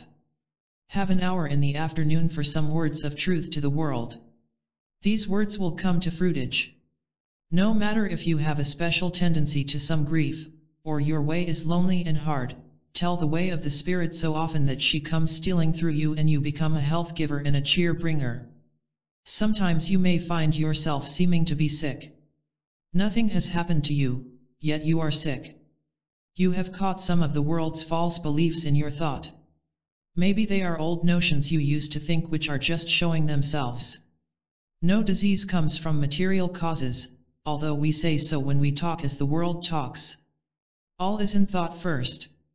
This science deals with the thoughts, just as Jesus did, and then it speaks of externals. Learn to get exactly right ideas, and you will after a while educate the world by just thinking science. You do not have to tell a man that he has no disease, that he never took a chill, etc when every bit of him is sure that he had been in a draft and that he has influenza. You treat him silently. You need not talk all the time about any point in science, but you may know the truth. Jesus said, Ye shall know the truth, and the truth shall set you free. A very strong mental healer was afraid of damp drafts before she was in the science. She was already past 60 years of age, according to symbolic reckoning, and she kept taking apparent colds whenever a damp draught struck her. She was sensible enough not to say a word in the presence of a draught, except in her mind, for her words had not power apparently to annul drafts. After a while her mental feeling got so strong that drafts never affected her. Do you think that it was primarily the draft which gave her the sign of hoarseness so often? No, it was the fear of certain people. She had always been the kind of mind that has someone it fears all the time. Certain people always have something that they are fearful of. Look them squarely in the eye of their mental face and you can trace it every time to the fear of some person. It is well, said Jesus, to agree with your adversary quickly. That is, while you are alone with yourself, take up that man or woman and settle the question decidedly that you are not afraid of them. They cannot enter the sphere of life where you dwell. Your thoughts push their evil down and leave the Holy Spirit of them free to do you great good. Much of material misfortune can be traced to dread or fear of people's influence or opposition. You may lead your own free life in mind, and it will unconsciously rebuff every hurt. The hurts may at first seem real, but as the mind puts out its wings stronger it blows even the memory of evil away as a chaff. You rise out of the reach of the things that frighten you. You forget the feelings of repugnance. You drop even the memory of the things that brought it on.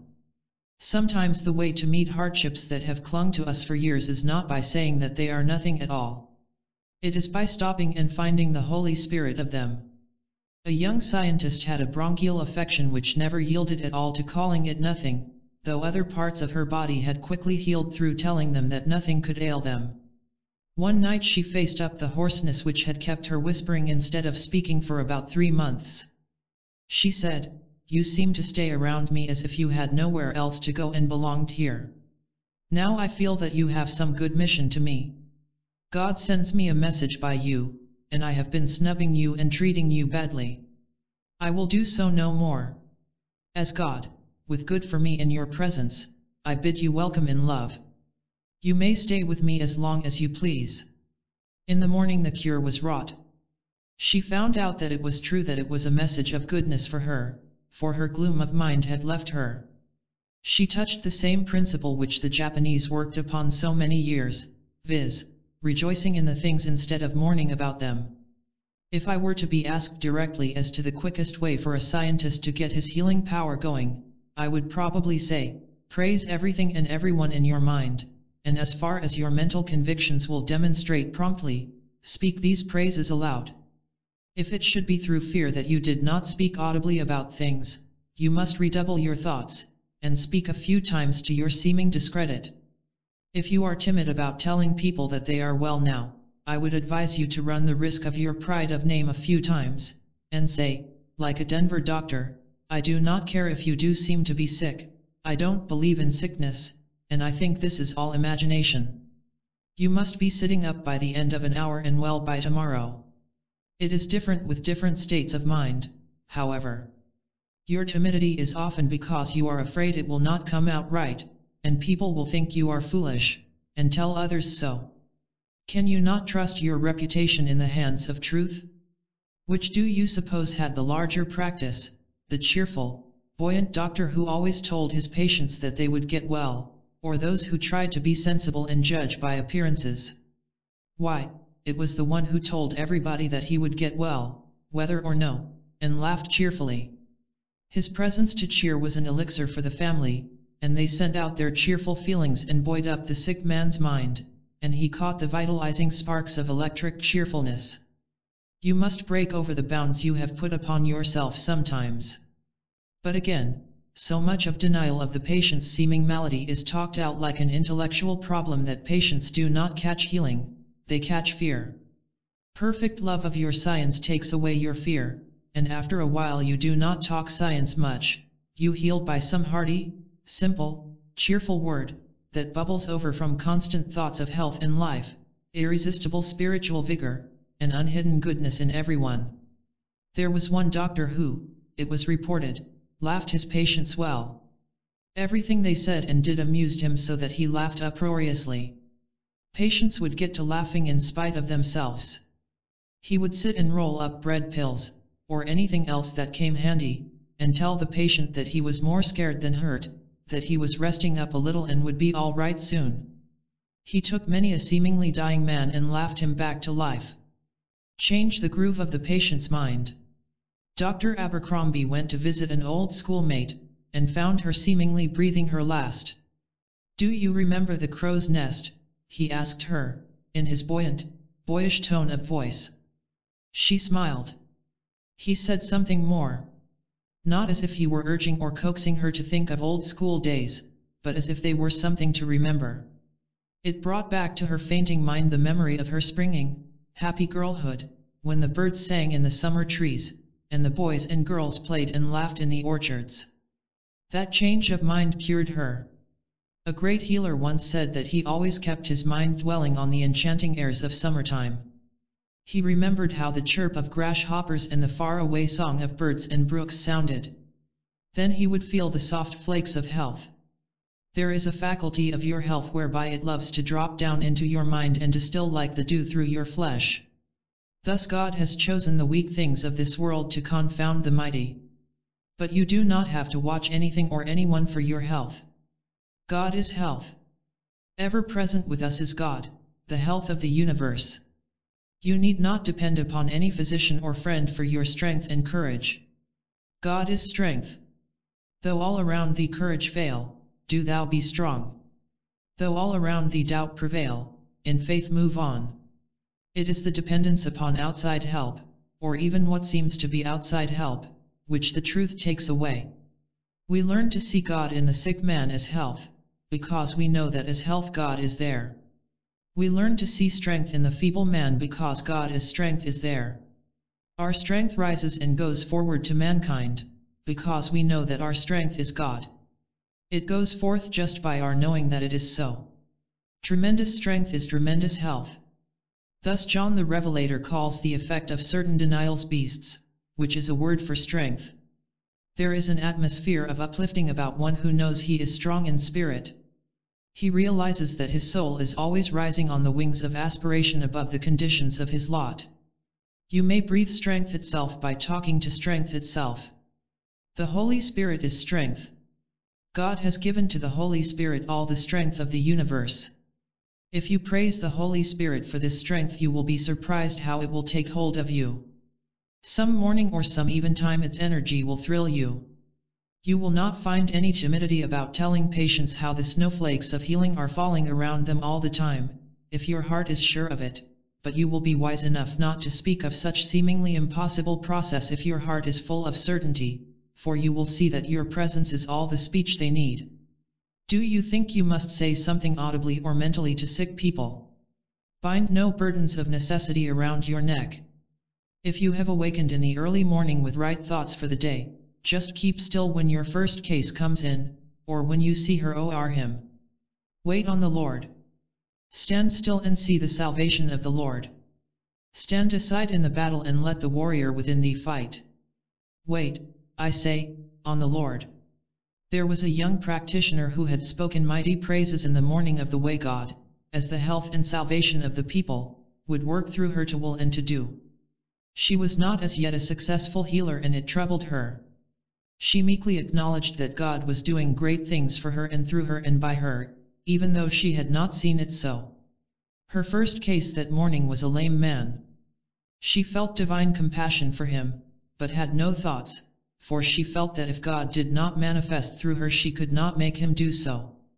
And this held her silent, almost helpless, as if she were nothing at all and God were all. All at once, quite unexpectedly to herself, she told him to throw down his crutch and try to walk across the room. He obeyed at once.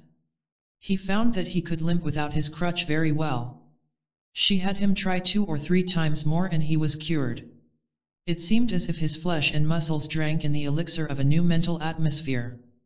Very likely he was thirsty for the waters of the refreshing God presence, with nobody's thought to interfere with him. Lameness is a pretty sure sign of a mind interfered with. This little woman made herself so silent that the voice of the Spirit could speak to the waiting soul of the man. There are ways of thinking about your environment which will make you like a harp in the fingers of love, so enchanting will be your silent mind to the world-hurt traveler, so blessed will sound your voice to the bruised child of human hardships. You need not worry about whether you shall speak or not. You will have your feet shod with the preparation of the gospel if you take the fresh morning for giving thanks and glad praises unto the Spirit, and speak forth with freedom some lesson of science. In the science there is really no need of studying the symbolic language of Moses, as we have done. We know these great principles without going back over the ages to past men's thoughts.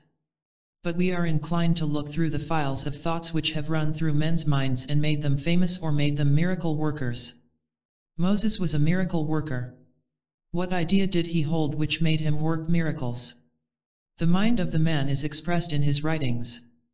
This is true of all miracle workers. If they spoke aloud words, what did they say? Their healing power was God. God with them, in them, through them, is the same God of whom we seek to get the high healing knowledge. There is a secret of healing. The method of it is nothing. The Japanese breathed upon his patients and they were healed. The German priest made the sign of the cross and cried with a loud voice, In the name of the Father and of the Son and of the Holy Ghost, let the devil appear. He meant the disease. It was his expression for evil. He wished the evil to show itself plainly that it might get out of the way entirely at his order. Then he made the sign of the cross in the air, and again he cried with a loud voice, In the name of the Father and of the Son and of the Holy Ghost, let the disease be gone. Then to the patient he would say, From this time forth be healed. In our time we find some people healing by one means and some by another. Whenever they begin to acknowledge that God is the health of the people you will find them using less and less material helps toward healing each other. Yet you must be sure that whatever health is brought to mankind it all comes from God. Material methods are apt to turn the mind away from remembering that it is from God that all health comes. So, practitioners have resorted to thinking out great reasonings about God's presence as a healing presence, and the results have come out in good health and invigorated life with as sure certainty as by any other method. The more spiritual the feeling the practitioner has while healing the patient, the more certain is permanent cure. There is something about reasoning about the presence of God, and telling about the character of God, which makes the cure affect other needs of the patients besides bodily disease. They are often turned from their old habits. Very often they become attentive to divine ideas and entirely change their tastes. Scientists become very particular about leaning on the word of God alone in curing sick people. Zoroastrianism, a religion older than Brahmanism or Buddhism, has for one of its principles that one may heal by herbs, another by the will, but it is by the divine word that the sick are most surely healed. The practice of healing by the word lets us most quickly into the secret of healing. But, it is no more the words that heal than it is the herbs, for if it were the words themselves one would heal by using them as well as another. We all know that one may use the words faithfully and not cure the case, while another may use the same words and cure the case in a few minutes. This has led students to talk of faith in words as the healing power of mind.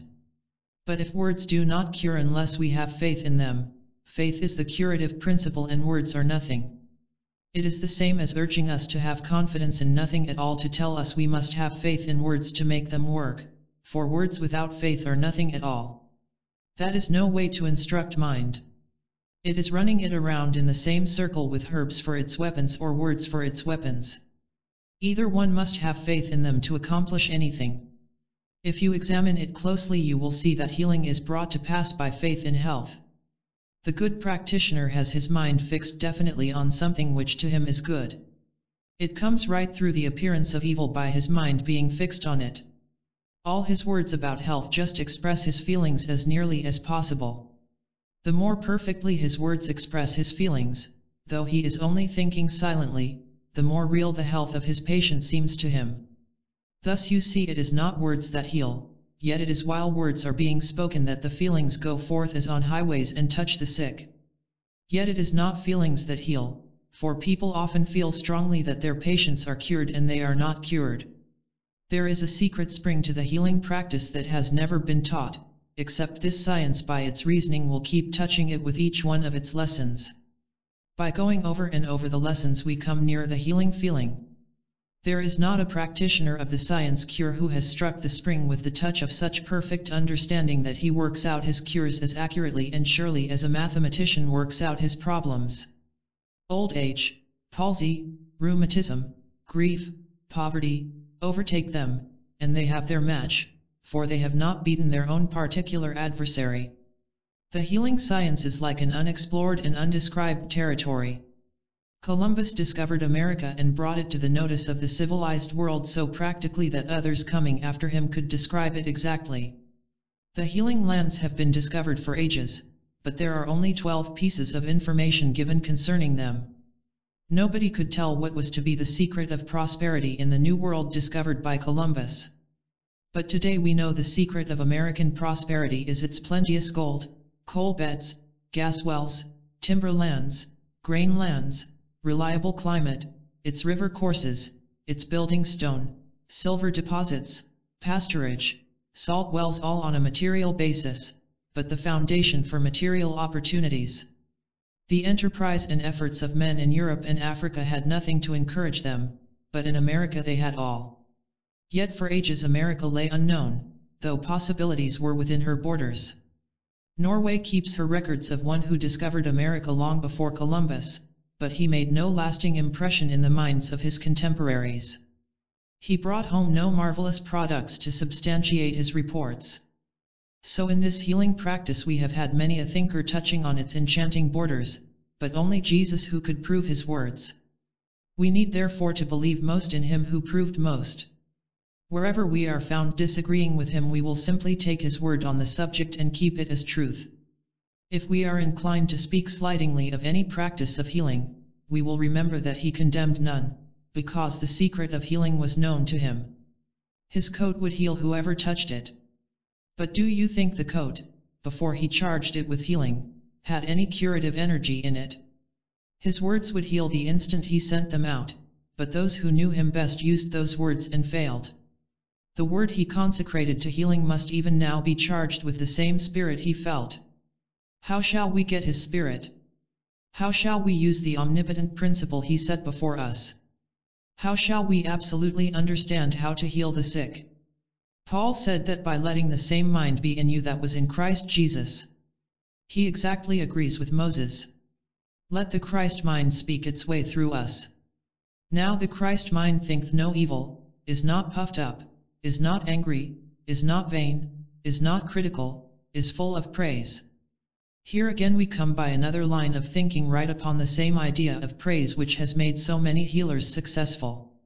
Also I will call your attention to the fact that after a short time vain or critical or proud thoughts seem to stop the healing power of those who at one time were quite strong workers. The vain mind does not feel praiseful toward others. This state of mind has no praiseful feeling toward even God.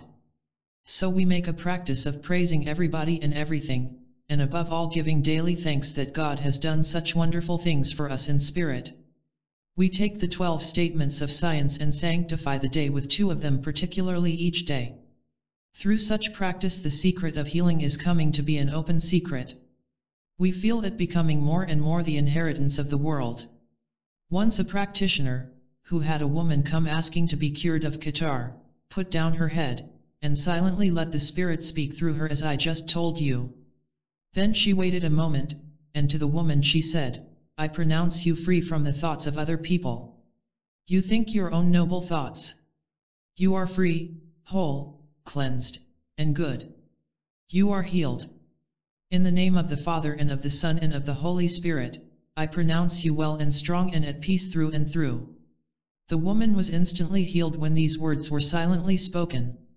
As we all have a right to be free within our own spirit, and as we all are indeed free within our own spirit, this is a truth that everyone who has gotten into the habit of unconsciously yielding to the race belief of one kind and another, is eager to receive. He will be healed at once. If not, you must treat him over again in the same way, the same hour he is with you. If not then, give him the same treatment again. Three times are not too many to give one message.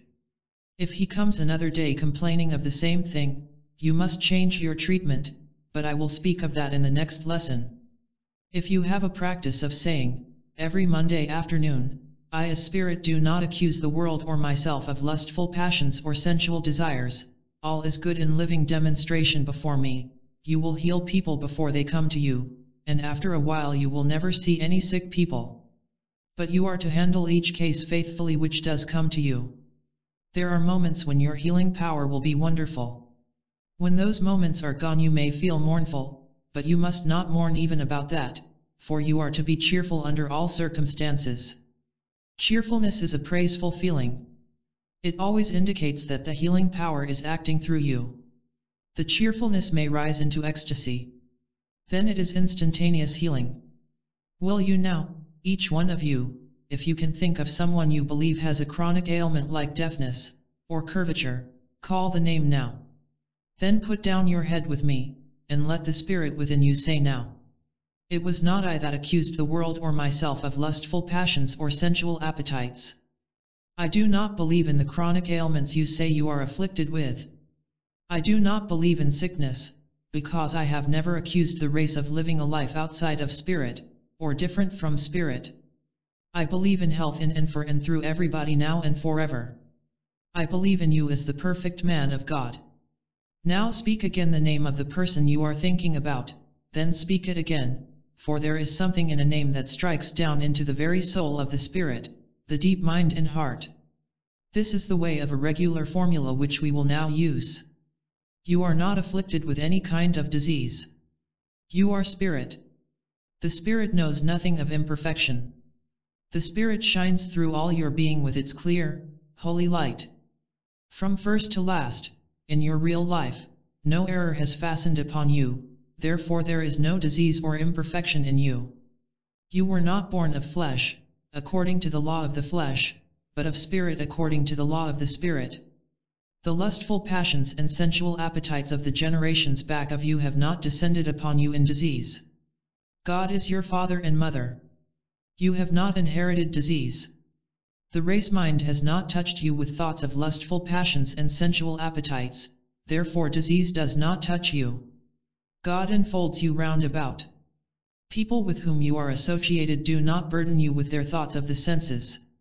You are not subject to the thoughts or feelings of others, therefore you cannot have disease in your mind. Your own thoughts of things of matter, as to lustful passions and sensual appetites, have no power in them to give you disease. You are free from your own passions and appetites in the spirit, therefore you are cleansed by spiritual thoughts now and are well. My thoughts do not burden you. You are free of my error. You are free in the spirit. You are free from all thoughts of disease. God is your life. You cannot be threatened with death of any part of your life, nor fear death, nor yield to death of any part of your life forever. God is your health. You cannot be threatened with disease in any part of your health, nor fear disease, nor yield to disease in any part of your body forever. God is your strength. You cannot be threatened with weakness, nor fear weakness, nor yield to weakness in your strength forever. God is your substance. Your health is God in every part of your body. You are ready to acknowledge to all and to yourself that you are healed. You are in harmony with your life in every way. I now realize that you are healed.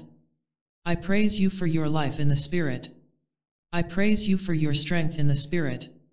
I praise you for your perfect manifestation of God now. Amen.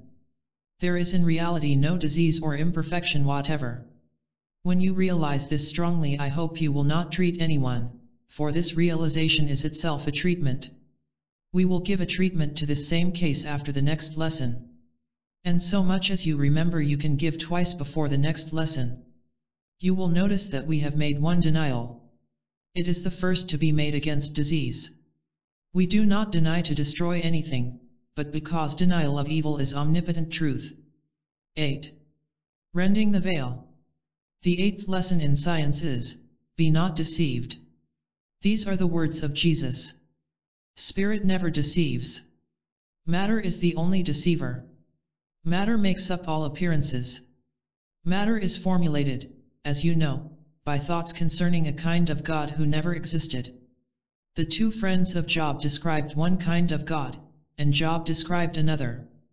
Their kind of God was full of punishments for exactly the sort of character they described Job to be. Therefore, in the fullness of time, they reaped the fruits of their ideas, for Job insisted that he was not that character, and they must have imagined it in the peculiar wisdom of their hearts. Thus it is with all of us. We look upon others in the red, or green, or blue tints of our own ideas, and see them entirely different from what they are in reality. Then exactly what we describe as their character, which is not the truth about them, must be our own type of mind in some of its ways. Then when we get the punishments we have felt honestly belonged to them, we are utterly astonished and grieved, and feel much abused.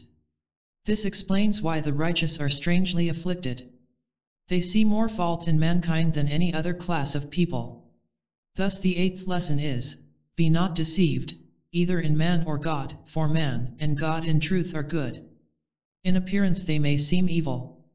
In the Bhagavad Gita, the sacred book of Buddhism, we are told that the Spirit of God saith, Whoever undeluded knows me as the Supreme Spirit, worships me in all forms.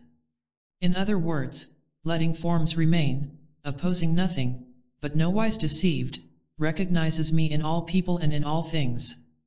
This is another way of saying that spirit is the only substance. Thus man is spirit. If man, or all, is spirit, then I am spirit. If spirit cannot be in poverty, I cannot be in poverty.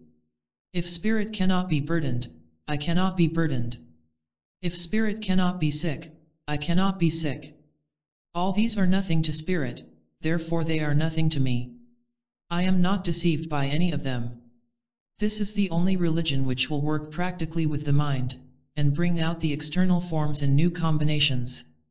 It is a religion which teaches us to be grateful to Spirit for all the good that comes to us, and appreciate that all the evil that comes is by reason of our having imagined something against man or God, or the universe, which could not be possible at all. We worship Spirit in all forms, and let forms alone. We do not try to change them, they change themselves by our thoughts of spirit. There is a law of setting aside appearances by truth. We learn truth, and we are masters of the law. Moses said the same thing in more symbolic language, let there be light in the firmament. He not only means the sun, moon, and stars of the skies, but he means the thoughts that made them. Do not be deceived by your imaginations. Live by principle. The reasoning based upon pure principle is like sunlight to the mind and life. We soon learn to know the meaning of all things. We know exactly what to do. So, let the reasoning based upon a good true premise guide your life. As imaginations arise let them alone. The simple knowledge that they are imaginations is sufficient to make them null and void. Imaginations deal with evil, matter, death, sickness, poverty, old age, pain, failure, and other burdens and bondages of the race. Truth does not deal with them, it leaves them alone. We, being in truth, also leave imaginations alone. By this lesson you will see that you do not have to try to make your truth work. You know it. You know the truth that makes you free. You speak it, and it is its own working principle. John the Revelator says the eighth stone is the beryl, in the foundation of mind. The beryl is the stone which stands for a written record. When a form changes, by reason of our truth, we have written a record in it. All who see it will see that we have put our seal there. Many a case of sickness would come out for more enduring health if we would write out our treatments and read them over and over by ourselves. One man, who could not feel any illumination from spiritual teachings, became highly inspired after he began to write down the science. It will be well for you to write out the treatments as much as you can. If new ideas come to you, put them down. They show that your mind is brightening by its own light. There is nothing so gratifying to a teacher of science as to see the radiance of his students' minds breaking forth. When they seize the truth for themselves, love it, and reason out each item of their lives by it, and see that no other reasoning has illuminating power, they are the true light in the firmament. When many such minds are utterly wedded to pure doctrine, it is promised that there shall be neither moon nor sun in any material heavens. When we love our reasonings we are in the light. When we listen to the opinions of man, or side with our imaginations, we strike our darkness at once. Then our intellect is our light. It takes its premise, those are its stars. If intellect believes God is far off, then the stars, which are suns, will be far away. Of course there are other meanings to this text, but I will give you one which it is good to remember. Let there be light means, let reasoning, based on truth, be your light of the sun. Let imagination stand where your right reasonings put them. Eternal reasoning is eternal day. Night with its stars symbolizes the rest which mind takes at certain stages of its reasonings. There are halting places in mental action. Then we speak nothing, think nothing, do nothing. We have spoken truth. We have many symbols of these halting places of the mind. There is the Sabbath. There is the halting place between childhood and youth, between middle age and old age. All these are to cease when we understand that they are symbols. Their substance is to be plain to us. We see now how a sick, deformed body will change its looks to robust beauty. But even in robust beauty, as we now see it, we are not beholding the possibilities of beauty and health at their fullest. People have as much more beauty and health and vigor belonging to them as the difference between deformity and the marvelous beauty of Hypatia. For between the night, with its moons, and the day, with its sunshine, is the difference between what we now see, and the real beauty of people and things. Eye hath not seen, nor ear heard, neither hath it entered into the heart of man to conceive what God hath prepared for them that love him. To love is to see God in all. This sight, or this love, puts out evil. So of intelligence. Even the greatest minds tell how limited they feel their knowledge to be. They also tell how ignorant and incompetent they feel to solve the problem of life. But such is not the way those feel who are in the light of reasoning, based upon the first principle that God is wisdom, for understanding absolute is in them, and is also in all things, informing them of high truth. Whenever man tells of his ignorance he is speaking of the formulations of his imagination. This lesson would say, let that which is light indeed be your light, or, let truth be your words. Truth of spirit, and truth of matter. It is true that matter is ignorant, it knows nothing. Are you spirit or matter? Tell the truth about it. Reason it out well. People have gotten mixed up with old delusions. They think they must look forward to old age. This is getting crystallized into the future. They think of a history in matter. This is getting crystallized into the past. This lesson is about the light. It is about freedom. On the material plane light is the freest process of nature. You cannot bottle it up. It will shed itself to the farthest that its nature tells it to. If you hide it under a bushel, it burns the bushel and makes a greater light than ever. If you hide it in iron vaults, it heats things red hot and melts and destroys them. While it lasts you may hide it behind some screen, but you cannot quench it by confinement. So of the eternal, unquenchable light of the reasoning based on the truth that there is one God, above you all, and through you all, and in you all it cannot be spoken without shedding its light through the next statement of science. And once it is set streaming through the mind, we must speak and think and write and live the doctrine. The doctrine is a fire and unquenchable light. It is not like the symbol, which can be put out. It is like the truth itself, eternal, indestructible. It is along the way somewhere that you get on fire with the Holy Spirit, so that you live the doctrine. If you do not catch the fire the first time along the pathway of the science, go over the statements again and again. The race is not always to the swift. Come and let us reason together, saith the Lord. The righteous shall shine like the Sunday. Be not deceived. Great doctrines have been looked into by thoughtful men, and they have turned about and seen how differently appearances work from principles first uttered. This has caused them to be silent concerning truth, and much exercised about the effects of truth which they have called loss.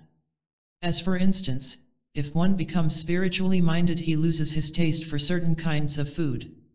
Seeing this, the Zoroastrians proclaimed that all men should abstain from those foods. They mistook an effect for a cause. They tried for a long age of time to prove that fasting from food would make people spiritual. It never did, for material actions are not the cause of spirit. The reverse is the way of the law.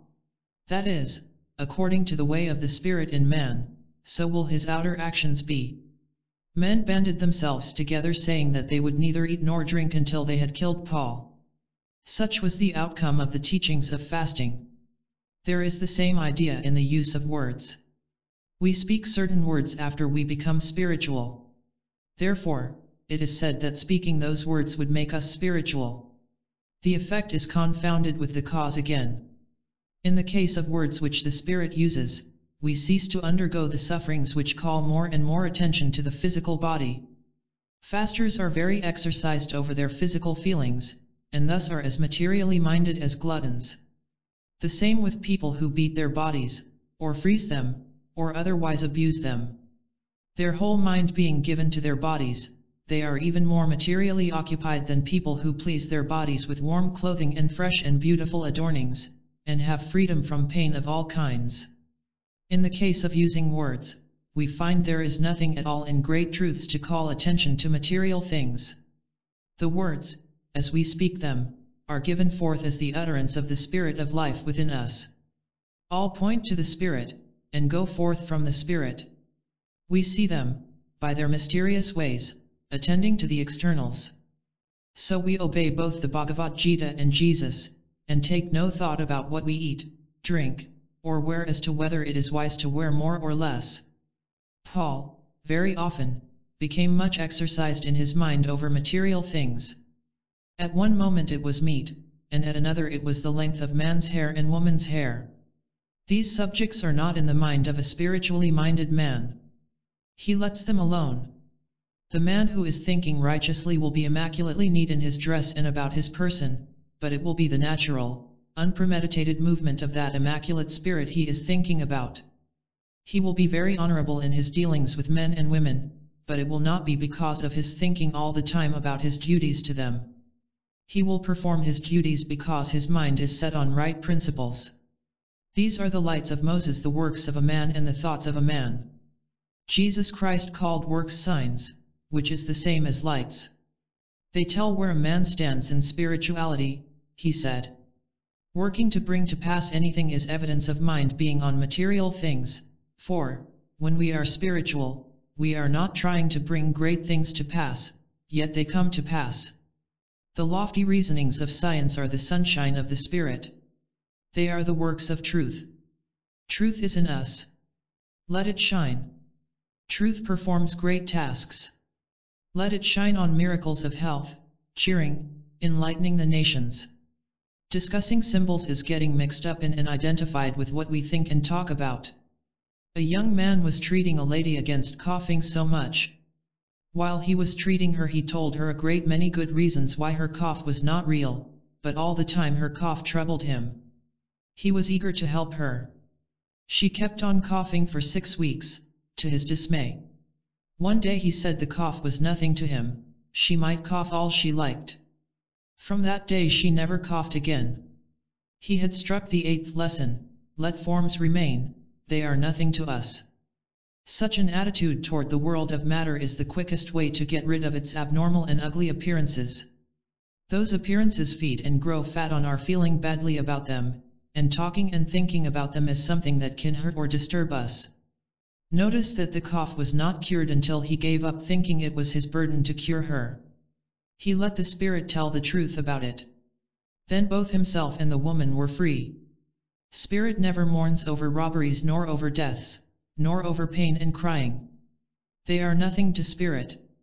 He who suddenly realizes any sort or kind of evil as nothing at all, has touched the second treatment of environing conditions, whether people or things are his burden. This feeling in its genuineness comes generally by denying the seeming and affirming the real. It opens the eyes to see purely from a spiritual standpoint. There is a great power of clear sight that comes by setting yourself free from thoughts about lustful passions and sensual appetites. Next you feel that evil is nothing whatever to you and even if you do not feel that it is nothing to you, the way of the Spirit is your way of meeting appearances. By this I mean that Spirit or Divine Intelligence has one way of looking at the universe and all things in it. That way is to know the good only. There is nothing else to intelligence. That which sees evil is no intelligence at all. If we should let intelligence speak, we must speak as intelligence does.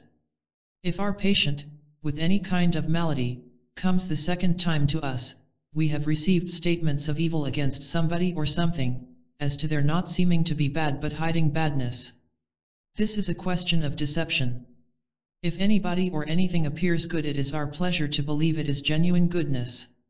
Do not allow yourself to believe that a man or woman, a child, or an object, hides evil but appears good, for, if you do, they will not come the second time saying in joyful affirmation, I am entirely cured. You are being deceived by thinking either things or people are deceptive. Whether it is affairs of business or in sickness, do not believe that there are lustful passions and sensual appetites lurking back of appearances, or that good appearances are hiding bad conditions. And do not believe that there is something wrong with a business even though it appears to be successful and flourishing. All that looks well is making a heroic fight to be God's good way in your eyes. Believe in it. Speak kindly of it. The first strength of mind is the strength to endure. This is purity, which is long life. A good man may seem to be very frail, but he will live on and on where others, more robust looking, would falter, because goodness is a substance in man which endures.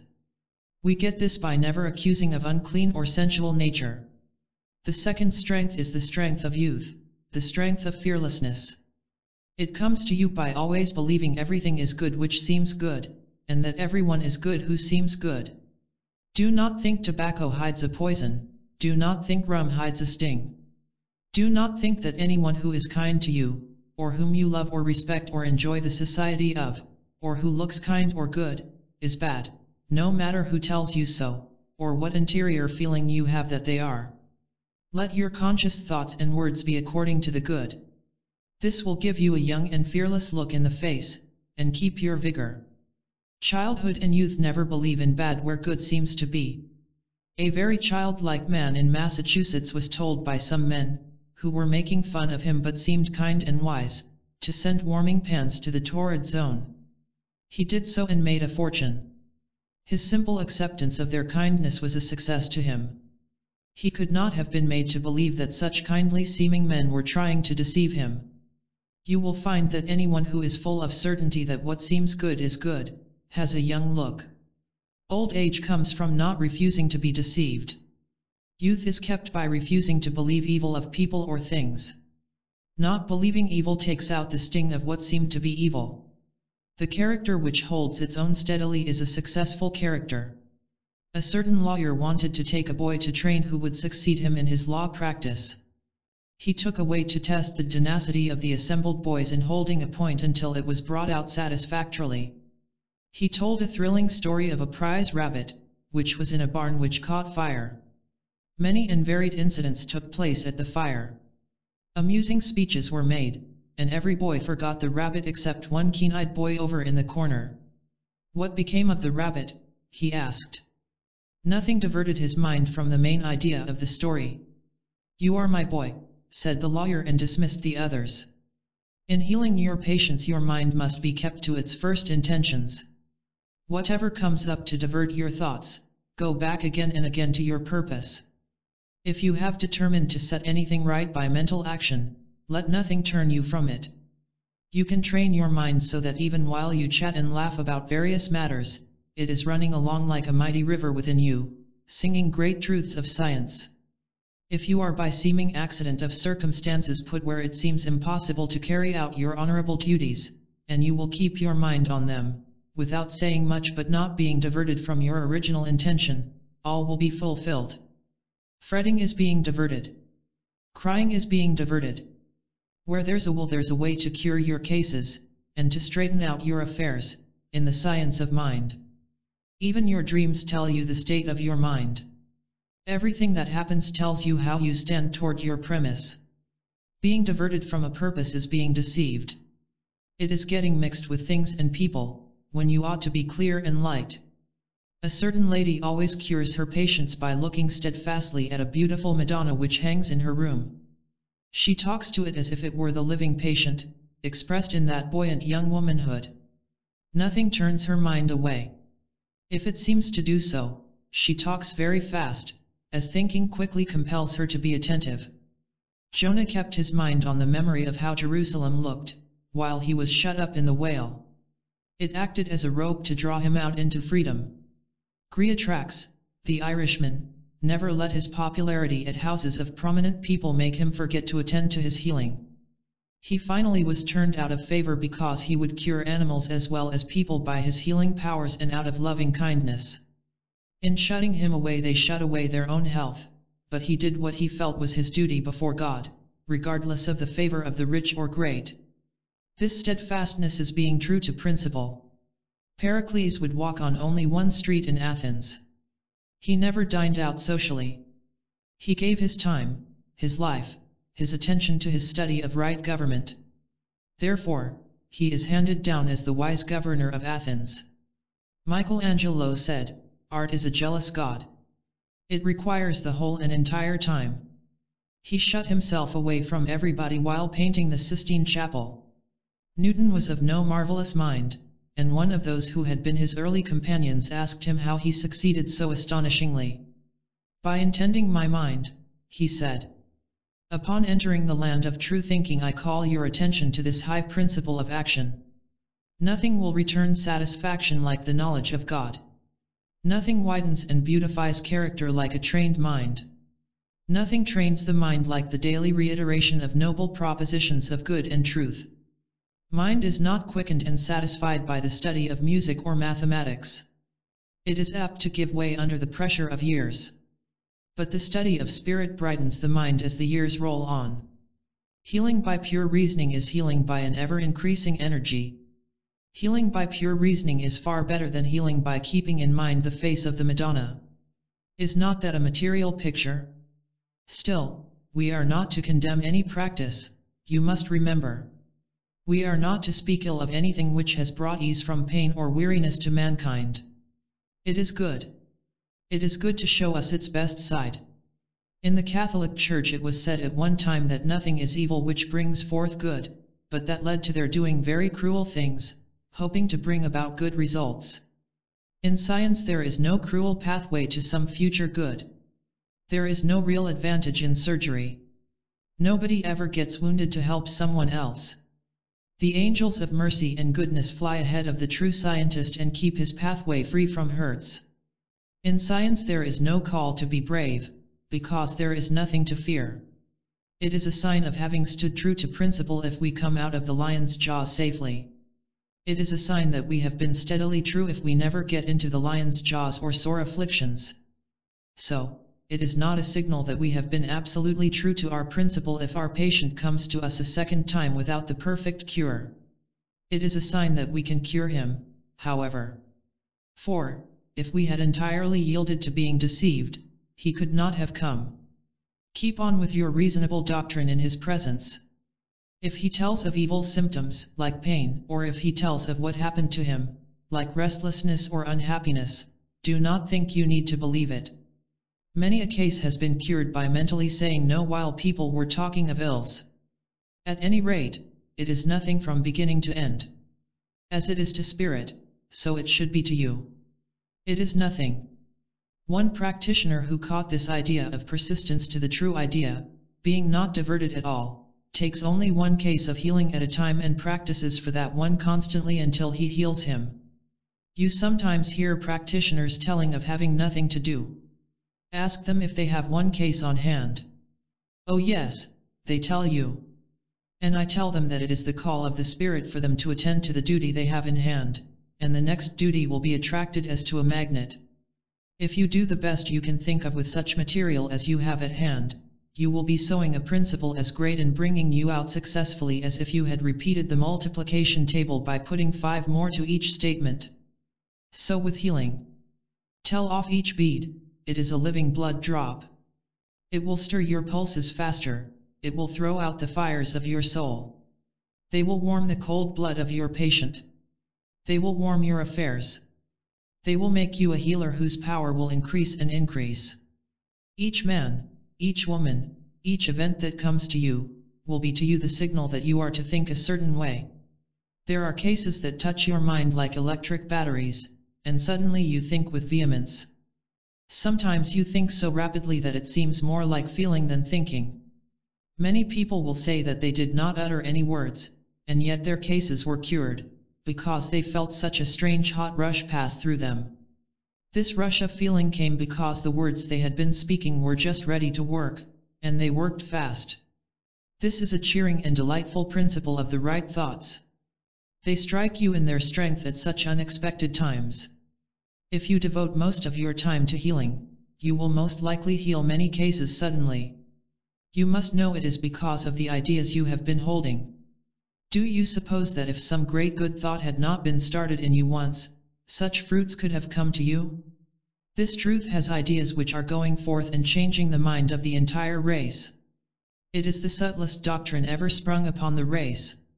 You are at home and maybe bruise your foot. You immediately say, it is nothing, there is nothing to fear, there is no pain, I cannot be hurt. I am spirit.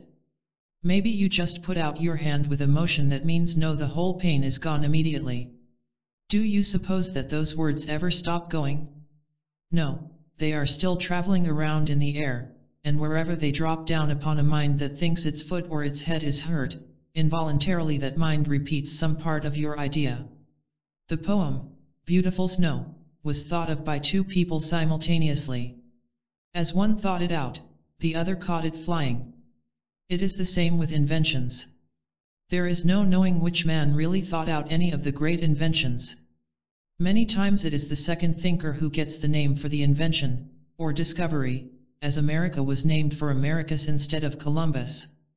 The main principles of this truth are old and have long been in the world, but some years ago there were a great many invalids suddenly inspired with the idea of Christ's everlasting healing presence, and thought the same treatments that we now use. They did not think them all, they felt them, and used such ones as came first to mind. For instance, about 35 years ago a lady was sitting by her friend, who was very ill. Suddenly she said, You are healed by the power of God. And it was true. The friend arose at once, entirely well. When asked what she said mentally, before she spoke aloud, she answered, I thought, you are well now, not sick, only you don't know you are well. You must know it. You see, to her the acute illness was nothing. It was not there. If she had held on to that principle as the truth of every seemingly sick one, she would have made a great healer. Many people feel the idea of health so thoroughly that they cannot feel anything else, even if a man seems to be very ill. Their touch is full of their feeling of health.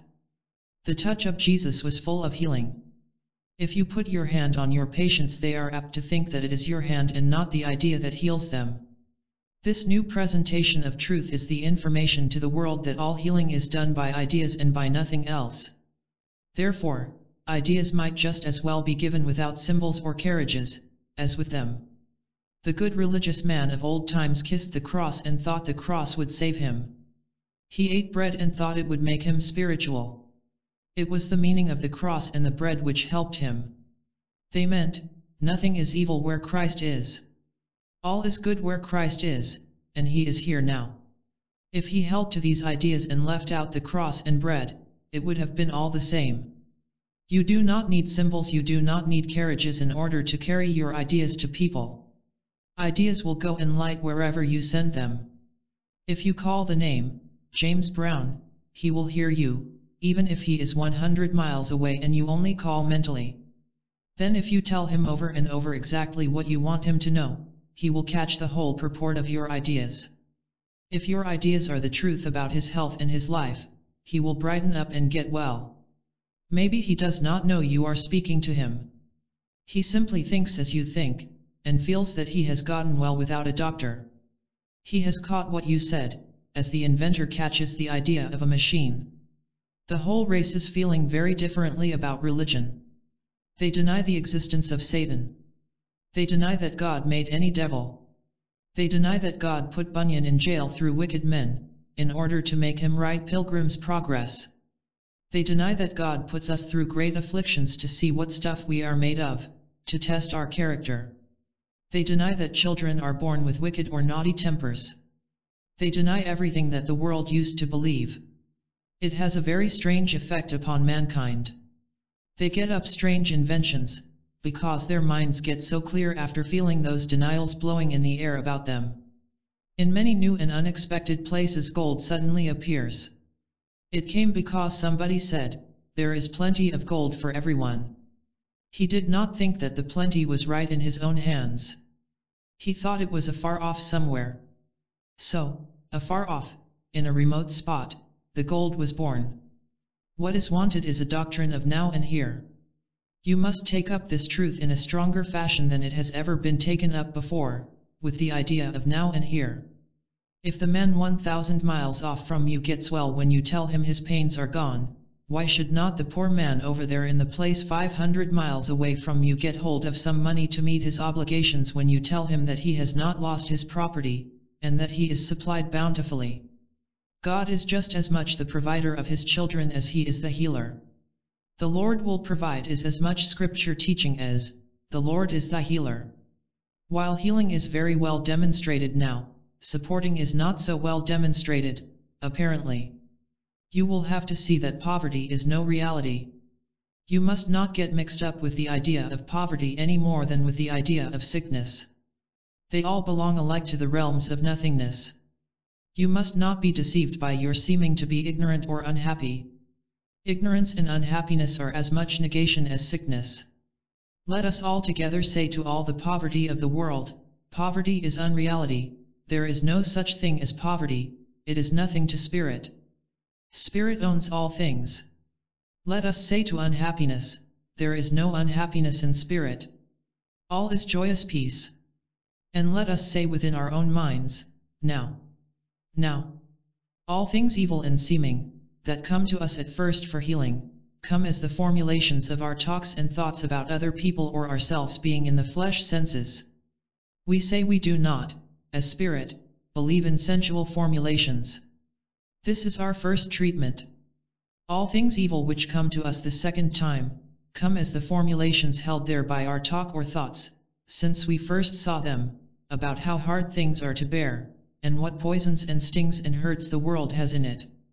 We may have accused our friends of being deceitful or dissimulating or hypocritical.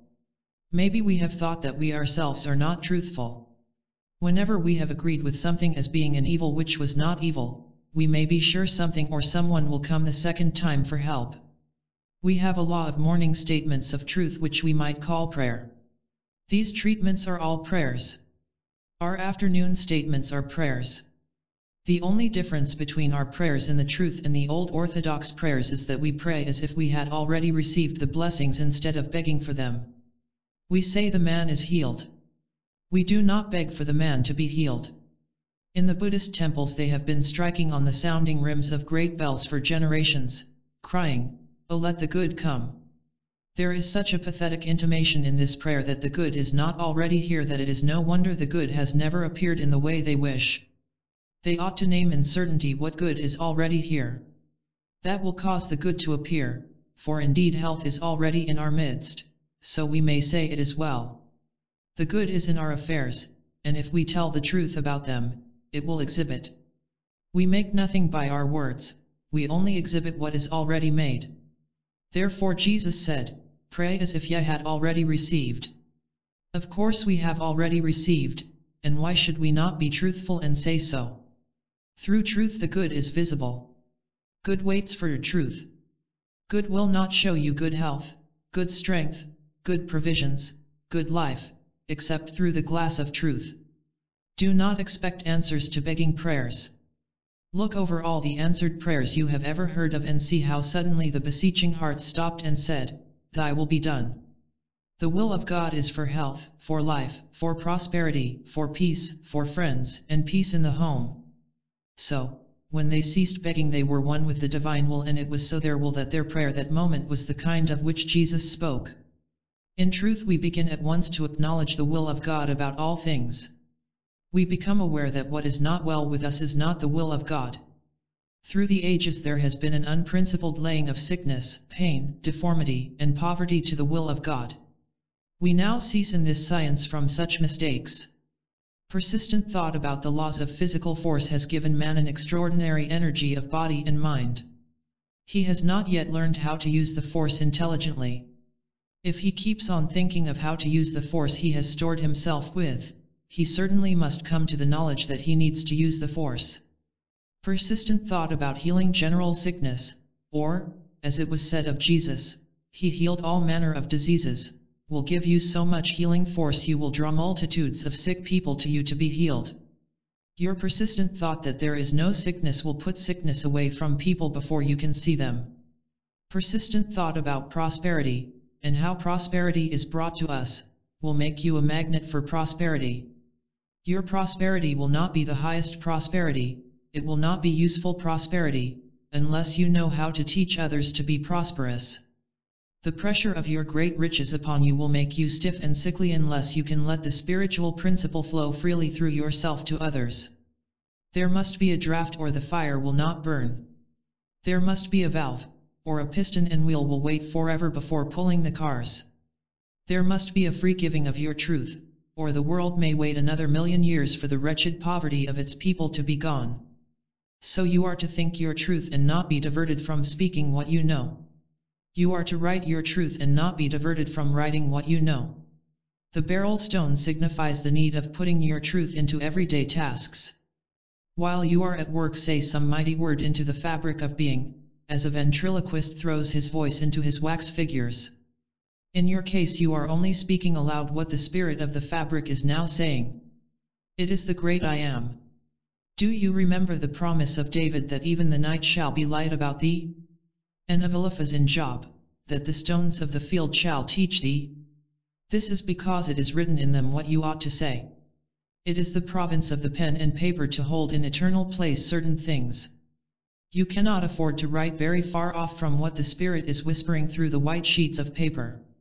And whatever subjects are touched by the writing you make shall have fastened into them native tongues of truth, and nobody can handle them without wondering how he came by such unexpected ideas. What you set your pen to tell is the beryl stone. Not until you have written the absolute truth have you gotten past the beryl stone. If you have written only a little you have not even begun to polish that stone. Maybe it is still covered within the earthiness of long years of thinking the first error concerning the I am, and also the first error concerning environments. The more truly you speak of things, the more clearly stands out the meaning of each one. Its countenance gives you its light. Jesus, stooping down, wrote in the sand, and now everything has felt the handwriting he sent under the waters to be sung to the ends of the earth for all things are to be ready to say Amen when we also shall write down what he said of them. Make your record in all things. Bring out the record in all things. Thus shall all things shine. The night shall be light. The moon is to have the light of the sun, and the sun is to be seven times brighter than it now is. All things are truly written full of such deep and wonderful messages that we should not be deceived by what is said against them. The air is filled, packed solid, with everlasting record of what we ought to have demonstrated. This is the unchangeable handwriting of God. Here is the science of music waiting in the silence for someone to express it. Ages have gone by and still this silent music is waiting for someone to read it. Mankind has never gotten beyond Handel, Haydn, Mozart, Beethoven, in music. Why not, when there is music beyond their highest and noblest? Here is the science of mathematics packed into the airs, with computations beyond Euclid, Legendre, and D'Alembert. Why does no one read the marvelous handwriting on the solid air walls, and teach us the science of numbers aright? Here is the science of happiness and bliss. Its truth is written in beautiful letters, clear and bright, and legible like the angles and facets of the beryl stone of revelation. Why does no one read off its easy directions, so that there shall be no more death, neither sorrow, nor crying, neither shall there be any more pain. Right here is our truth whispering in our ears. That is our eighth lesson. It is so audible to our ears, its voice is so distinct. Having ears to hear, why do we not hear?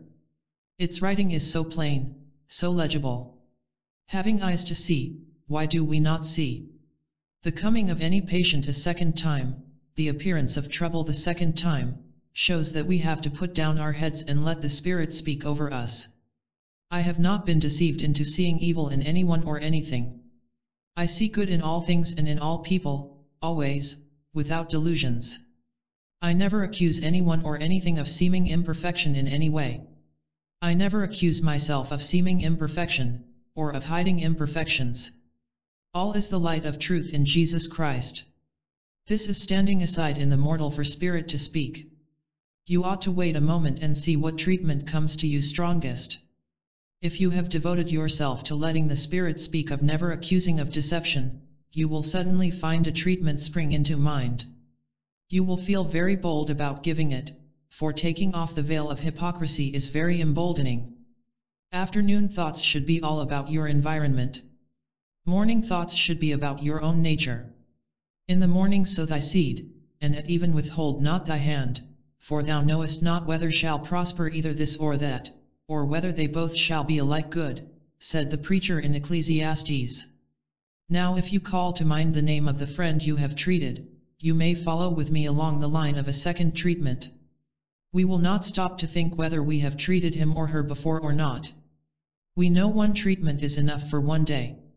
We know that this is the second treatment which scripture teaches, and we give it.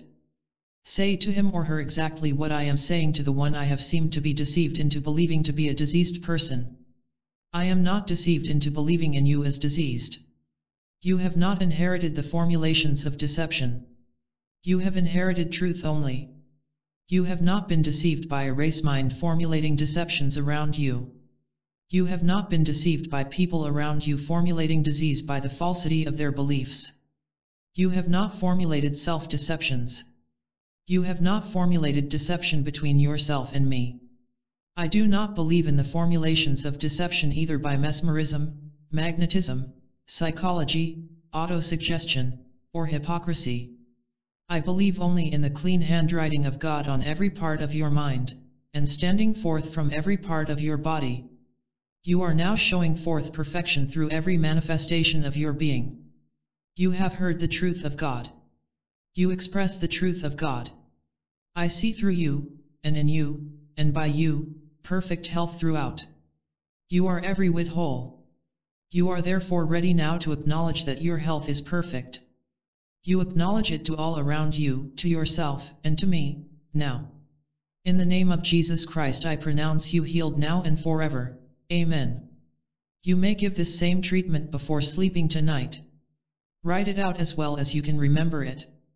Read it aloud. It is not what the flesh saith, but the everlasting voice of the Spirit. These treatments react upon ourselves, and do us as much good as they do our patients. Around us and before us, in the plain sight of our mind, our spirit, and our soul, is our perfect power, ready to rise to accomplish the works of God. Join with me now in saying, The words that I speak unto you, I speak not of myself, but the Father that dwelleth in me, he doeth the works. God works through me to will and to do that which ought to be done by me. Amen. 9. Righteous Judgment It has always lain heavily on the mind of the race that holiness and health, sin and disease, bear a logical relation to each other. I have been young and now I am old, yet have I never seen the righteous forsaken nor his seed begging bread, shows that not only health of body, but health of affairs has been laid back to the doorway of righteousness. Envy is rottenness of bones, says one. My words are life to them that find them and health to all their flesh, says another, when speaking for the words of the Spirit in man. The sins of the fathers shall be visited upon the children unto the third and fourth generation, said Moses. And Jesus said, No man is your father upon the earth. Who then is visited by the sins of his parents? The Adam man. Who is it that shall have no consequence of sin visited upon him? The spiritual man. Did Jesus believe in sin? Neither hath this man sinned nor his parents. Did he often address himself to the mortal man? Just enough to make it nothing. Go and sin no more, he said to the man whose good sight sprang forth as a strong arm when the love of Jesus warmed it forth. He put away the fleshly appetite, he left the spirit free. He put denials and affirmations together for a right and left wing of the law of demonstration. It is often supposed that innocent young children are under the curse of their fathers and mothers' evil thoughts and character, and many have lain down under the burden of scrofula and consumption because they thought it too heavy to carry, if their parents had lain down under it. Many have lain down under bad dispositions and kleptomania and intemperance because they believed their parents had left these things to them as their inheritance. What kind of a God would visit his own people with such a law as that? Where have the followers of Jesus been tarrying that they have not risen out of thinking such things inevitable with his commands ringing down through the written Gospels, Call no man your father. The flesh profiteth nothing. Follow me. Keep my sayings. What a strange imagination against the Lord of hosts to think he sent our evil tendencies in the first place, and the consequences of them in the second place. Where have we been lagging in the lesson of mind? that we have overlooked Jeremiah's information that a man's word is his only burden, and the proclamation of Jesus that by our words we are justified and condemned? Could God, the principle of thought and speech, invest his people with a richer heritage than the power of the word? Is there anything more majestic than this great principle of every word being full of divine potency when true, and gifted with only seeming greatness when false? Can a law be more stupendous than that a lie must seem to be reasonable in order to seem anything at all? If there is no law of flesh, because there is no flesh, must not all we say of flesh seem to be true, or not give us any claim on itself? Would it make any difference to you if an insane man told you that your mother stole his watch, when you know he never had one, and your mother is good and upright? But if a noble-looking gentleman told you that a shabby woman carried off his purse you would believe him at once, whether he is lying or not, because his story seems plausible. So when great and learned preachers stand in high pulpits and talk about a great being called God, who made a terrible Satan to tempt good little children to steal and lie, we have felt that it seemed plausible. They were very wise indeed to describe the other side of such a God by saying that he sent his only son into a swarm of wicked men, who were none of his kind, though he had created them, to be badly used by the only wicked creatures of his own hands. But the whole thing from beginning to end is false. God is the principle of holiness, goodness, and truth. Truth about God is expressing principle. Lies about God express the opposite of principle, thus the opposite of holiness and goodness. The experience of the mind of the race concerning holiness and sin has been that they have been indeed the creators of their own destiny by their imagination. Some of the very great lovers of God have been mighty living demonstrations of the power of words. One woman whose mind had become very quick in demonstrating words through constant praise of God, like the mind of Kurozumi, the Japanese, went through a hospital of plague-infested patients, and said, In the name of Jesus Christ be ye healed and many of them arose at once. Then she would say that if God pleased to afflict her with smallpox and otherwise torment her as he did his dear son, Jesus Christ, she was at that moment ready to receive the calamities. She put up such an expectant mind that she drew those very things to herself. Her words were quick and powerful. By thy words thou art justified and by thy words thou art condemned. For what the heart feels and believes, the words are sure to speak forth. Words are mighty signals of the heart's beliefs. Even if you say the man is healed, while your heart aches because he does not show forth health, you know you say he is healed because you believe he is if the science is true. So, even in this case your belief is in your words, and if you say he is not healed, you speak from what you feel most strongly at that moment. So words are flags. Jesus did not believe in having even our most vigorous belief in evil come forth expressed before the world. He said what to us means, suppose you have said some violent words, expressions of your strong emotion, like what a fool I am, or, I am terribly abused and an unfortunate person, and it actually appears today as if you had made some bitter mistakes, or were going to ruin. I say unto you, you may blast such words as Jesus blasted the vigorous fig tree, and never see any fruit of mistakes that bring hurts or misfortunes. Right here let me tell you that if you are going to remember in your mind how sick your patient looks, you must turn that memory right out of doors. Look at a picture of some beautiful character, or speak some lofty principles over and over, for the memory of how your patient seems while sick will bring out that sickness plainly expressed. If you are given to imagining how something would seem if it came to hurt you, get right away from the imagination at once, for an imagination is determined to come out some way. If you have taken some good premise in mind late in life, as we hear it expressed, you have struck a hard blow to the fears and imaginations you formerly held. Possibly they may come out in your dreams. Be thankful they get no farther than your sleeping time in their exposure, for they were making ready to come out before all mankind in your affairs. All evil is blamed to sin, but sin is only a mistaken idea of life, a mistaken idea of who you are, and what world you live in. This is all the sin you or anybody ever committed. You made your mistake in mind, and have lived out that mistake. This truth erases that mistake. Then your life is free from the cause of its suffering and trouble. You may often wonder why the truth student, who claims to believe the doctrine of no sin, no sickness, no death, does not immediately show peaceful, satisfied conditions. Suppose the rain and dust have beaten against the plate glass windows until they are very dirty, do you think the mere cessation of the rain and dust will make the window panes clean? So it is with the mind that is covered with years of habitual imaginations. It ceases from imaginations, but practical daily washings of the dust of years must be made. This does not make the sin of imagination, the mistakes about life, a reality, but explains how real it seems to us.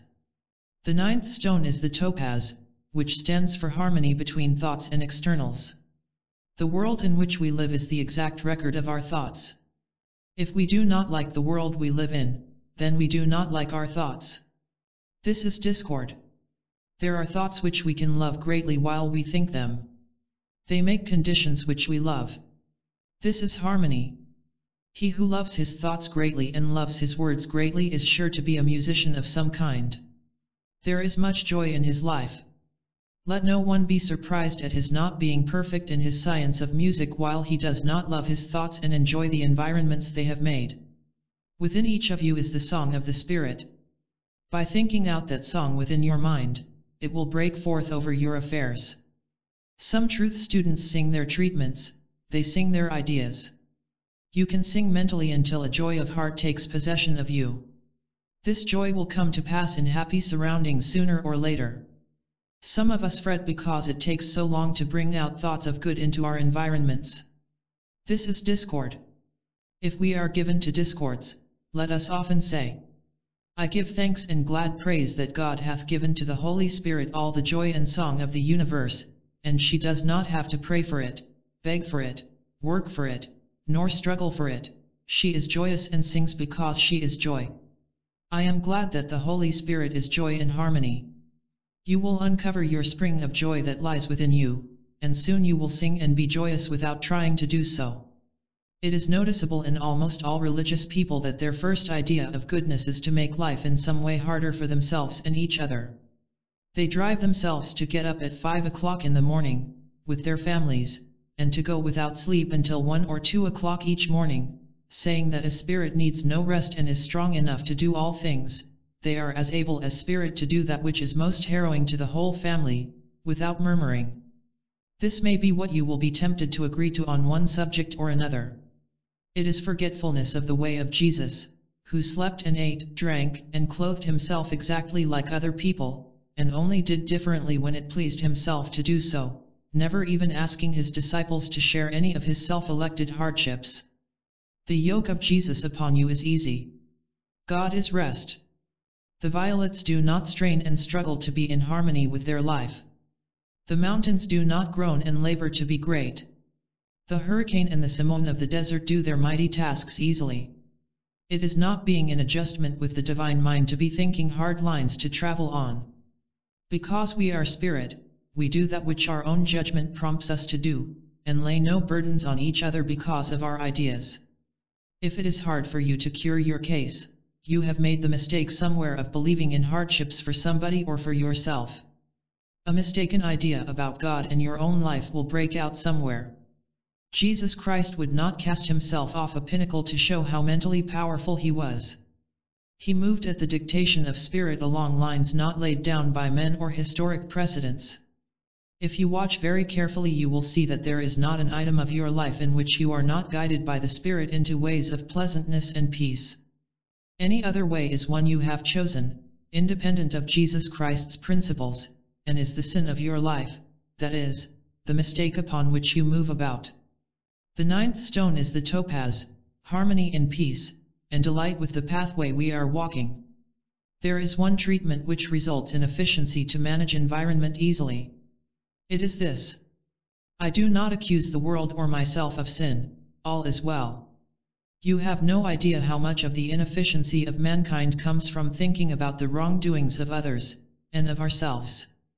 There is nothing more miserable than to feel that by some mistake in life you have not amounted to what you might have, and that your misfortunes all hinge on that mistake.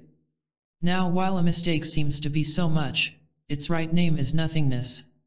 God never made any mistakes in spirit. Your family never made any mistakes in spirit. None of you can possibly make any mistake in spirit. As spirit is all that is real of you, the facing of the worst trouble of your life with the words that the mistakes that brought them being nothing, the troubles are nothing, will have a marvelous effect in putting them in a new relation with you. I do not mean that you will be hardened to bear them, I mean that they will be gone. The day of the Lord cometh as a thief in the night, silently. God, the truth, taketh away the grief and sickness as a mother comforteth. God is merciful. Be merciful with your people. The good acts only through mercy. Efficiency comes with letting the goodness of the merciful and tender Spirit speak, instead of your condemning tendencies, wherever evil seems so plain. It is a sign of being farther on in truth when you can make sin as unreal in your mind as matter. If spirit is the only substance, matter is no substance. If holiness is the only presence, sin is not present. You will be sure to be faced up with your case uncured the third time if between seeing it the second and third times you have harbored feelings of how wrongly people have acted. There are a few claims of wrongdoing, or sins, which always bring a case in the third time. There is selfishness. We see that plainly in certain people, we say. By what right do we see selfishness? By right of the spirit or of the carnal? We speak of enviousness. Who has envy? The spirit? If the spirit has not envy, of whom are we talking when we speak of enviousness in others or ourselves?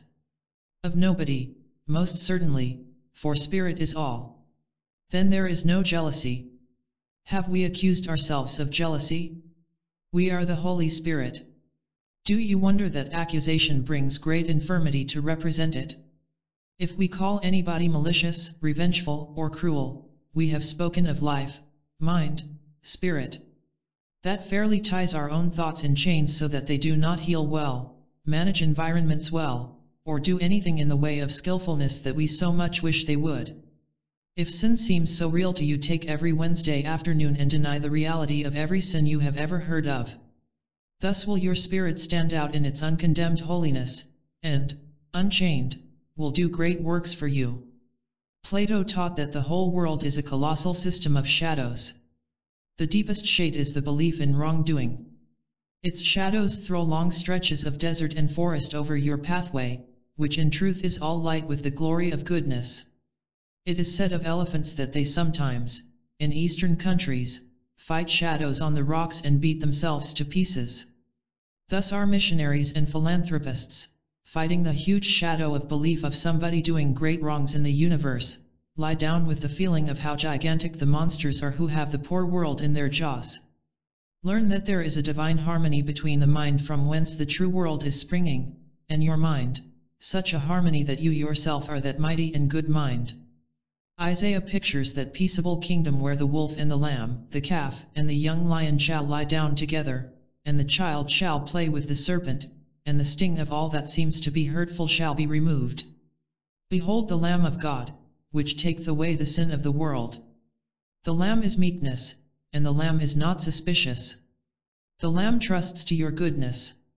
The Lamb of God is Jesus Christ, who condemned none, forgave all, suspected none believed in no evil, feared nothing, loved everything. Therefore he healed instantaneously. Therefore he said, All power is given unto me in heaven and in earth. If you feel all the time as though you ought to be protecting yourself from mankind, either financially, or as to reputation, stop and think over these Wednesday afternoon words. You must not put up umbrellas against things which do not exist. Umbrellas are a burden in pleasant weather. By this I mean, if God is your world, what have you to fear? So your fears are a burden. Belief that I have made a mistake terrifies me. Belief that you have made a mistake terrifies you. And so with all the world. If now we are told so strongly that it takes effect in our blood and our bones, and if we are convinced that it is true that we never could make any mistake, then our fear is gone. Thou wilt keep him in perfect peace whose mind is stayed on thee. I will fear no evil, for thy rod and thy staff they comfort me. Rod means activity, and staff means rest of mind. We act wisely and rest comfortably, therefore we are comforted. Deny the inheritance of sin. The Son shall not bear the iniquity of the Father, saith the Lord. Deny the race iniquities. For am I not God? Do I not fill heaven and earth? Deny contagion of sin. Fear nothing from suggestion of evil. There shall no evil touch thee. Thou shalt be hid from the scourge of the tongue. Deny the personal sin. Neither hath this man sinned, nor his parents. Deny that you ever wronged anyone, for in you is God only. Socrates, on being asked, What is the most troublesome to good men? answered, The prosperity of the wicked. People who have made certain mistakes do not touch their finances or environments with those mistakes. They touch only their bodies. Some people's mistakes touch their environment entirely, while their bodies are very well indeed. There has been no statement of cause and effect yet given forth which has been entirely accurate in describing how a selfish disposition or an envious one should affect the business of a man or the health of a man. Injustice in money matters does not always bring financial disaster to the actor. It may break out in his children instead of himself. Each one of us has all he can do to look to the ways of his own heart, and make his harmony between his own heart thoughts and his world by thinking as his heart is really thinking at its spiritual center, instead of from the mistakes of his thoughts about life and God, which are not his heart but his imagination. Let us imagine nothing, let us speak truth. Sometimes people feel that all the talk about even the presence and character of God is good, as life, truth, love, omnipresence, omnipotence, omniscience, is pure imagination, because nobody has seen or heard or felt such a being or such a principle. They resolve everything into imagination. Well, if imagination can take its choice between imagining life, holy and omnipresent, or death, evil and pain, and can bring into outer manifestation according to its ideas so imagined, we will see that it is a higher and nobler imagination to conceive of omnipotent good, than to conceive of evil. Man naturally thinks there is a God. You think so? If every book that you picked up said there is no God, you would dispute it. It is not in anyone to dispute, however, if we point out the truth that there is no such God as some have imagined one sending afflictions and pain upon the good and innocent of the world. We are ready to give up such an imagination at once when the reasonable idea is presented that Almighty Goodness did not create a Satan, nor create passions and appetites and deceptions. He made only the good and the holy. The bad and the wicked are not made they only seem to be made. They are the shadows of the substance of the good. A good trait in you, like generosity, is seen to throw down a dark opposite to itself. You show jealousy. There was hardly ever a generous person without the opposite trait called jealousy showing its dark streak. Jealousy is the long headlight of generosity. The jealousy is nothing, it is not there. The generosity is something. It is God's presence. So, of all that is not desirable, the pure goodness being called substance, and the bad called shadow, the goodness comes into plainer sight, and the badness disappears altogether. Moses took a figure of speech to illustrate principles. Paul told his friends to take a little wine instead of so much water. He means to take strong statements, go forward in thought, instead of thinking the old religious ideas. Each mind naturally clings to its former idea of God. In spite of their high reasonings, often you will find some truth students falling into begging a great being on a throne in the air to help them, even after they know that there is no such God, but that instead there is the almighty principle of truth and goodness. Paul's young friend, Timothy, was inclined to think sometimes in the old ways. It is a weak way to think. Take some wine of doctrine, stronger and warmer ideas of life. Moses in this ninth lesson says, Let the waters bring forth abundantly the moving creature that hath life. Waters mean thoughts. The living creatures of the thoughts are the environments alive, the people, the friendships, the society, the children. Let your flowing thoughts, warmed at the fountain of pure reason, be rich in affection, love, life, joy, harmony. Swedenborg said that Moses meant affection by living creatures. The eighth lesson was about having light. The true religion is the true light. Light is warmth. The brighter the sun the hotter it shines. The hotter the sun the surer the rivers are to bring forth living creatures in abundance. So, the hotter your religion, the warmer your love for the world, for God, for truth. The warmer your love, the more friends and pleasures and conditions of joy surround you. This is confidence in your doctrine. It might be called self-confidence. People who lack self-confidence are those who have not warmed into confidence in their doctrine. They are given to accusation of sin, but they as often accuse themselves of sin as their neighbors. Nothing alive and solid with success ever stays in the hands of people who are given to accusing others or themselves of sin. By this I mean, prosperity will always seem just ahead of you if you think of people or yourself as selfish, envious, jealous, revengeful, or cruel. Your health will always seem just out of your reach. Your healing power will always be slipping through your fingers. Just as you think your case is cured it is not cured. Every time it can be traced to your accusing of sin. Stop that, and your waters of mind will gather prosperity so tangibly that you cannot mistake judgments. Your waters of mind will breed new healing power. New affairs, new schemes in some line, will please and satisfy you. If anyone tells you of there being a principle of evil, deny it. If anybody tells you of there being a Satan, deny it. If anybody tells you of there being a fall of man from his God estate, deny it. If you read of sin, deny it. You must not have a poor opinion of yourself. Your substance, your intelligence, your nature is God. If the spirit of you arises in its strength, you will have great confidence in your own mission, your own work, your own powers. General Taylor, during the Mexican War, called a council of Mexicans. They told him that in numbers and artillery his enemies were so far ahead that he stood no chance of victory. We will dismiss this council until after the battle, he said. His confidence in his principle of action was so aroused that he brought forth substantial victory. Your principle of life is worth believing in with all your soul, or it is not worth believing in at all.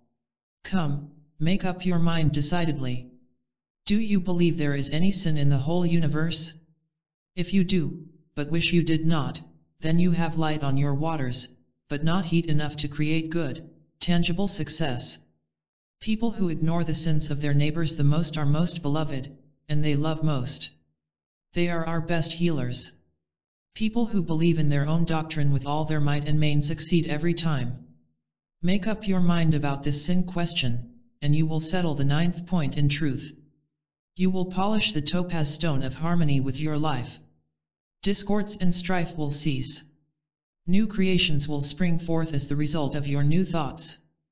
Klopstock, the German poet, who wrote Creation, was waited upon in Hamburg by some students who walked all the way from Göttingen to ask him what he meant by a certain passage in his composition.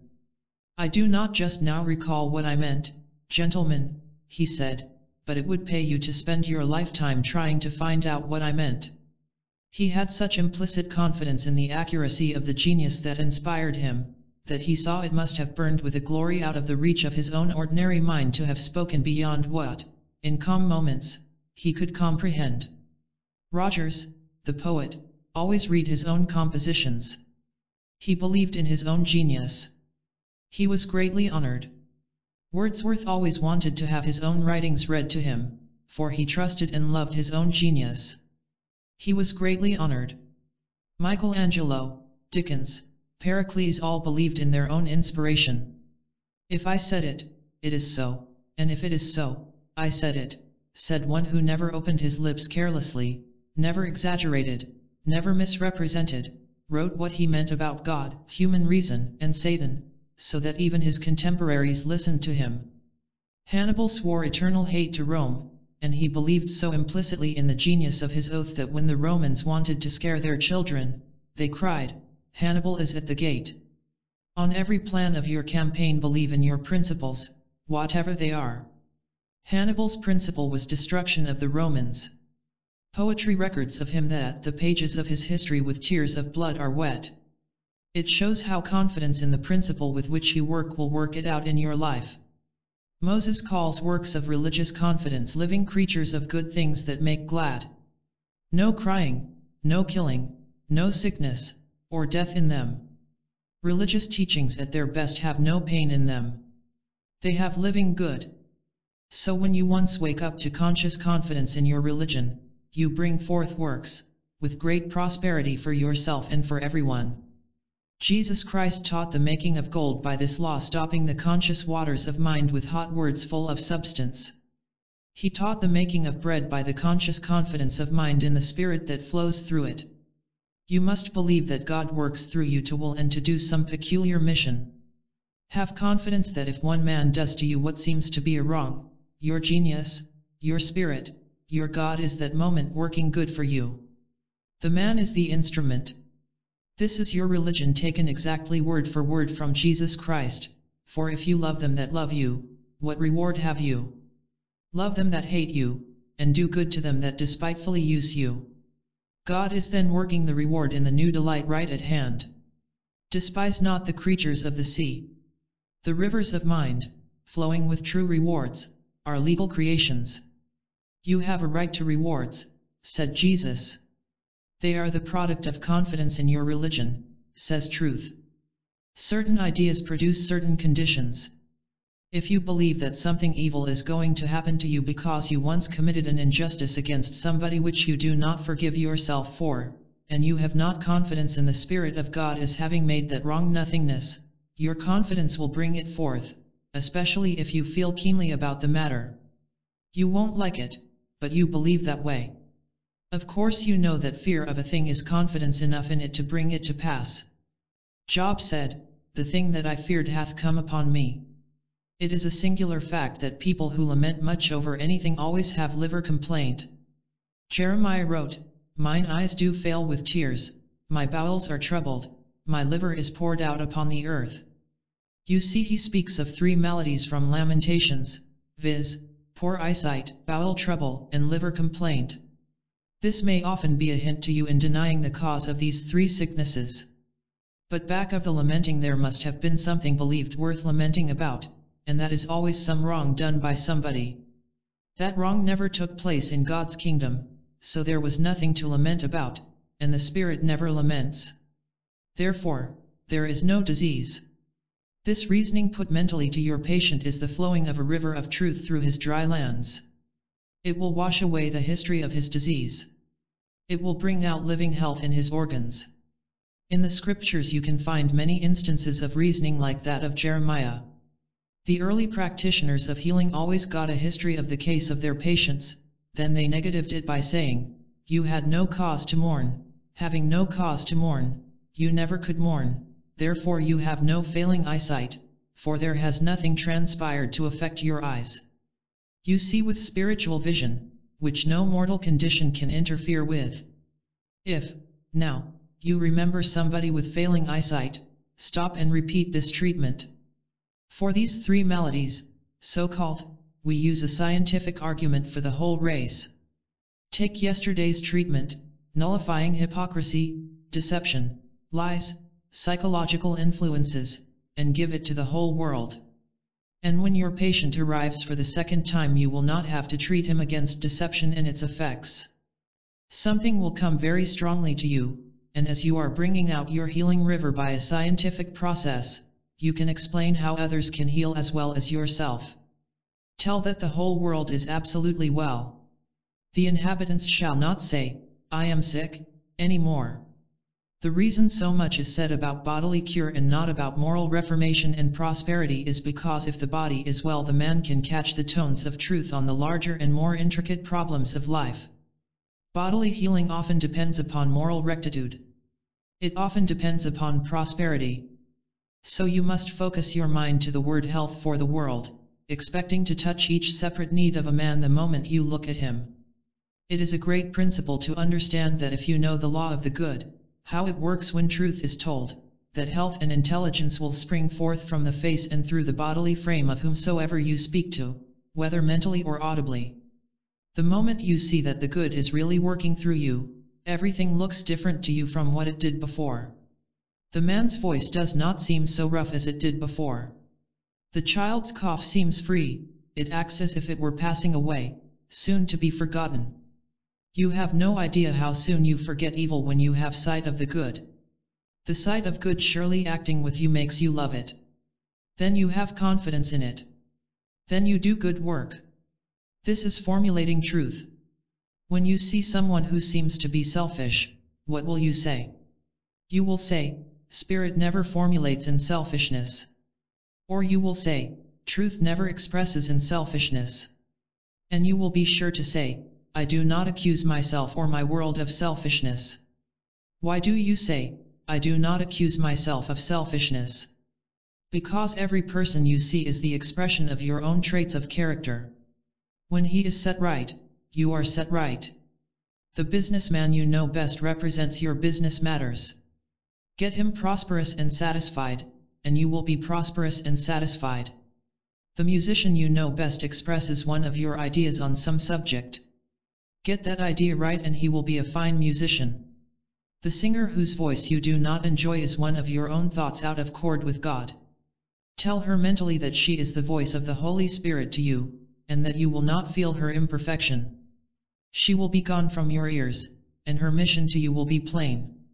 You will feel a love, a warmth towards the Spirit that will soon bring the good news about something quite different from singing.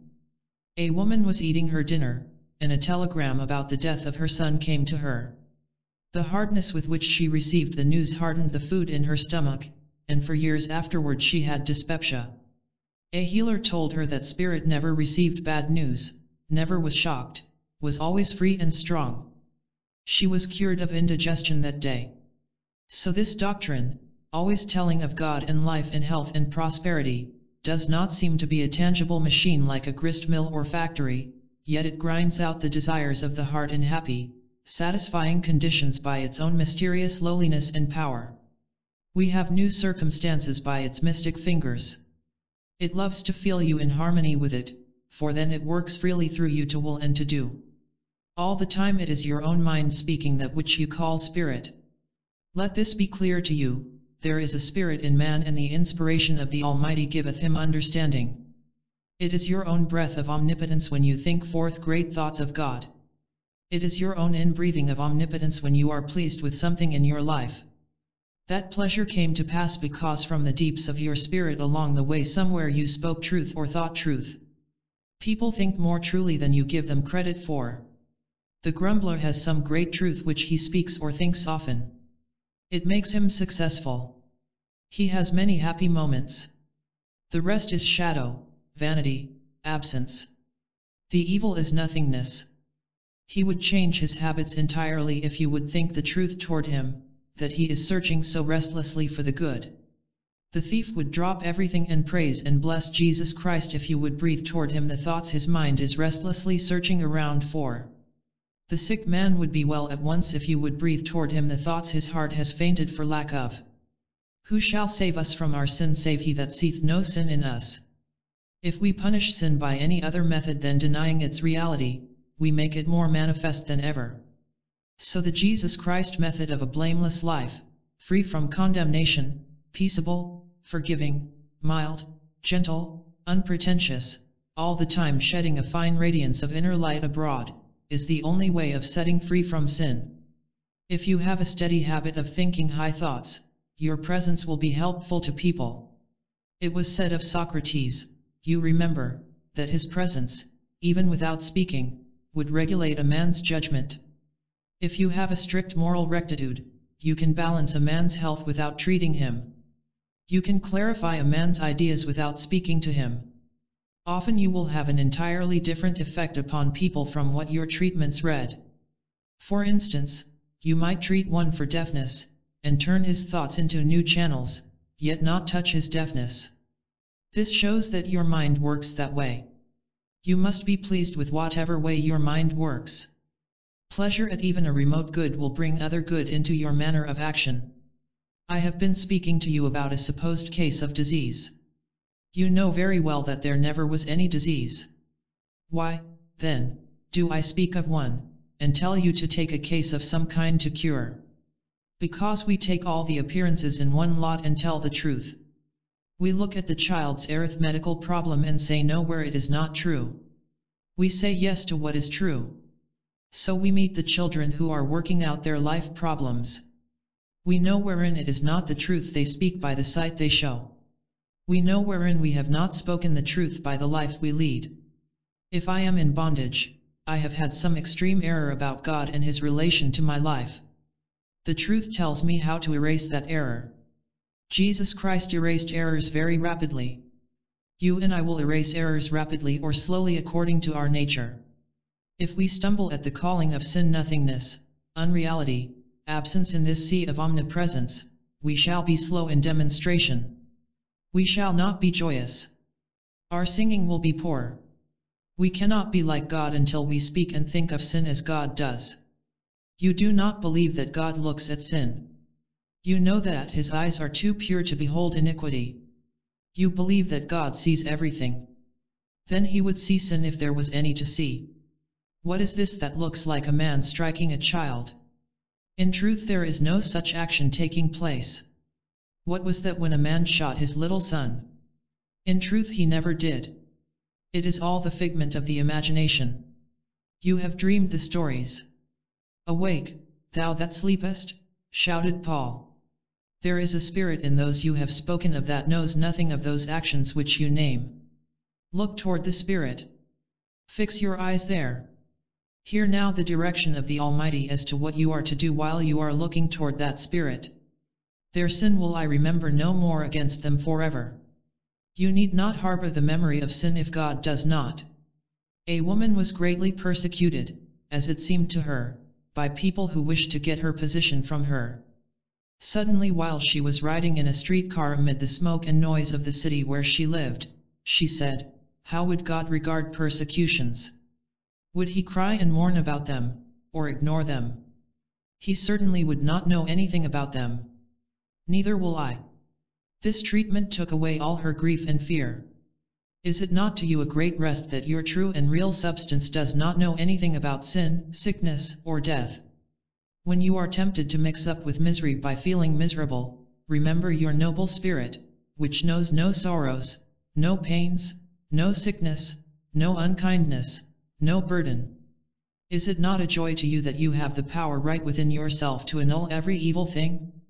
If there is no reality in sin, rise to agree with the principle and love it. There have, as yet, been only a few to whom sin was as unreal as matter. They have had great power in healing where matter was the first unreality to them.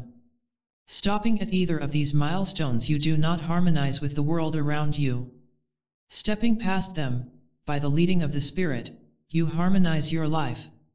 If you will notice the topaz stone you will see it has a happy light. It is the peaceful light of satisfaction with your thoughts as they fold themselves around you in good friendships, good healing power, and reformed conduct of men.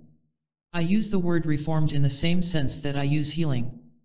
God needs no healing, therefore there is no healing to be done. God needs no reforming, therefore there is no reforming to be done. What then? We tell the truth, and as the whole and perfect man steps forth, he looks on the sense plane as if he were being healed. We tell the truth, and on the sense plane it looks as if the upright Son of God were reforming his actions. I know and you know that there is no work to be done. Does God work? Is not all finished in God? Yet this very saying that there is no work to be done, gives us the appearance of accomplishing miracles, because as the signs of the heavenly estates appear they push the earthly estates aside. The rolling of the earthly conditions away looks like activity. It is really the rest of God. Have you ever watched a star come into sight on a summer evening? It was there all the time, in solemn repose, but as the night deepens the star seems to be shot towards you. At first it is startling. Thus with the last day of earth. The heavenly land swiftly speeds into our sight, the earth rolls aside her curtains. The topaz light of your thoughts bringing out your words swiftly, is the leaping up of the heart into the mouth with joyous song. The joyous heart is a healing presence. Do you remember how Solomon said, The merry heart doeth good like a medicine? Smile and sing ye the songs of Zion. Sing the thoughts of this truth you bring out.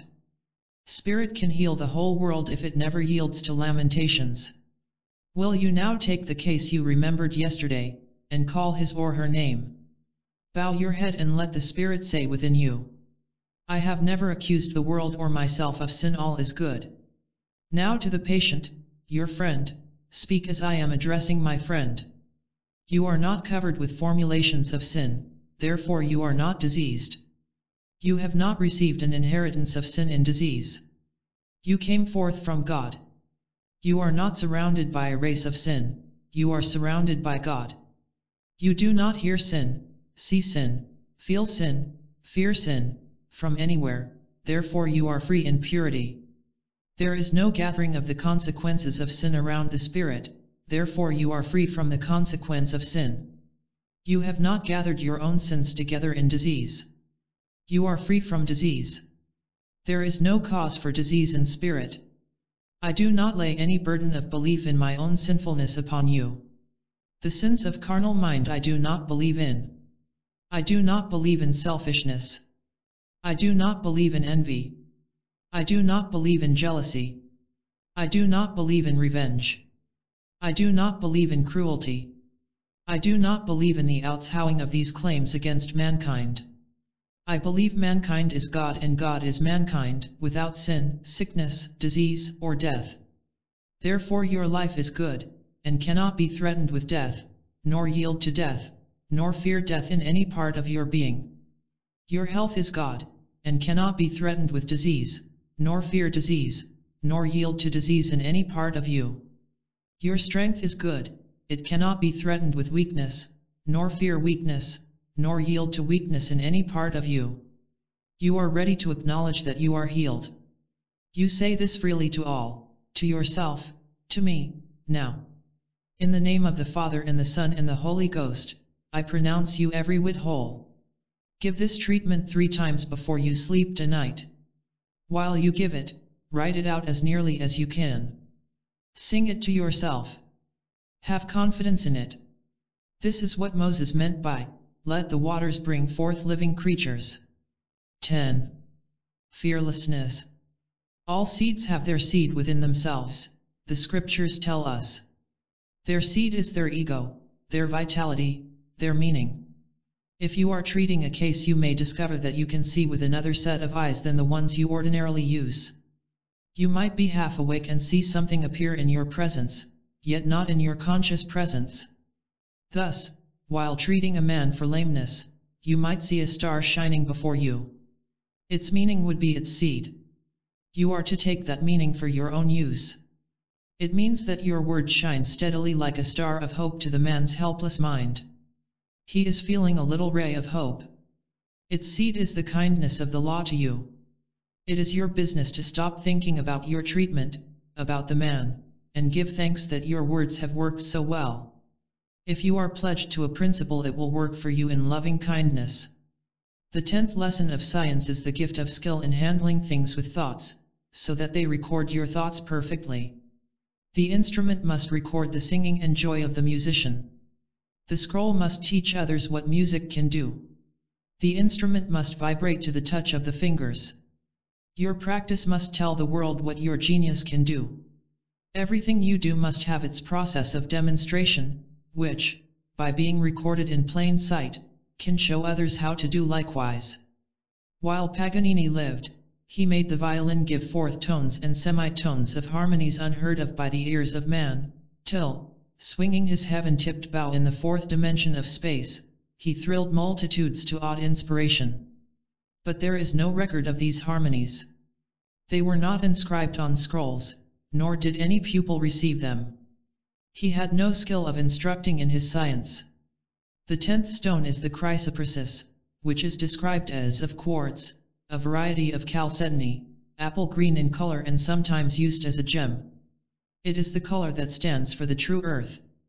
It is the heavenly city that descends. It is the bride, the Lamb's wife. The green fields and white gleaming mountains of paradise are the new land into which we set our feet, if we have polished the ninth stone of our foundation, the topaz of harmony between our thoughts and our outer world. If we have discovered how to be joyous and grateful, while yet on earth, which seems so dark and unreliable, if we have learned to smile and praise, while there was nothing, seemingly, to smile about or to be grateful for, there will come a moment when everything we are able to do we can teach others to do, and this is the stone of companionship the chrysoprasus for dwelling among equals. The green stone polished and smiling with answering goodness.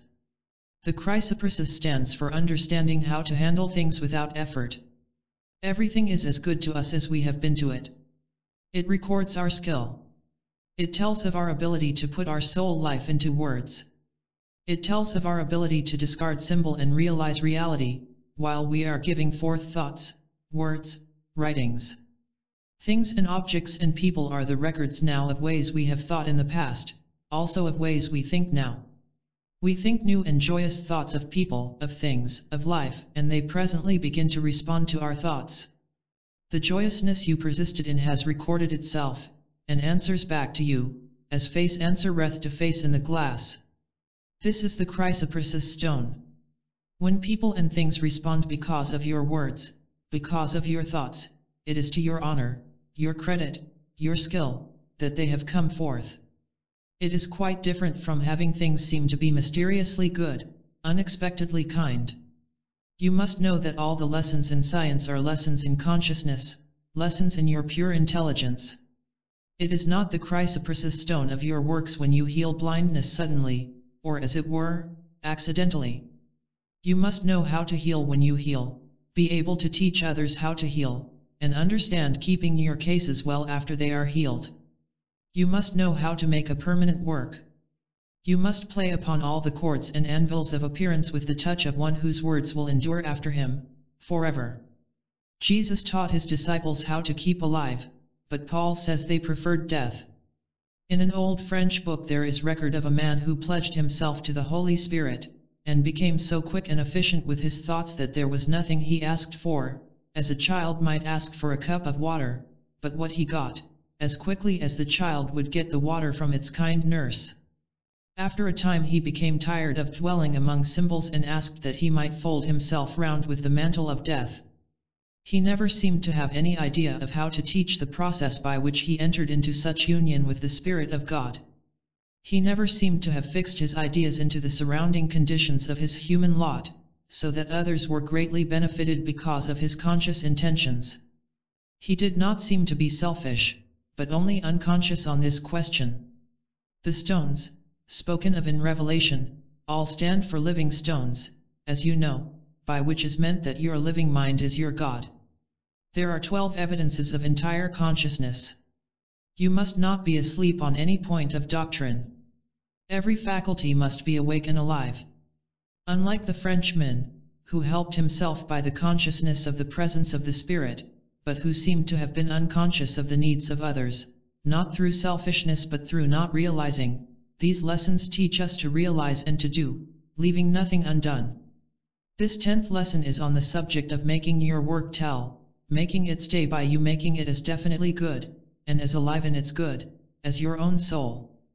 It has always been noted by metaphysicians that people who have diseases as the result of their sinfulness do not get well as quickly as those who simply catch maladies from surrounding mental belief in disease. The whole process is unreality, and the idea that people do not give up sin readily is only an imagination. When one imagines that there is a mixture of good and evil in the universe, he is sure to see a great deal of good and evil. If he lets his mind balance on the gloomy side, more than on the joyous side, he will see more evil conditions than good in his lot. He will not touch the tenth lesson. He will not see his world record joyousness, if he does not put joyousness forth from his mind as a steady stream into the world. Moses said, Let the earth bring forth cattle and creeping things. Earth means mind when it is formulated by persistent thought. The bringing forth of mind is cattle which is a symbolic word for larger human relations, like governments, schools, homes, friends, family. Creeping things, is a term signifying affairs like business, daily tasks, eating, drinking, sleeping. These things, says the text, come forth in a new beauty by the persistent thinking of new truths, cheerful breaths from the spirit of the supreme cheer. All the world, and our close family relations, are good beyond good. Let the mind see good step by step. From mountain peak to mountain peak let lofty ideas spring, never forgetting the splendor of one peak, but ever onward. Thus it is with the lessons of science. One lesson seems to be all. The next takes us to another statement of truth. The next still on, till the twelve gates of truth are opened. Our conscious, wide awake thoughts, never off guard, must smile, and rejoice that our obedient world may be at last compelled to return our smile. Gentleness, love, cheerfulness, these may seem to be slow in conquering the world, but they have deity, in all its enduring force, behind them. So Moses here would say, Stand here and see your mighty principle carried out into government, churches, schools, homes, friends, family life, into daily tasks, eating, drinking, sleeping. Let everything that hath breath or that moveth, praise the Lord.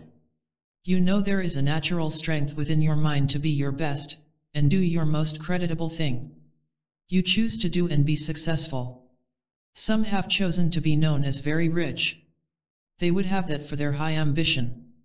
Ward McAllister chose to lead society life in New York, Lady Vanderbilt wished to take Mrs. Astor's place as social leader.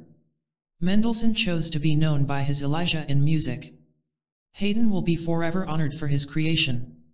Raphael will ever be known as the divine Raphael because of the transfiguration. So, at the height of your genius, there rests some masterpiece of splendor, laid out for you to do from the beginning, before ever the world was. It is the making of your goodness or your Christ character, whose glory rests ever in the center of your own being, manifest in your own world. Things are plastic substance which your skillful fingers mold, as Angelo molded the marble. They are as receptive to your finger touches as the canvas to Perugino, who taught Raphael to paint. You must find out the secrets of every creature, and make them speak.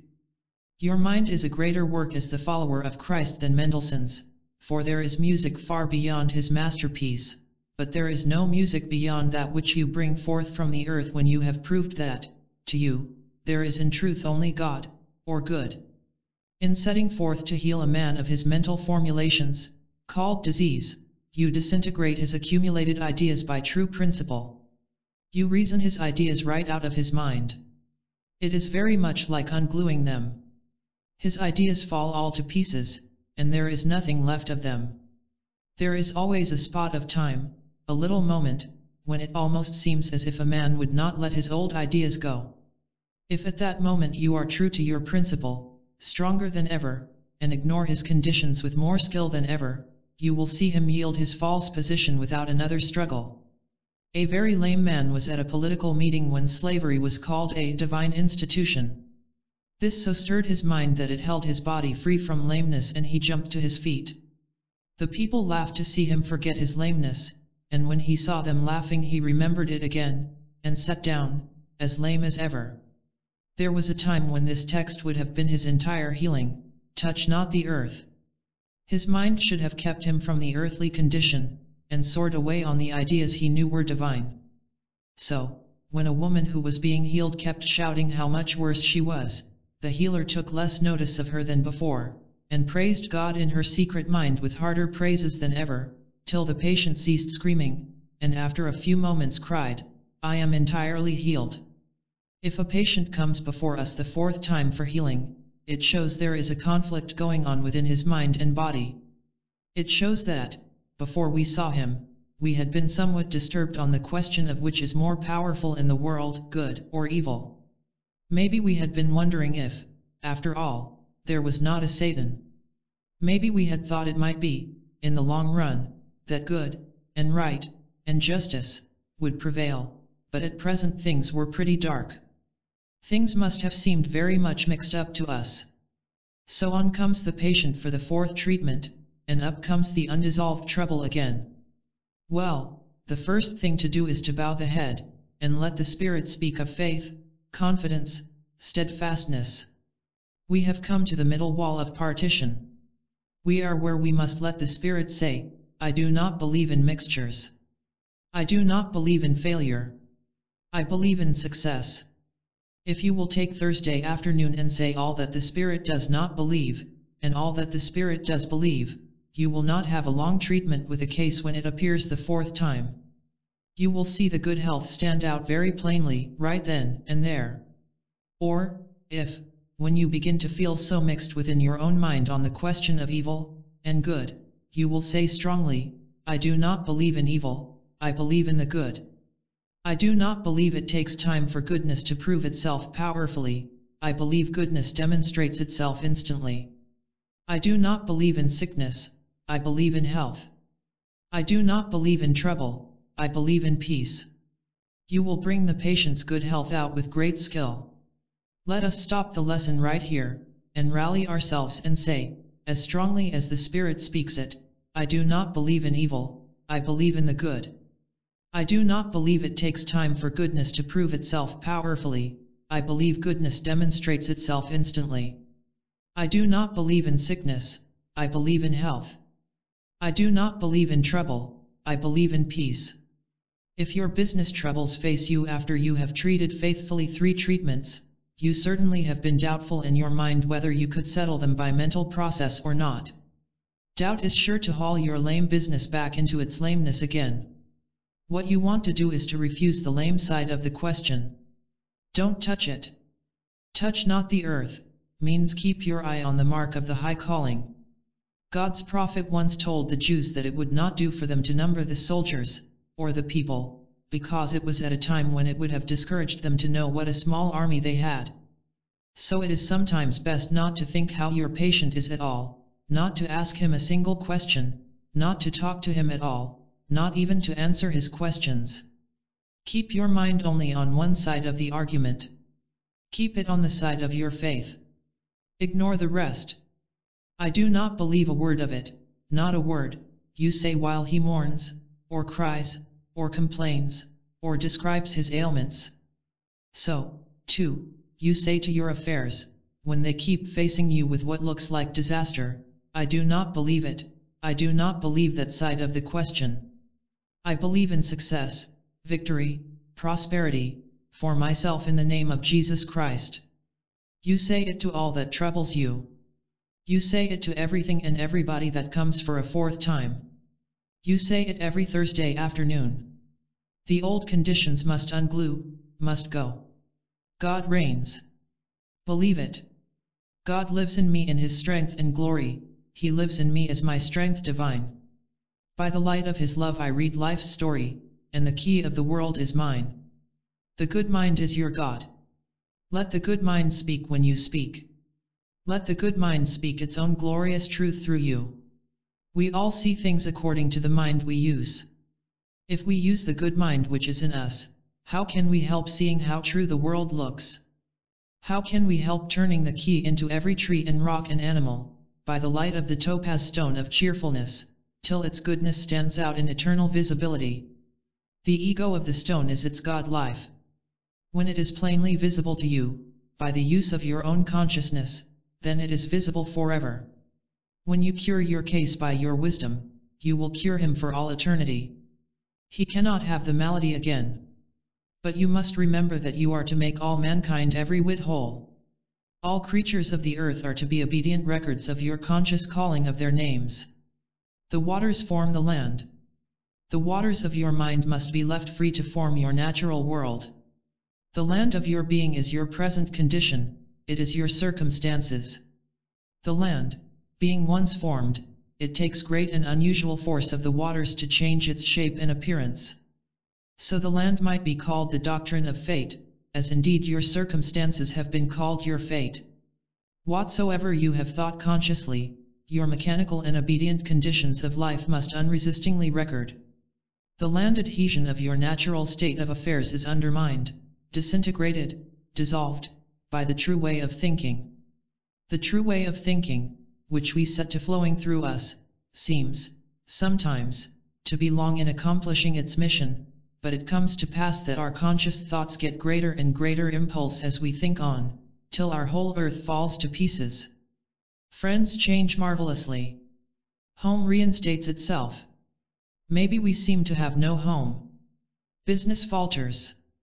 Maybe we seem to fail. But this is the point where we are at the sepulchre in the beautiful garden of resurrection. We need not say, They have taken away my Lord, simply because things look as if they were failing us. We must look up, up. Touch not the earth, touch God. We do not believe in material ways of thinking anymore, and old conditions, manufactured by our material ways of thinking, must unglue in order that the conditions formulated by our true new ways of thinking may come forth. If the earthly house of this tabernacle be dissolved, no matter what part of our circumstances it represents, there is a spiritual house, eternal, not materially thought, not materially born, but spiritually thought out, and now showing its seed, its germ, its face, through the ungluing particles of the old disturbed conditions. Scientific Christians, who have been very strong and steadfast, have seen everything change around them, because they have so entirely changed their thoughts. Holding steadfastly to some one principle, some one idea, they have gone through many seeming trials with victory. Once a lady saw that her husband looked as if he were passing into another sphere. She said, God is love. She did not treat her husband at all. Over and over she repeated the words, although not conscious that in science we never treat anything violent directly, but turn our mind entirely to spirit. She did this very way. Soon her husband rallied. Another woman saw her family in great trouble and knew that she could not endure circumstances that were dissolving around her. She could think of no words to say except, Jesus Christ, and they all came through safely. Whenever any disturbed condition arises, do not believe in it enough to notice it. Behind you, over you, near you, there is a voice saying, touch not the earth, touch me. So you look away from your environments, and with just the assertion, I do not believe in evil, I believe in good, you will put your mind entirely on the spirit near you. All acute cases of sickness are signals for saying firmly what you do believe, and what you do not believe. One woman had so much trouble that she felt that she was losing her mind. She said, I do not believe it is thy will that I should be in trouble. Thou wilt keep him in perfect peace whose mind is stayed on thee. Then she kept looking away from her troubles. She would not allow herself to think of them. Over and over she repeated Isaiah's promise, Thou wilt keep him in perfect peace whose mind is stayed on thee, till help came to her. She was saved, not only mentally, but conditions adjusted themselves. After you have determined to breathe toward you the spirit of cheerfulness, the unbalanced and distracted state of your affairs will seem to make it impossible to hold your own in the midst of your changing and disordered seeming world. Be steadfast, said Paul, unmovable, always abounding in the work of the Lord. He also noticed that it was just the same in a man's affairs as in his mind. If a man has determined to follow this path, he finds himself sometimes very ecstatic, very happy, then he gets despondent. He feels doubtful whether it is true, whether he can make a success of his life on the spiritual plane. This is his mind in relation to doctrine. He must tell himself that he believes every word he has spoken, and believes it will all demonstrate exactly as he has spoken it. The same thing happens with your cases in healing. They delight you one day and discourage you the next, if you let them move your feelings by their ups and downs of conduct. This is where you must state that you believe your doctrine is working itself out in its own way, and there is nothing in the man working against your doctrine. Tell what you believe about your case, and what you do not believe. His actions are only the exposure of some doubts you yourself have been having, where you ought to have spoken. I do believe in the good. You cannot help noticing how chilling and depressing doubt is. It comes up and shakes you. Its name is fear. Many people call their doubt of the good now working out with them in safety and power, fear. They speak of their fear, or they shake within themselves and hide it. Maybe some of you call it apprehension. Maybe you call it the blues. Its honest name is doubt. It is the dark shadow cast by the figure of faith, which stands so near you. You feel fear shake your hopes. Faith stands near. You know she can do anything. She can raise your hopes to highest heaven. She can fulfill your slightest wish. She is warming, strengthening, comforting. You can choose faith, or you can choose doubt. Both are near. One is the reality of life, the other is unreality. One or the other is chosen by what you say most vehemently. I have heard of people passing through those seasons of unhappiness, caused by doubt of the good working with them, and almost without exception they have lain down and given up to dark and dismal feelings first, and then feebly struggled to lay hold of faith. The fact is you have to choose faith the first thing. Your first words determine your future. But, you say, I had my house burned down, my husband at the point of death. My two boys ran away. My money is all gone. My acquaintances deserted me. It is not possible to say that I believe this all good. Here is where you are mistaken. This is where so many make their mistake. The science does not say death is good. It says there is no death. The science does not say the deserters are good. It says there is no such thing as desertion. The science does not say poverty is good. It says there is no poverty. The science does not say the changing ugly conditions are good. It says there is only good. Look not toward the earth, look unto me. It is a very important turn of the wheel of the law, this one of trying to make out that misery and death and poverty are good. They are not here. How can they be good? Their absence is good. That which is present is good. If anybody abuses you, in the seeming, do not say it is your business to say abuse is good. Say rather, that it never transpired. Do not speak to any person mentally, speak to God. It is God who is good. There is only one good and that is God, said Jesus Christ. When you tell me your husband was so and so, your money was so and so, your children were so and so, and you could not say they were good conditions, you are at this important stone of your journey in science.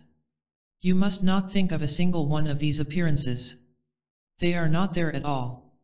God is there. Touch not the earth with thy mind. Touch me. Not an evil is here. Not one. God is here.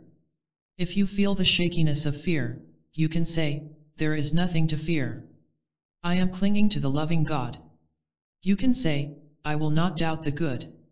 I believe in the loving God.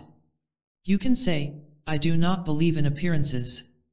I believe in God here present in loving kindness. In such a seemingly hard set of circumstances as mentioned, you will find it the most comforting thing in the world to say, I do not believe in the power of a whole army of evil conditions. I believe God is bringing us all through safely. Why should you write a letter to your mother, or your uncle, or your brother, begging for help out of your misery, at a moment when the universe stands waiting for you to touch not the earth at any angle, but to touch God? This is called the Valley of Decision. The whole world finds it so much easier to talk and think and write on the dark side that Joel said, multitudes, multitudes, in the valley of decision.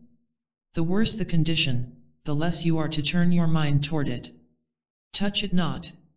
Touch me. Goethe, the mighty thinker, writing of choosing between your pathways of feeling, said, Here eyes do regard you in eternity's stillness. Choose well, your choice is brief and yet endless. That which comes over us about whether we believe in God in us now, comes over us when we put our cheerful doctrine upon the world. It seems as if our world all turns against us. But we have no right to agree with what comes.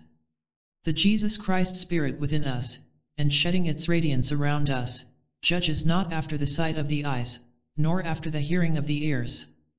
There is no combination of circumstances so hard, so black, so complicated, but what God can work a miracle in them.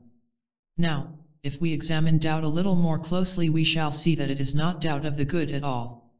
It is fear that the good won't work now. We think the good lets evil run on so long, and multitudes of good people pass away before their good deeds are respected, and ages go on before their character is believed in. You will see how we all have a sneaking feeling that we would like to know what good it will do us if our wrongs are not set right now. Come, face this adversary right up. Its name is belief in time, belief that it takes time for God to work.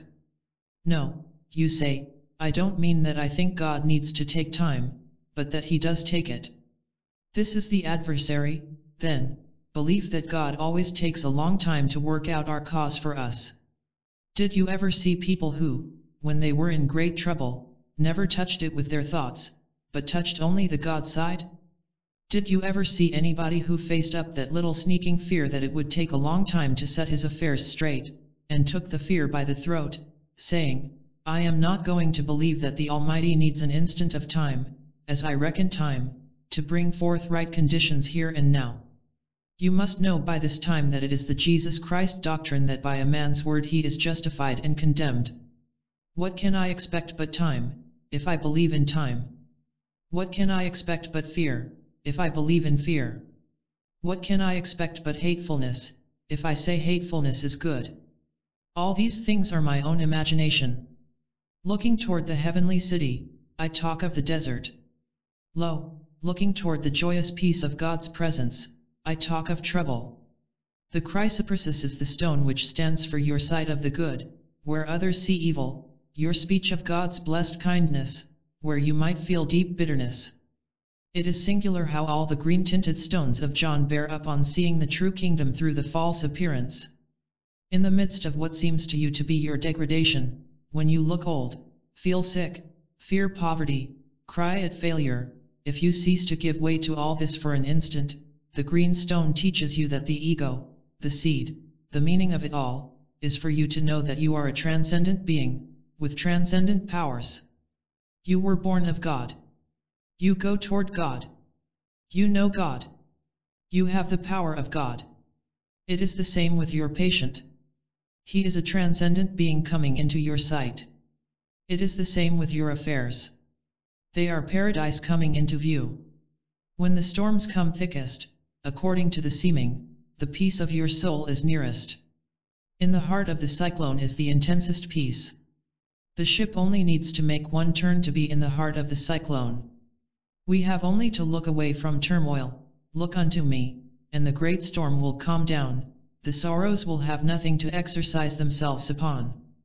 You have heard that the Brahmins once taught that the flower of the soul springs soon after the storm, but the soul's flower will not bloom if it chooses to be in the storm. There is nothing can shake your patient's cure out of sight, except your own fears. You need not be afraid of his sickness, you need not fear you will fail, you have only to be afraid that your family affairs will not come out right, and this will be quite enough to show a disturbance in his conditions. It is quite enough to bring him to you for the fourth time. All sudden attacks, and all our cases when they seem to be worse, need our fourth treatment for outside conditions. You need to be filled with the tenth lesson of science. They all show we ought to be polishing the chrysoprasus stone, which means taking our mind away from the earthly things entirely, fixing it upon heavenly themes, so that our world, with which we in particular deal, may show here and now that our practice of joy is being responded to by our world. All the lessons of science turn to the side of joy and peace, strength and happiness. There is not one that gives sanction for despondency on our part. Jesus was so cheerful and joyous that he was called a glutton and a wine-bibber. He was so full of confidence in the good of all people that he was accused of associating with people of bad reputation. He was so firm on the side of good that he walked around among the most wicked circumstances. He went without food, without friends, without home, so much that they called him a poor man, and said he was a man of sorrows, and acquainted with grief. All the time he was the owner of the universe. He was the Prince of Peace. He was the central fire of holiness. He was the joy bringer. It is his doctrine that the world today begins to realize is its greatest need. We have only to give it forth day by day, in order to see it demonstrate itself. When evil conditions appear we do not have anything to do about them. We have only to see the presence of God above them. The child's diphtheria is not diphtheria at all. It is the signal that, by the right words now spoken, you can bring out a perfect character, a renewed intelligence, a beautiful health. You may say promptly, I do not believe in diphtheria. I believe in the Holy Spirit. I believe in peaceful health, here and now. If you have thought seriously of some great point in science for a long time, you will be faced up with its mighty effects. All the opposition of your lot, your human nature, everything in your disposition, will meet your statement somewhere. Take your premise that the Holy Ghost will teach you all things. Treat your own self for freedom from stupidity and ignorance. Commence at the very day of your birth in the flesh. Deny that any cause, or result of any kind, leading to folly, or sickness, or trouble, has existed in your life. Pronounce yourself a spiritual being, with spiritual powers, untrammeled, unhindered, unrestrained, sealed from the beginning to preach the gospel, and to demonstrate it through the universe, that the Spirit of Jesus Christ is salvation from evil for mankind. There is no salvation for mankind except by the Spirit of Jesus Christ. In yourself is that Spirit. Let it always speak. Let it always think through you. By taking yourself in hand to be wise, you can quicken your understanding, exactly as you can cure yourself of bodily sickness. When you treat yourself, begin at the beginning, and come down to the present moment, always calling yourself spiritual and not material. Jesus said that the Father would send the Holy Ghost, in His name, and that the Holy Ghost would teach us all things. How true it is that only the early disciples ever tried to prove this. Men have studied books and languages, machines, and trees, but they have not practiced hearing the Holy Ghost through the name of Jesus Christ. So it is that we have nobody on earth who can answer all the questions that are asked in science, art, and literature, through the expression of pure spiritual wisdom, as secured by speaking the name of Jesus Christ. Whoever follows out this science discovers that something about himself is soon healed. You will find that already you can point to different ways in which you are better for knowing this science. If you have been healed of something, you can see that all things may be healed. One or two conditions may not go out except by persistence. You have to stick faithfully to something. There is a part of the doctrine that practically fits your poverty, for instance, but poverty does not go out with a little dose of that part of the science. You have to take a great quantity of it. They tell us that some people have to take a great deal of the water of Lourdes before they are healed, while others get well very soon after a little of it. Jesus Christ told his disciples that they could not cure epilepsy except they prayed so earnestly that they forgot to eat. We often see scientists leave their cases, and leave their important work, for the sake of their dinner, or their beds, when it is evident that, if they do so, their whole interest is not devoted to their doctrine. There is such a thing as forgetting all about everything, because you are so absorbed in your doctrine. You do not do this all of the time but you surely do some of the time. Jesus said there were cases which would not yield till after we had been absorbed just so powerfully. A mother got down on her knees to pray for money to send her boy to school. She was so deeply absorbed in prayer that she did not eat or sleep for three days. Then, suddenly, she came forth, her face radiant. She had received a mental assurance of answer. That very day the money came. Go by yourself alone with God, sometimes, and speak alone to Him. Reason with the Almighty, as Job did. A beautiful nature once wrote a little pamphlet about how he took every little item of his life to the Holy Spirit, and talked with God as a man would talk with his friend. The consequence was that he knew what he needed to know, and was helped all he needed help. His requests were very simple. He never asked for healing, and he never asked for the fullness of wisdom which Jesus Christ commanded. I speak of him only to show you that if a little of the Christian doctrine, believed in, would do so much, if the short practice which people give to the holy presence will heal and help so much, what may you not expect from a life absolutely dedicated to the Spirit? If God will support a man who spends all his time in spiritual devotions, why not give all your time to the Spirit?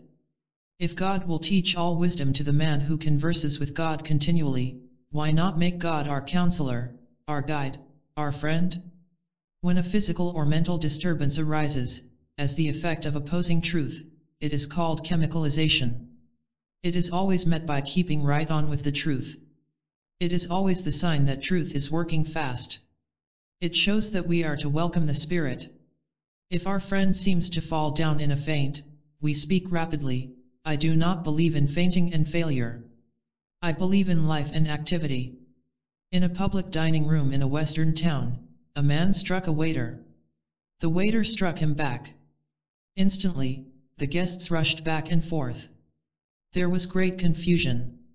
A scientist present never looked up at all, but said within her own mind, it is nothing at all, peace is here. I do not believe in disturbance. I believe in harmony. It was amazing how quickly people picked themselves up, and the man and the waiter settled the matter. You can quell the very roughness of the ocean storm by sending your steady word of peace over the waters, as Jesus Christ demonstrated. They will respond. Response to constant treatment, on the part of people and affairs, is typified by the chrysoprasus stone. The whole kingdom of God is here, ready to break into your sight. When one seeming thing comes forth, through seeming trials, as the result of our treatments, we have touched the tenth stone of our city. The oftener you bring order out of chaos, the oftener you touch the tenth stone. The oftener you ignore mixed up and grievous states of affairs, the oftener you touch the tenth stone of your character. To stand still and hold on to one statement, when another statement seems to have the whole battle, is to become a skillful workman, approved of heaven. While there is no great issue at stake we do not seem to have a great test of our skill. When the storm faces the ship, if she is a good one she ignores the storm, and pulls all sound and clean into port. The man who is on the point of bankruptcy and saves himself by his science, touches the stone of his assurance. He hits upon his sure way of life. He knows how to work his science. The man whose eyesight fails him, and his treatments only seem to put him into deeper darkness, knows, if he holds to one principle till it pulls him safely into light, just how to make everything yield to his treatment. Difficulties never daunt him. The chrysoprasus stone signifies the type of mind seeing land ahead whether anybody else sees it or not. Columbus, driving on in spite of opposition, is the scientist ignoring terrible appearances, and driving on with his doctrine. The chrysoprasus stone stands for increase of seed, for enlargement of germs, for greater manifestations from lesser ones. One idea of good, held in mind, is a deathless seed, for if it is in mind, it is outside in your affairs also. What you are thinking about is surely in your surroundings. They are obedient to your suspicions. Your doubts are on the shade side. They are obedient to your confidence, your faith, your steadfast ignoring of your own evil feelings. When a case comes the fourth time, tell mentally what you do not believe, and what you do believe. When a disfigured state of affairs comes up, give this fourth treatment. When you feel grieved or frightened at what is said or done in your world, give this fourth treatment. You may be interested to know that chemicalization means that things are coming out in a better state of affairs. It never means anything else. It is like alkali and acid in chemistry. When they mix they form a new base. So, when truth goes singing over the thoughts of men, they have to begin to think in a new way. There is nothing to fear, there is no pain in chemicalization. There is no sorrow, if you do not believe in such things. You need not have a patient come to you the fourth time, but if he should come, you yourself are in chemicalization, and so is he. You have been mixed up and troubled about something which did not need to take an instant of your notice. Please, now, take your case you have been naming with me, bow your head, and let the Spirit of Jesus Christ say, I have not believed in a mixture of good and evil. I do not believe in evil of any kind. I believe that all is good. There is no reality in trouble. All is peace. There is no reality in sickness. All is perfect health. I do not believe in anything wrong. I believe all is well. Now, call the name of the patient and speak to him or her in this way, while I speak to the one who has been called diseased. There is no mixture of good and evil in you. All is good. I do not believe in an inheritance of any kind of sickness, disease, or pain. I believe in an inheritance of good only. I do not believe in a race of beings partly good and partly evil. I believe in the universe of God. I do not believe in contagion of evil through the mixed and confused thoughts of the people round about us. I believe in their God mind only. I do not believe in your evil thoughts. They affect you not at all. Your mind is God. I do not believe in my own errors. They are not real. They cannot affect you. My mind is good. I believe in God. You are every whit whole. Your life is God. It cannot be threatened with death, nor fear death, nor yield to death in any part of your being. Your health is God. It cannot be threatened with disease, nor fear disease, nor yield to disease in any part of your being.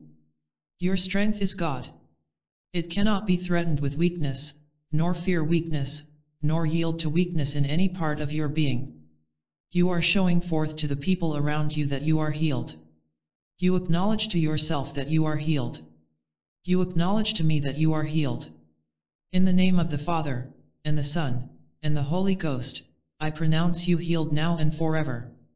I assure you that if you will focus all your mind to such a treatment as this, if you repeat it over and over, you will be so confident of the good and the right coming forth victorious, that nothing can distract your attention at all. By such treatments as this you will see the whole world healed of grief, of sickness and pain, and of poverty and sin. It is, as you see, an orderly way of telling all the highest truth you know. For my part, I feel it is a doctrine that needs only to be once heard, to take an everlasting hold on the heart. I believe it is so reasonable that when we think it over all alone by ourselves, that even then the universal mind of man responds, and unconsciously they are all believing it. It is the perfect doctrine of prophecy. Let us once more bow our heads and proclaim to the universal mind. I do not believe in evil. I believe in good. I do not believe in poverty. I believe in the bounty of God. I do not believe in sickness. I believe in health for all the world now. Amen. 11.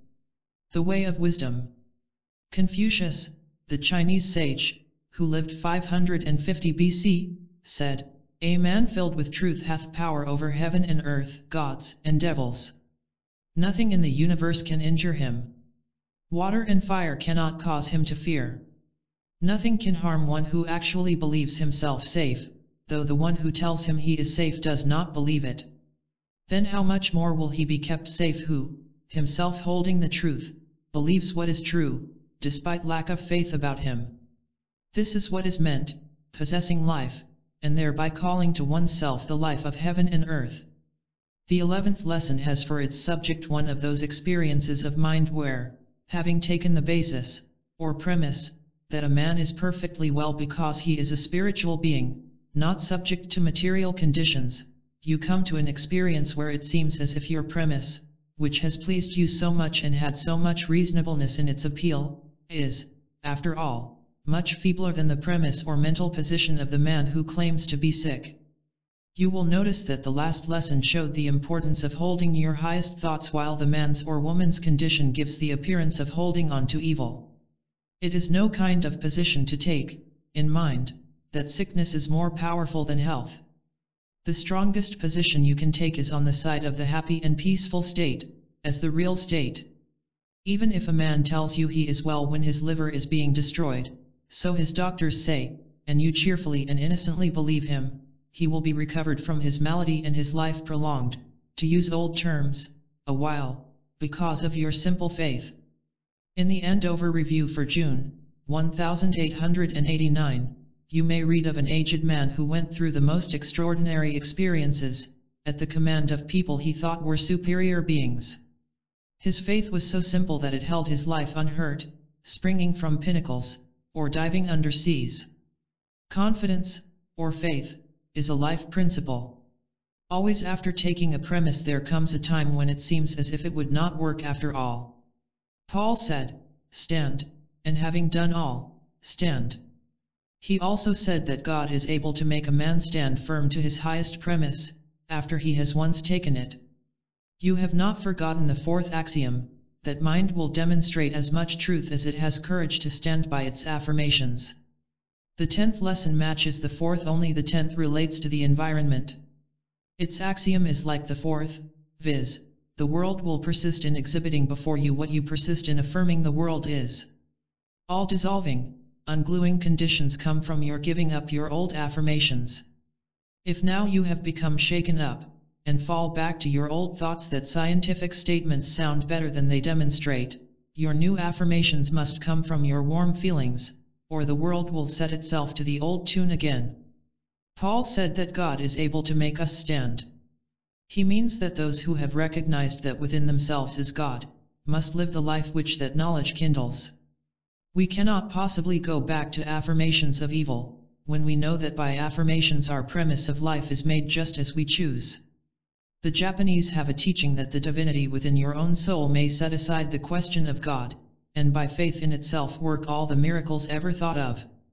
If you have heard this tenth lesson, of the law of the Spirit of life in Christ Jesus that maketh free from the law of sin and death, you will certainly know what to think and to do in a time of special excitement, or in the time when you would persist in showing some ugly condition over and over. You persist as hard as it does, only you persist in ignoring it, and living on your side of the question. To you there is only one side of the question. Persistence is a wonderful manager. Daniel ignored Nebuchadnezzar's insanity three and one half years before it fell into nothingness. The call in science is for you to take the position that your life, health, strength, support, defense, are from God. As God cannot fail, so these cannot fail. Cannot you persist in believing in your side of the question a few years? There is no need of its taking a few years to bring out your ideas, but if you have to stand by a premise that Elisha and Daniel and Jesus and Kurozumi demonstrated, you can do it. Think that being true to your idea will be as wealth straight from the Spirit of God, so that you can feed all the seemingly poor people in the world, health straight from the Spirit of God, so that you can heal all the sickness in the world, wisdom straight from the Spirit of God, so that you can impart wisdom to all the seemingly dark minds in the world. You know by this time that this is only a mode of expressing that by your wisdom you see wisdom, by your health you see health, by your provisions you see bounty everywhere. The eleventh lesson has for its axiom, judgment is as great and competent as will and meekness can agree. This axiom, like every other one, is universally true. For instance, you have a strong will.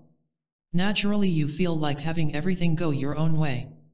This is well, if you have meekness of character enough to yield your point instantly when you see you are wrong. Such a combination will make your judgment quick and accurate. In the first place, your mind will unconsciously be trying all the time to protect your strong will, so that it won't have to be yielding to another man's quicker judgment of the case than yours. Secondly, you will be consciously directing your will along the right so far as you can see it. We may always count upon it that we have exercised our will to carry out our notions, wrong or right, if we come to a particular point where we do not quickly know what to do. Or, we may have let ourselves yield to doing something we did not have a will to do, when our will was set right and the temptation was set wrong. We call this unbalanced condition of mind, foolishness, or ignorance.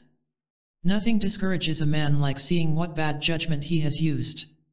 Bad judgment always comes from turning to the way our best judgment disapproves, or, comes from carrying out our own will, regardless of everything, forgetting and ignoring judgment, or calling our vigorous will judgment.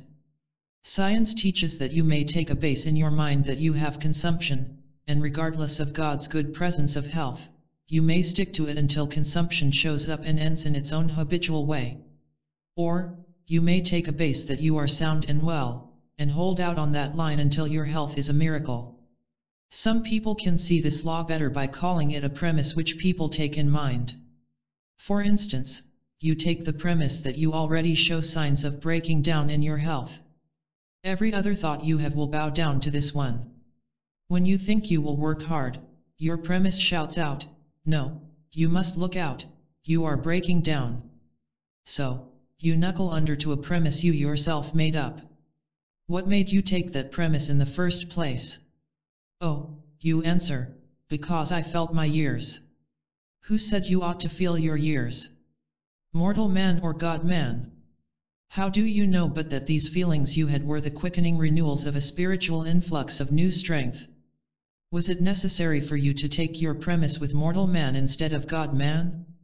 The siding with the low and dying side, instead of the high and living side, was not meekness, it was simply foolish yielding against your will, which blunts good judgment.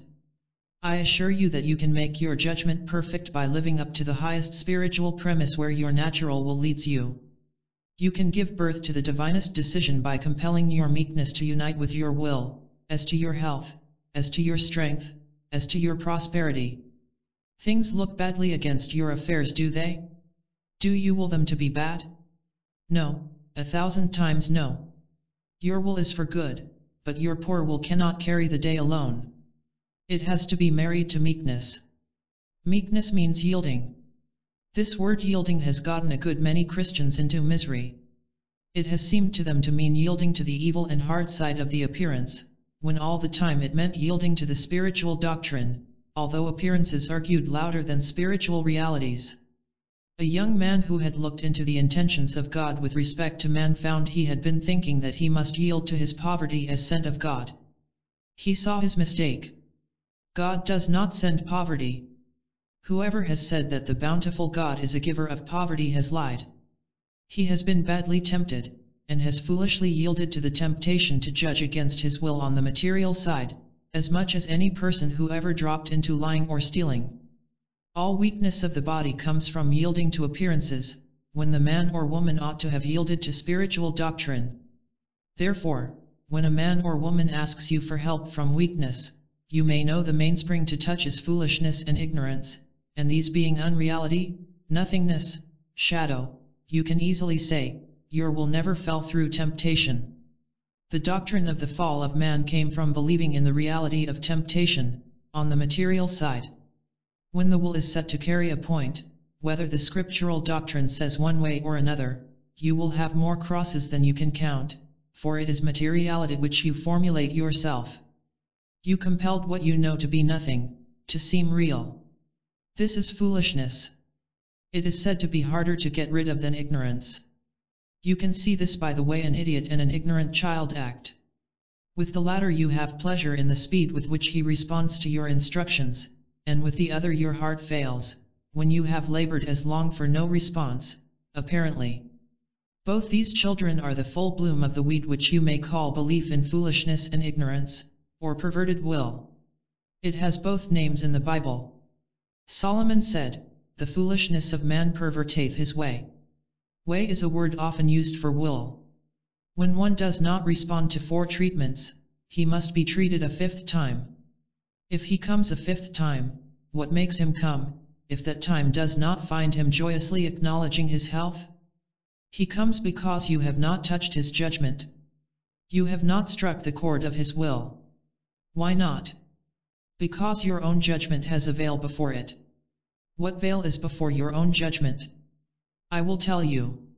It is your persistent habit of detecting ignorance and stupidity in people, and wailing about your own stupidity and ignorance. If you have seen that you did not know something, you have called yourself ignorant. If you have seen that somebody else did not know what you thought they ought to, or failed to be quick enough to please you, it was on your tongue or in your mind, that they were either foolish or ignorant. It is the fall of man. It is all the fall there is. It is yielding to appearances.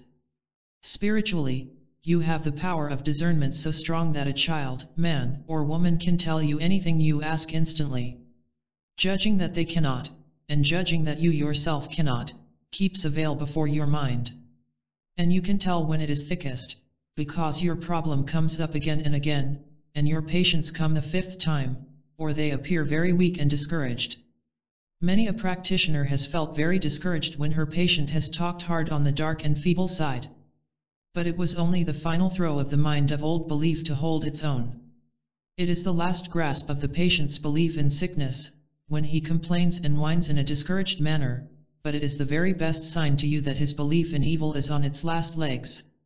How does your will want the case to talk? Of course it wants him or her to talk buoyantly and cheerfully.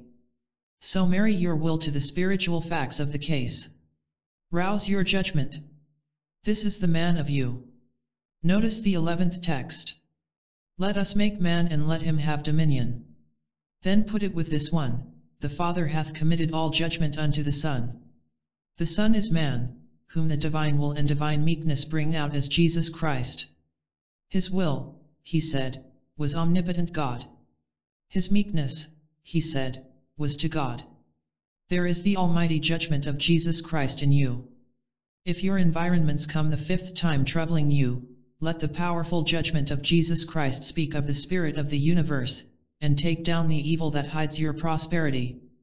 You can say, I do not accuse the world or myself of foolishness or ignorance, therefore, I see clearly the prosperity of my new life now. If your patient comes the fifth time, tell him the same principle. If a person seems very weak or feeble, say these words mentally, before you attempt to treat him. I know that if you take every Friday afternoon to insist upon the Jesus Christ judgment within you as knowing mankind to be the expression of the wisdom of God and therefore intelligent and wise at all times, and if you positively take the premise that you do not accuse the world, or yourself, of foolishness or ignorance, nobody will ever come the fifth time uncured, and your affairs will never seem to wilt or hang heavy. Your own mind must be this man having dominion. Your own judgment must reign supreme. It must have no evil before it. Do not let another man's discouragement pervert your judgment. Touch the chord of his will. Does he not will to be free, wise, and strong? If you mentally unload him of all the yielding to appearances he has ever done, he will spring up and respond to that touch of your judgment. All discouragement, all feebleness, all fainting, halting, stopping, are signs to you to come forth with the fifth treatment. Come boldly forth. The powers of omnipotence are on your side. John called the character which man exhibits after making the fifth treatment of his environment, the jacinth stone of his character. Mind is composed of twelve powers. When mind exercises these twelve powers it has twelve characteristics, which shine like polished jewels. They make a perfect foundation for an absolute demonstration of Jesus Christ's Spirit. The first time you go the rounds of these twelve powers, you may not show much difference in character. The second time, the third time, the millionth time around the statements, and how shining your life and mind become. It is written that our daughters shall be like precious stones fitly polished. Daughters are meek statements of the spiritual side of our lives, when the material side tells a different story. The first six statements are the beautiful powers of your mind as to your own looks, your own judgment. The last six relate to your surroundings. So when I say fifth treatment, I mean the eleventh lesson, or point of doctrine. Some call it the eleventh perfect premise. The perfect jacinth is the ruby. The Son of Man is ruddy is red with ruddy health, robust strength. His judgment is warming, kindling, reviving, like the wine fires of the ruby. When he speaks he helps you. The wine of prosperity is handed to you in the good news from your business. Drink yet all of it, said Jesus. It is my blood of the New Testament. If you will bear in mind that the Spirit of Jesus Christ was health, life, prosperity, red with the reviving as the wines he gave at the wedding feast, you will understand the results of taking 11 right statements. You will have the judgment of the transcendent being that you are. You will be awakened. If I say to you that this is the only manner of thinking which has any practical effect in the life, on the triumphant and joyous side, you will have only the truth from me. It is injustice to this doctrine that I acknowledge it is the only way you can think that will be everyday safety for you. There are twelve conditions of human life which may be met by twelve truths. These twelve conditions being met by truth, you may be sure that your life will be free, glad, and powerful. The Brahmins had a teaching which read, So dwell on the highest thoughts, this is the life of the awakened. There is one thing which good judgment awakens, that has been brought out by some scripture writers, and that is beauty. The perfect in judgment are perfect in beauty. The beauty of Jesus Christ is because of his judgment. The ruby is the beauty stone. The polish of meekness that is the angel of beauty, who measures the city. He is bound to no traditions. What others believe he must be in order to be beautiful, he needs not. That which his own judgment decrees is his own charm.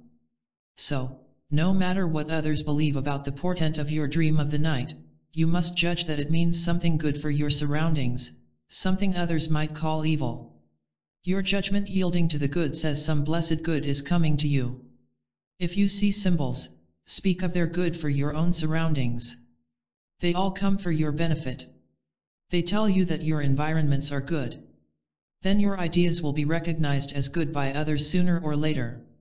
There is one universal mind which is the perfect intelligence from whence all ages of men draw their stock of intelligence.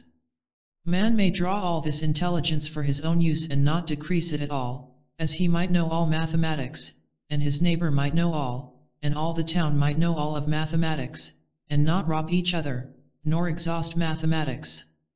The more you speak according to this judgment, the more judgment your neighbors will have. They may not see at first that you are wise with the mind divine, from which you are drinking each day by taking these twelve lessons home to yourself, but after a time they will acknowledge the excellency of your judgment. Indeed you yourself may not always see why you say and do certain things, but afterwards you will see that it was your wisest course. The refusal to call any man, woman, or child ignorant or foolish will uncover your dormant chord. You will leave the strings of your soul exposed for the winds of God to blow over, and bring out the tones of music, the radiant beauty, given unto your judgment from the foundations of the universe. When you lay your judgment to the line, and your righteousness to the plummet of the highest truths you have heard, then, says the prophet, your old covenant with death will be annulled, and your agreement with hell will not stand. You give up your old ideas in meekness, you talk aloud your new ideas, after you have thought them, and after you have written them. They are the outgrowth of solid soil. Sometimes you will be astonished to hear people speaking rapidly and lightly of the lofty truth that you could not speak until after it had been sown into your deep soil of profound meditation. Sometimes you yourself may speak this way. The fruitage of lightly handling these mighty principles is light. By the deep thought of the mind the word of the lips is solid judgment in ripe fruitage. Isaiah told the city, which typifies us, that when they had gotten themselves into captivity through careless speaking of their science, they would be glad to have money to redeem themselves with. But they should not be redeemed with money, they should be redeemed by their fidelity to their religion, entirely independent of money. So, once in a while, you may find that nothing you do yourself causes your patient's cure. So far as you see, he gets his cure by reason of somebody else's treatments, after you have practiced with him. Or, you may find that money is not given to you to get out of debt with, yet somehow, by one deal or another, there are no debts there. This is really your will married to a kind of weak yielding to scientific statements. You did not make them your deep life, and therefore solid assistance. The whole of demonstration is the fruitage of your own judgment, ye have sold yourselves for a thing of naught, and ye shall be redeemed without money, is the voice to a half-hearted, insincere, timid, unprofound acceptance of science. Even writing the science glibly brings out the redemption, without substantial, solid aid coming. Even thinking the science lightly does the same. Living it comes from thinking it deeply, writing honestly, speaking sacredly. When the outward life accords, then is judgment risen in her beauty. Then is healing instantaneous. Then, if you ask for help, it comes exactly as your perfect judgment would indicate. The point is to get your perfect judgment forward. It comes forward by handling this eleventh lesson. It is signaled to be handled every time the fifth treatment is necessary. Judgment, when it is good, touches the loftiest ideas and the plainest themes with equal respect. One often finds that his demonstration waits for him to give up his prejudices with respect to what is high or low. All must be alike to him, when they are names and descriptions of spirit. One woman, whose grief was that she was so ugly to look upon and could not make herself highly thought of, insisted that her affirmation must be a high one. So she took, I am absolute love. A friend, to whom there was no high or low name of deity as used by Jesus Christ, told her to use the interpretation of her own name for a constant affirmation. It was a meek one, I am the king's daughter. It was the right one to soften and refine her face, and win her way for her. But it sounded so low to her that she refused it. Yet it was the only treatment of meekness belonging to her, as the one of Jesus, I am meek and lowly of heart, belonged to him. Perfect judgment touches the life courts of each situation with the right word. Lofty ambitions are evidences of belief in high and low places. In reality there is neither high nor low in Christ Jesus. To the Spirit, all that is, is good. That which is evil is not, never was, and never will be. So they who believe in high or low will have to take some statement which to them seems low, as that lady will have to speak her simple one in order to carry her point. Scientific statements, held along in their order, will bring you to where you will see, no matter how unsuccessful you may appear, that you are not unsuccessful, because spirit is not unsuccessful. You have fairly to seem to be unsuccessful, practically, before you can see that it is so. The instant your judgment is accurate with respect to success and non-success, all things, will work out to your pleasure, even in the old way of looking at them. The mind must agree with the spirit, then comes perfect judgment. This is man. Judgment hath dominion. The keys of heaven and earth are given unto perfect judgment. The law and the gospel must be one. In the gospel there is no material remedy for disease. In the law, truth is the healer. In the gospel there is no disease, and not even truth heals disease. In the law disease seems very real, and the law that truth is its remedy seems so rigorous that it is accounted a terrible thing to take a pill for neuralgia. Whoever thinks anything is terrible must certainly believe in it greatly. It must have great power in his eyes. He may have to take a pill to see how unreal it is, how simple, how far from terrible. The law is against hating anything. Even stealing must not be hated. Why not? Because there is no stealing. We do not need to hate what does not exist. What is stealing? It is delusion of imagination. Is not God the only living being? Can God steal? This is a very awakening activity of mind. Thinking this way will bring forth wise judgment. Then this judgment will balance all things. Thieves, as they are called, will find there is a way of support preferable to stealing. When judgment is come forth, you will find you are not bound to methods of curing the sick, not bound to the modes of eating and drinking, sleeping and dressing. As judgment ripens with yielding the will to spiritual ideas, over and over, you will see great events and great circumstances yielding to very simple actions on your part. One man felt suddenly, after long practice of thinking spiritual ways, that he could as easily make gold as cure bones, but a voice seemed to say to him, you would act foolishly with gold if you had it. He yielded the point at once. It looked meek and good on his part to yield to a warning voice, but no voice from the Spirit ever accuses a mind of foolishness or ignorance. Here is where he should have used the eleventh lesson, or the fifth treatment of environments. Here was one of his self-accusations formulated right close to him, and audible as a human voice. It had bloomed in order to be refused for the sake of spirit. Judgment comes of compelling yourself to believe just as much as you hope for. If you hope to cure everybody that comes to you, you are able to believe all that you hope. If you only hope that you can cure them, you will be disappointed. Hope needs faith. If you cannot believe you can cure all, take a night or day for the statement of what you believe in truth. Covenant with the Spirit for the Spirit to do all your cures for you.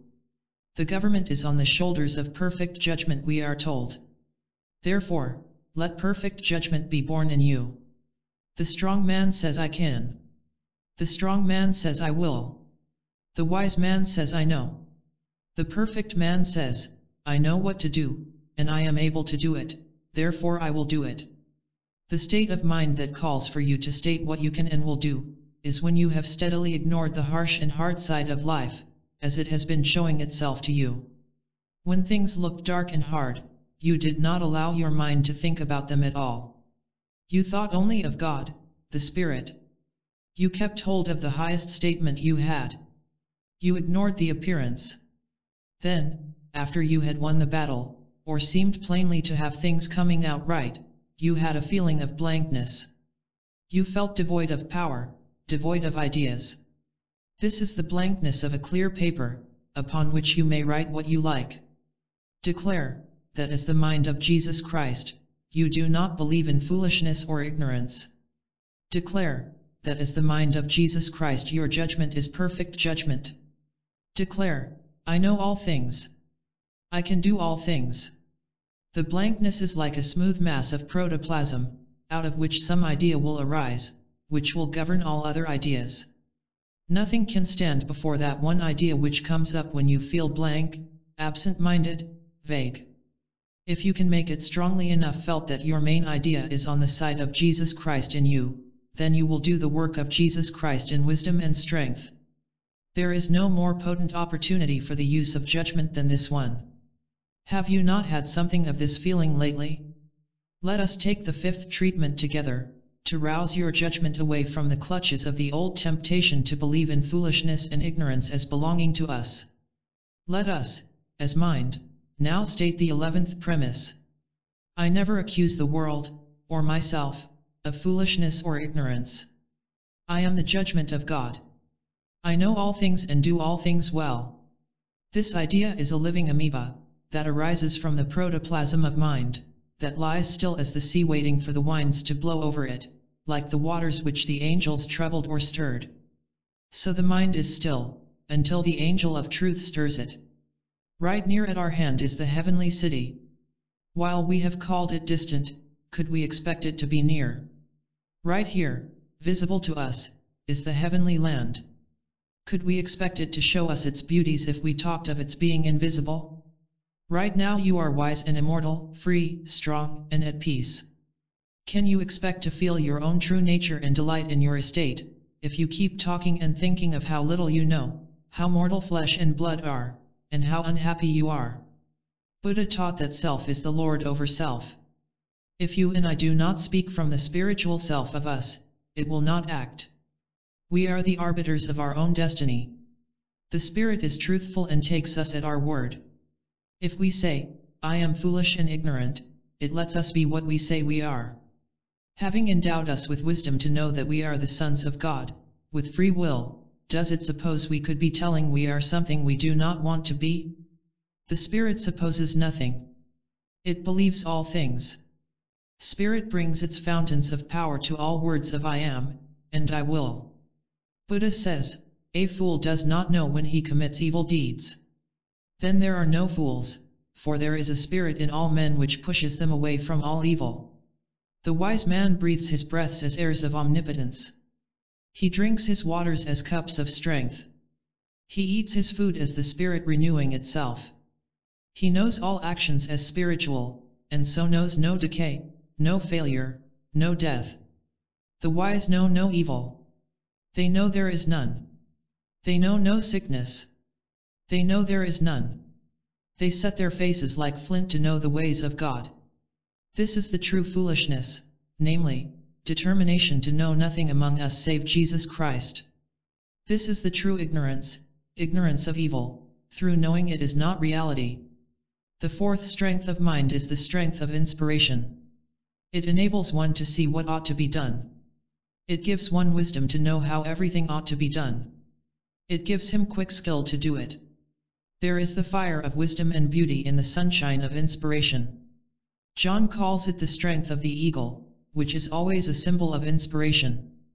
We have no treatment which equals the denial of accusations of foolishness and ignorance for causing the inspiration of wisdom. Buddha taught that all deeds wrought out by mind, and carried into the life as far as we can exercise our thoughts, bring happiness. All forms are unreal. He said, he who knows this becomes passive in pain, this is the way to purity. He advises the repetition of prayers. Repeat them often. When you take your life in your hand, to speak of your own spiritual nature as it was at the time of your supposed birth in the flesh, do not stop short of six days repetition of your treatments. Deny that there are any causes, or results of causes, in you or around you, that could lead to disease, poverty, or failure. Take yourself for each year. If you set out upon the journey of treating a case, even if that one is cured of his malady the first day, do not let his high welfare escape your faithful mind for six days. This is a training process. Each day send your high blessing. The ancient Bible taught that it is good to tame the mind, which is difficult to hold in and very flighty, rushing whither it listeth, but once tamed it will bring you great happiness. One who had dropped all thoughts of evil from his mind, for a certain period of time, found out that if we are given to detracting from the merits of our companions, easily picking flaws in them, we get weaker and weaker, and cannot possibly destroy weakness in others. He found that there is no path to peace through outward acts. We must truly not see the faults of our neighbors as reality. We must not see ignorance or foolishness hiding the intelligence and freedom of our neighbors. This is called taming the mind. We cannot crush out criticism. It will not be crushed. We can deny it, and this erases it from our mind. Being free from criticism, the mind runs only to recognition of good. It is then perfectly tamed. The unity of mind is a great fact to recognize. There is but one good mind. All the good and the wise render this same verdict as to what is just and right, when their accusation is laid aside. Accusations are prejudices against people, which keep the highly efficient judgment from speaking. They do not emanate from the one mind. Prejudice against a religion will act against your business judgment just as possibly as your health. Prejudice against people will very likely hit your business affairs. It does not always strike at your bodily health the first thing. The feeling we have against alcohol, tobacco, opium, is a prejudice against an imaginary substance. That prejudice held on to is foolishness. That prejudice taken hold of, as a principle, because appearances teach us to fight the poor little ideas, is simply ignorance. So on the same plane every prejudice is found to be a tacit accusation of others or ourselves as to foolishness and ignorance. We could not possibly hold out intolerance to anything if we were not accusers of that which brings about feebleness and failure. Therefore, we will take our cases and meekly say now, I have never, as the judgment of Jesus Christ, accused the world, or myself, of being foolish or ignorant. Now we will speak to the case by name. You are not the result of inheriting foolishness and ignorance. You inherit the wisdom of God, your Father. You are not surrounded by a foolish and ignorant race. You are surrounded by the wisdom of God. Your daily associations do not burden and darken you by the weight of their foolishness, or the darkness of their ignorance. All is wisdom, from which you draw wisdom every moment. You do not weigh down your own mind with willfulness and thinking evil. You know no weakness or failure of any part of your being. You are the spiritual light that cannot fail. I do not persist in thinking of you as faltering or feeble in any part of your being. I see you as strength, freedom, light. Your strength is good, and cannot be threatened with weakness, or yield to weakness, in any part of your being. Your life is good. It cannot be threatened with death in any part, nor fear death, nor yield to death. Your health is of the spirit and cannot be threatened with disease and sickness, nor fear disease or sickness, nor yield to disease or sickness in any part of your being. You are ready to acknowledge to all around you, to yourself, and to me, that you are every whit whole. In the name of the Father, and of the Son, and of the Holy Ghost, I pronounce you healed now and forever. Amen. Repeat this treatment before you sleep. If any other words come to you while you are treating the case, be sure to use them, for every new way of thinking that springs up out of the good soil of the old way, is the new plant which the Heavenly Father hath watered. For this reason every teacher ought to be glad to hear of the success of his student each in his own way, though all agreeing with the foundation principle. 12. The crown of glory. To the Romans, Paul wrote the twelfth lesson of the science of Christ, Love worketh no ill to his neighbor, therefore love is the fulfilling of the law. Jesus Christ said at the Last Supper, Henceforth I call you not servants but I have called you friends, for all things that I have heard of my Father I have made known unto you. His life was his doctrine.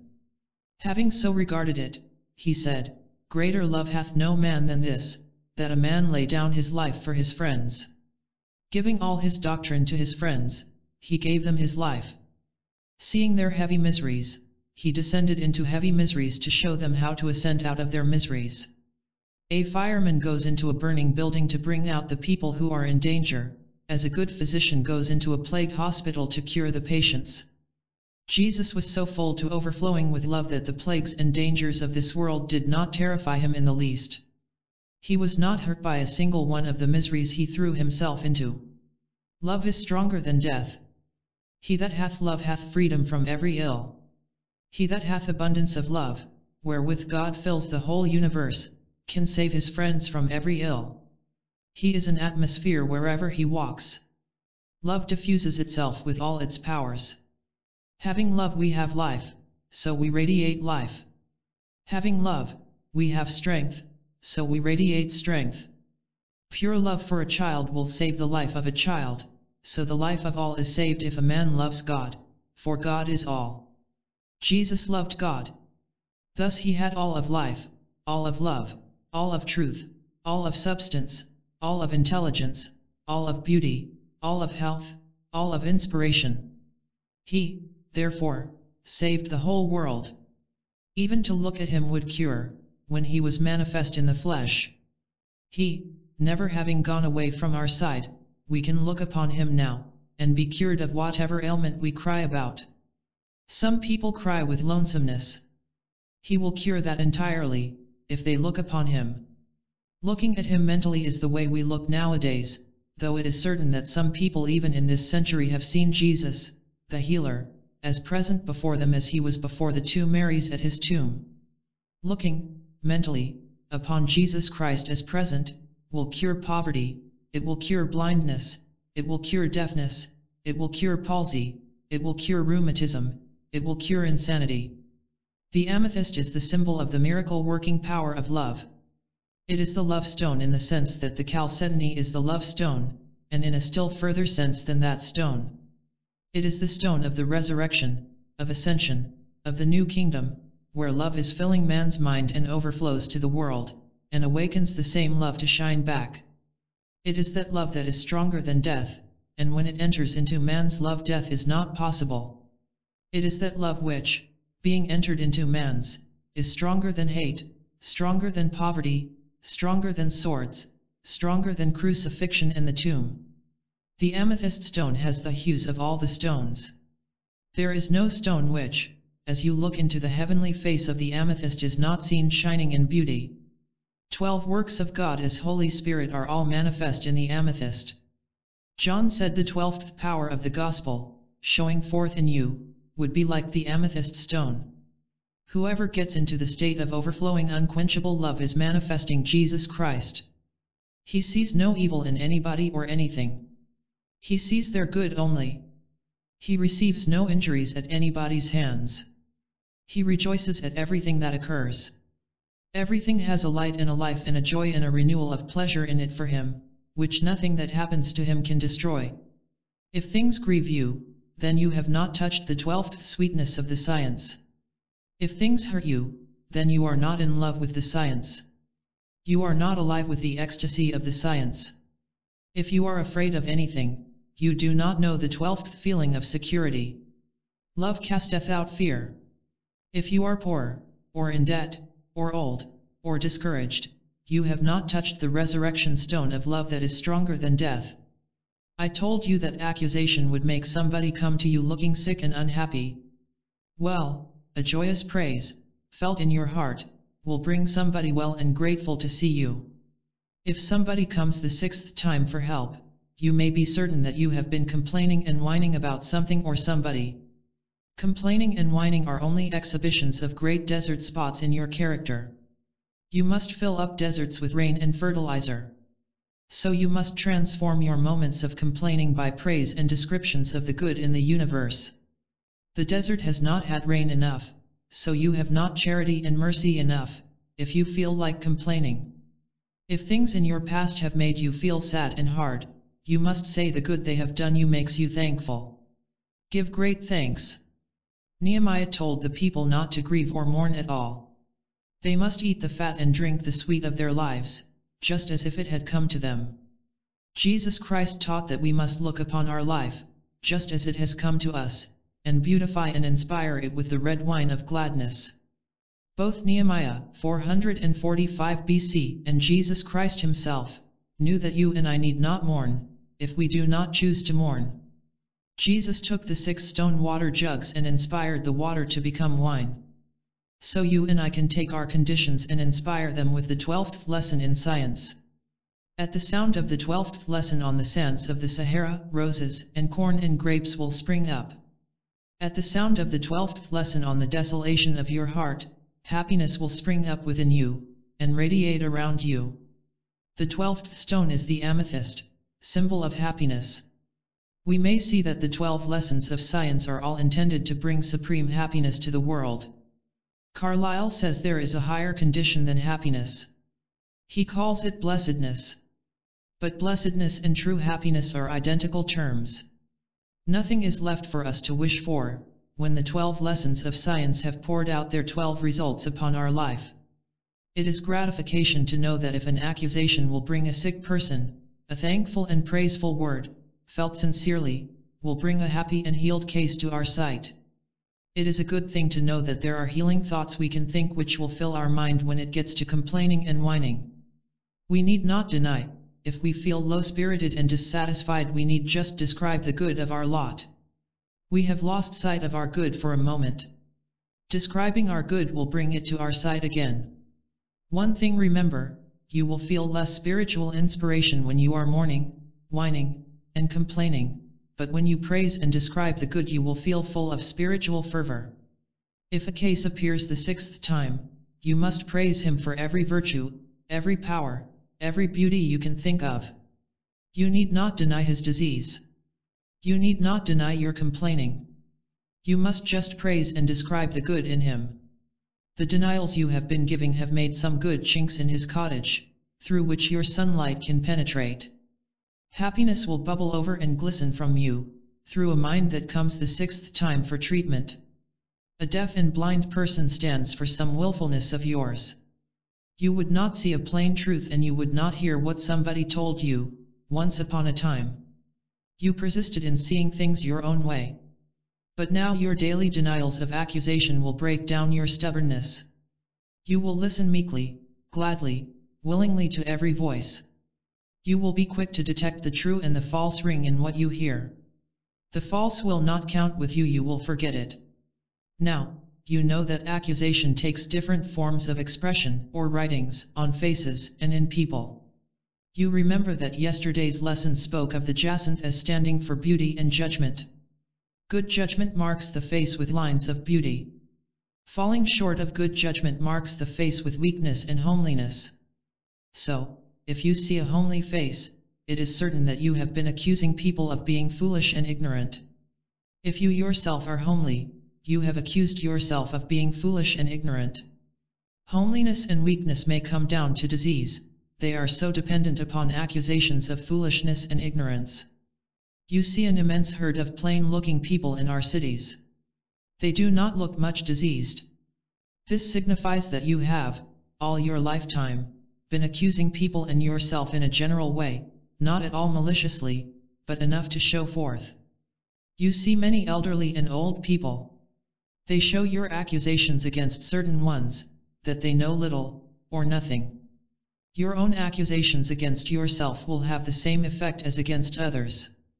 The effect of praise of the spiritual intelligence is to bring beauty and good judgment to view everywhere. We look at a strong man, and, if we remember how his strength looked to us, we catch his strength. There is a text which reads, In thy light we shall see light. It can be carried out also in the strength which people show. It can be the same with beauty. In thy beauty we see beauty which means that as we recognize beauty, we soon show forth the same beauty. There is a story of a child who kept a picture of a beautiful woman in her room and looked at it and talked to it so much that she became like the picture. A young woman found an ideal face of Jesus Christ, and carried it around with her. She looked at it and loved it so much that her face began to resemble the face of Jesus Christ remarkably even to the fine shining light which always transfigures it when we think of it. Ingratitude is a painter of hard lines on the face. Soon all the curves and smiles will change. We must have a grateful feeling towards everybody and everything. In the story of the first violin, by Jesse Fothergill, the hero, who was supernaturally handsome, is pictured as always grateful for everything that anybody did. Cynicism is a species of ingratitude that brings the most extraordinary people around us. Give thanks to the universe, to your ancestors, to your neighbors, to yourself, to animals, to everything that you have dealings with. Its spirit is your good, loving provider. Sometimes you must stop giving thanks to the Supreme God and name everything as giving you bounty, for God seems afar off sometimes, and not speaking and breathing through our world and every object in it. By stretching the mind forth to be grateful to our idea of God we do well, but we do well to look at the God near at hand also. The divine intelligence marks the orbit of the distant Canis Major and rounds the little moons of Mars with the same tender care. Divine beauty paints the North Star and the violet with impartial tenderness. So, you will be grateful to the man who steals your purse as well as to the father who provides for your youth. Why? Because God is the life, the spirit, the intelligence of each alike, without difference of goodness from the hand of the Lord. If you have not seen this, it is true just the same. Did you ever see a calm, benignant countenance? It shows how once you said calm, peaceful words, and thought that way, in harmony with your words. Look over your list of acquaintances, those you can call by name, and see what there is that is lovely in them. Then remember a while how that loveliness looked. Bring all the tithes into the storehouse, said the prophet to the Jews. If you gather all the beauty of one woman into your memory, all the smiles of a friend into your memory, you will have all the tithes in your storehouse. The prophet said that whosoever should do this would spill over with blessings, for he would not have room enough to keep them to himself. This constitutes happiness. Happiness is the stone of freedom. The amethyst touches the blue of the sapphire, shines a glint with the red of the ruby, gives the white of the diamond, last, as it has all the colors in one it is the last stone of revelation. It leaves out most of the green, for green stands mostly for works. With the last polish of the lessons on your character, you see that there is nothing whatsoever to do. All was, and is, and ever will be, the finished work of the divine mind. God saw everything he had made, and behold, it was very good. Divine mind never sees any evil, and sees nothing to do. While we see evil, or see something to do, we must think according to denials and affirmations. When we love greatly, love supremely, we see nothing to do, and finished, Beautiful life satisfies us, everywhere we walk. Like the clear innocent amethyst, we let the happiness of the divine mind sift its innocent light through us. As you look through the amethyst you see all the colors of the rainbow. As you look through the topaz everything looks laughing yellow even the shadows look happy. As you look through the amethyst the happiness of the topaz is accompanied by the intelligence of the sardius and the inspiration of the ruby.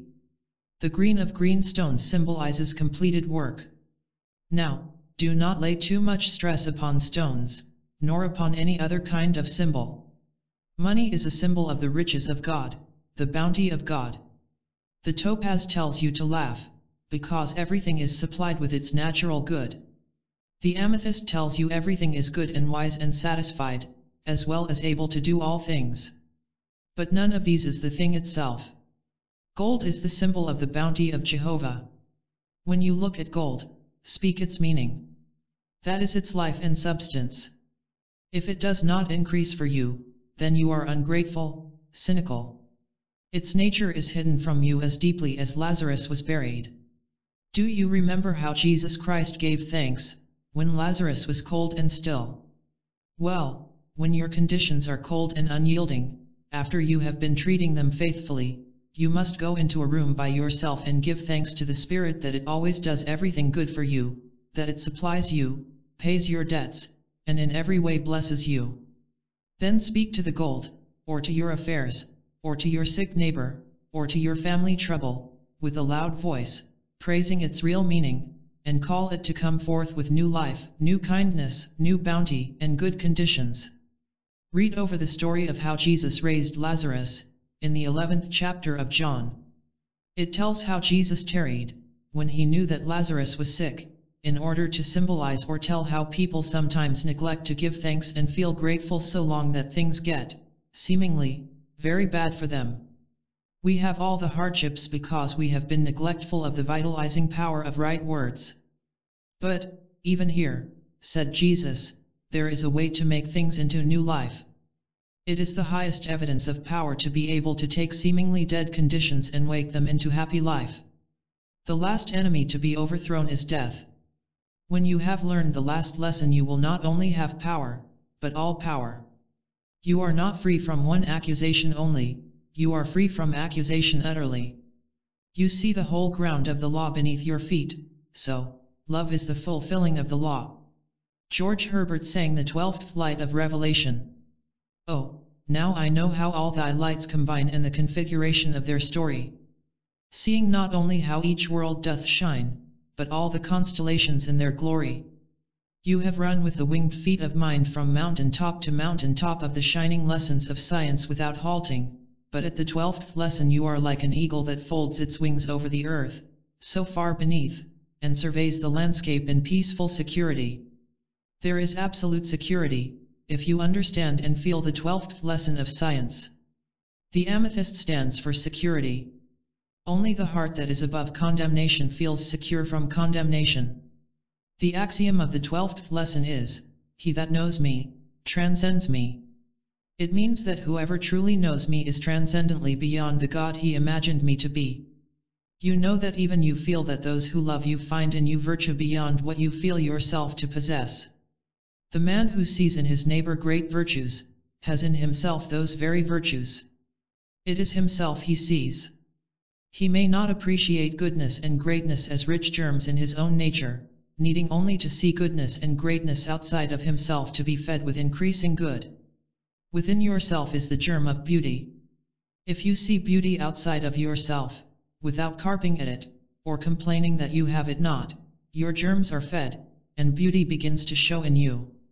You have touched the twelfth lesson in science. This is the old art of animation of the particular from the universal, sought after by the ancients, but not found. It is recognized good that makes us good enough to show goodness. The great wisdom power within you is ready to spring up, fed with the increasing principle, when you see wisdom expressed in a book, or a man, or, even if you see for a second the wisdom expressed by the flies and the spiders in your house. If you look straight into the face of the all-pervading wisdom of the universe, you will feed your germs, which are like little mouths waiting for food, with their own kind of aliment, and your wisdom will increase rapidly. So with happiness. You look into the child's happiness, and do not lament because you are not happy, but just thank the happiness you see for showing itself to you, and your germ or love of happiness, innate within you, will be fed. If anybody speaks to you critically, listen carefully. There is a ring of divine intelligence at your door. You will get a piece of news about your faults, and you will take those faults and deny them. This may leave you a little melancholy. Now you want to thank God for speaking to you. Give thanks for His wisdom expressed to you. This causes your love of wisdom to feed in delight.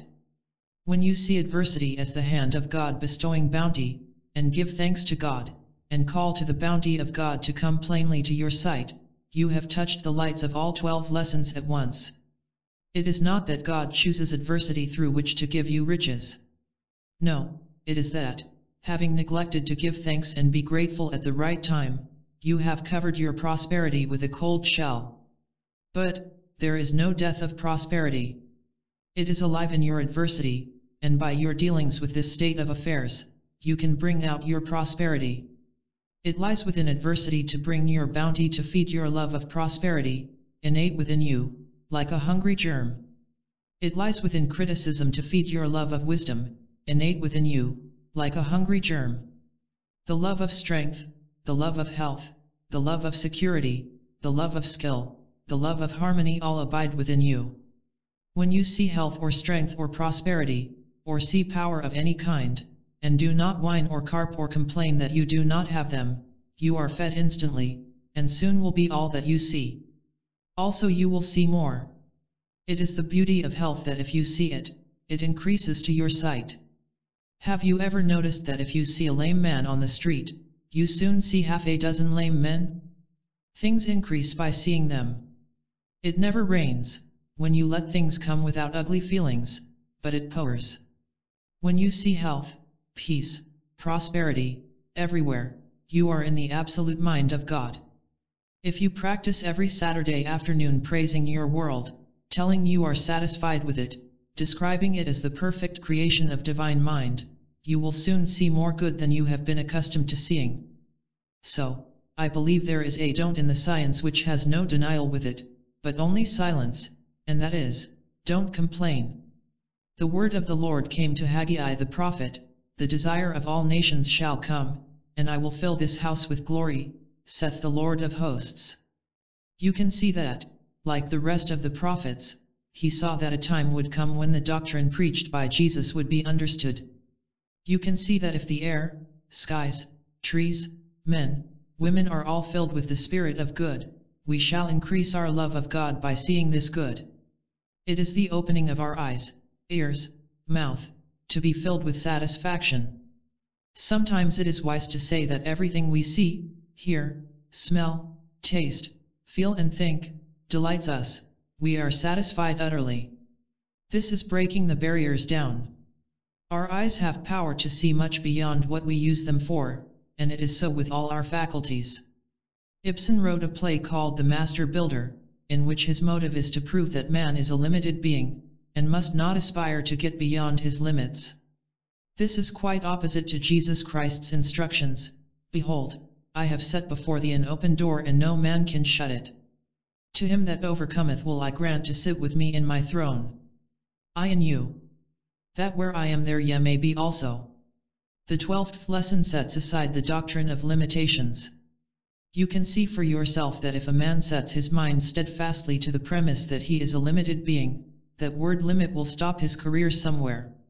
You have seen great men rise to heights of knowledge, like Emerson and Ruskin, and then drop suddenly to nonentity. All the powers of intellect, which intellect is the simulation of spiritual intelligence, fly to sustain any premise put by mind.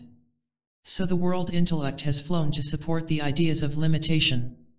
But the spiritual nature of man has no doctrine of limitation. Take your choice which nature to take your premise from.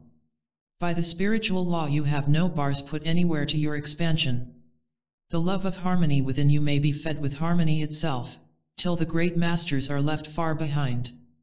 The wisdom within you is the love of wisdom. Feed it by sight of wisdom itself, and your wisdom will expand and multiply to the omniscience of God. If you are capable of eating some of God, are you not capable of eating all of God? Jesus Christ said, God is within you, and I am within you. Then you are able to take in all of God. This is only one form of expression which gives a different turn of the mind. It is not that you eat God in a material sense, but Jesus Christ called it bread which he would have all the world eat of speaking figuratively. We have a marvelous birthright. We do not show our intelligence, our judgment, until we lay hold upon our birthright. We can hold this knowledge within our mind and then it will work through all the mind of the world. A false idea falls somewhere and fails. A true idea lives on and on forever. If we take the premise, within our mind, that there is no limit to our power, even though each day we see things seemingly acting against us, we nevertheless have the doctrine that will triumph. A piece of ice may be found in the crucible of intensest heat. If the ice holds its own, and increases by constant renewal the crucible heat must fail, leaving clear ice. So in the fires of the martyrs, they kept cool and steadfast. Pain got no hold upon them. Even racks and the flames could not hurt them. In the center of the blazing, violent sun there is a place that is beyond expression, absolute stillness. This stillness will conquer the violence of the sun eventually. So, the spirit that is within you will conquer the miseries of the human lot. They shall be visibly nothing just as they are truly nothing. It is our business to translate the spiritual truth within into visible manifestation. We do this first by thinking the absolute truth, then speaking it, then fixing it into everything around us. We must mix the idea we have in our mind with the right word that expresses that idea. For instance, if you mean that a man is well, but you say that he is sick, you carry, for the time being, the meaning of the word sick, and your mental report of it does not work with the man to heal him as quickly as the words you speak work to keep him sick. We are told by Solomon that the thoughts work, but Jesus gives us to understand that not only do our thoughts work, but words, which have certain meanings, will convey those meanings sooner than thoughts which dispute them. We must mean exactly what we say. By thy words thou art justified. A man said this science was true enough, but it would take a hundred years for it to work out with mankind. So, every attempt he made to do anything was slow. He mentally thought that spirit could act instantly, of course, but his mental reservation counted for nothing for the time being. The heart must agree with the lips. Zoroaster said, taking the first step with good thought, the second step with good word, the third step with good deed, I enter paradise. If the thought and the word agree, we cannot help but enact good deeds. The lessons of science lead you to absolute freedom from the results of the thoughts of the world, and from the material actions of the world. Men may gather all the gold into a lump, and say you cannot have any, but by some way of the Spirit you will come out with more abundant riches than all the rest put together.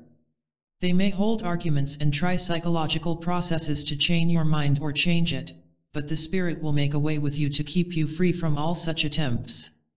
You will elude every mental opposition as easily as you elude material things. Jesus came through their belief that he was dead. Spirit does not need to go to school. It knows all things. If we speak and think from the Spirit, we are also wise without schools. The Spirit does not need commandments not to lie or steal. It is out of reach of commandments. The Spirit does not need to be told to be good. It is above even goodness. The goodness that man deals with is badness under some circumstances. For instance, you can hate stealing so much that your goodness in not stealing is no virtue at all. It is a very subtle form of badness. An old lady said she thought it very wrong to drink tea at church suppers. She did not drink tea, she hated it. Many people hate tobacco, until their hatred is far worse than chewing and smoking, for their own health and the happiness of their families. Sometimes people hate the wrongdoing of others so that they cannot possibly see their virtues. It makes an acid in the blood and eats up the strong grey particles of the brain. Hate is the premise we have to let fall entirely. Hate nothing. God sees everything good. What are we that other people's actions are so bad in our eyes? When we have a notion to which we would like to tie all the world, we are tied to that notion. It is as much bondage to be tied to an idea as to a stake. Martin Luther believed in freedom from other people's ideas, but he wanted to tie all the world to his ideas. In science we do not get chained to a single statement. They are all good but we do not drag ourselves around by any of them. As you know, faith is good. Faith is the salvation of man. The idea that faith will save man is a good idea, but when Luther would not shake hands with Zwingli because he did not think faith would save a man, he needed an idea beyond the idea of faith. He needed love. He needed the idea of love as the greatest of all. He tied himself to the stake of an idea and would not go on to the mountain of love. The twelve lessons of science are all ideas. The ideas have living meanings. Luther's idea of faith had a living meaning, which he never got at all. The living meaning of salvation by faith is that faith in the good enables us to see good everywhere and in everything. Faith is God. God is mind. Mind is good and mind sees good. Mind knows God. The mind that has not the living essence of its ideas is as dry as sticks. Zwingli did not believe in the doctrine of faith, so Luther wanted to lift him out of salvation. So, our ideas of God have kept us chained. God is free. He is the skill of the healer. God is the spirit that works out the health of the sick. God is the skill of all things. All action has a skill about its action, and that skill is the moving Holy Spirit. God does not see the outer actions. God sees only the heart. The springs of life are fed by the meanings of words. Some people do not quite feel the meanings of the words they use, but the use of the words, by and by, breaks their meanings out over the mind. Precious ointment was shut in the alabaster boxes. Striking the boxes broke them, and the precious ointment fell out. So, striking the right words together breaks them open, after a while. It is the meanings of the words that go over the world like angels of mercy, changing all the thoughts of men. The higher the truths we tell, the finer and more precious their meaning. Breaking open the twelve lessons of science, and receiving the ointment of the meanings, is getting at the actual teaching of Jesus Christ. Looking at your state of mind, you will see how full you seem to be of heavy ideas. Your breath seems to have brought in anxieties. Now hardships meet you at every turn you think. The ancients advised people to breathe outward, to entirely empty their lungs of breath, and then draw in the breath with some affirmation of good. Then, when they breathed outward again, they would only have a healing breath going through their bodies and affairs. The breath, they said, is vitally connected with our happiness. You will sometimes find yourself praising and blessing your affairs for your prosperity, their life in God. You will find yourself consigning all your affairs into the hands of the Spirit, whatsoever we do, we are not to lament, not to wail, not to mourn. There is nothing that will slice out of your feeling of power like grief. You cannot cry and heal at the same moment. Shakespeare said, Grief, that's beauty's canker, and judgment is beauty. People make the worst mistakes of their lives when they are wailing. All the time the spirit sits in calm security in perfect happiness. When we are happy, through some accomplishment directly from the hand of our doctrine, we have the amethyst stone of character. We are in intelligence and peace. They together make happiness. All despondency, all melancholy, all depression of feeling, must be met by breathing in and out words of praise of the great realities of life. The spiritual nature of man is his reality. The reality is understanding. Understanding is formless, but it formulates. This is very metaphysical. Let me repeat it, my understanding has no form, but it formulates me and my affairs. I have no affairs and no substance except what my understanding formulates. Now, those affairs formulated by pure understanding are not visible to my fleshly eyes, which see things imperfectly, since they are limited. This sight in itself is a fine piercing ray from my understanding. Let me give the right word, and that sight will extend to touch perfect objects. So with hearing. It is no good to limit my hearing by not giving my understanding its absolute sway with me. Understanding can radiate through us till our faculties touch things in an entirely different way from what they do now. The more freedom we give our understanding, the more delight we have in life. Our understanding being set free, it feeds upon the great universal light. There is enough understanding in the universe for feeding our faculties forever. The step toward setting free our understanding of the world in which we live, and the understanding of ourselves at the same time, has been taken when the eleventh lesson of science has been practiced. It is being set free from accusations of foolishness and ignorance. There is no acid in the mind that has no condemnation, either of itself or anybody else. It is the acid of thinking evil that makes the blood corrode, and the bones and skin and sinews to fail. It is possible to nullify all our strong feelings by some exactly opposite idea. If you find yourself thinking that somebody is entirely wrong in using material remedies when you know that the word of the Spirit is the only healer, let the idea fall out of your mind. It is the same with not using them. You will find you are free as God is free, if you depend upon nothing at all for your health. Your simple freedom is enough of a spread of the truth. Some find themselves having new diseases, new pains, new trouble every day. They can all be traced to the bondage of the mind, to some one idea or another. The Sunday affirmation of science is good for such people. It is one you also must keep for Sunday. It is, while knowing all things and doing all things, I am independent of all things. I am absolutely free. This will take you out of the clutches of your old drugs. It will take you out of the clutches of your idea that it is wicked to use drugs. You will be free from the need of remedies bodily, and free from any idea of remedies mentally. It is the same with old age. The word of the Spirit is eternal life. There is no old age in spirit.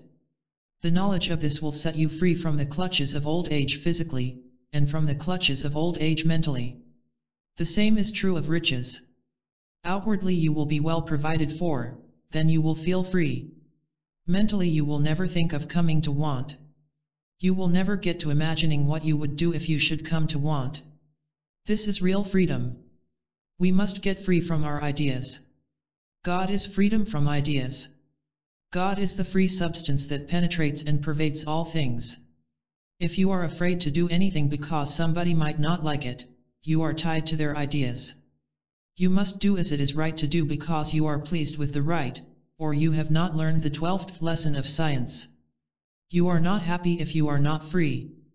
You must begin the description of the perfection of the world in which you live. You are glad that the free spirit is flowing through the airs. Tell it you are glad.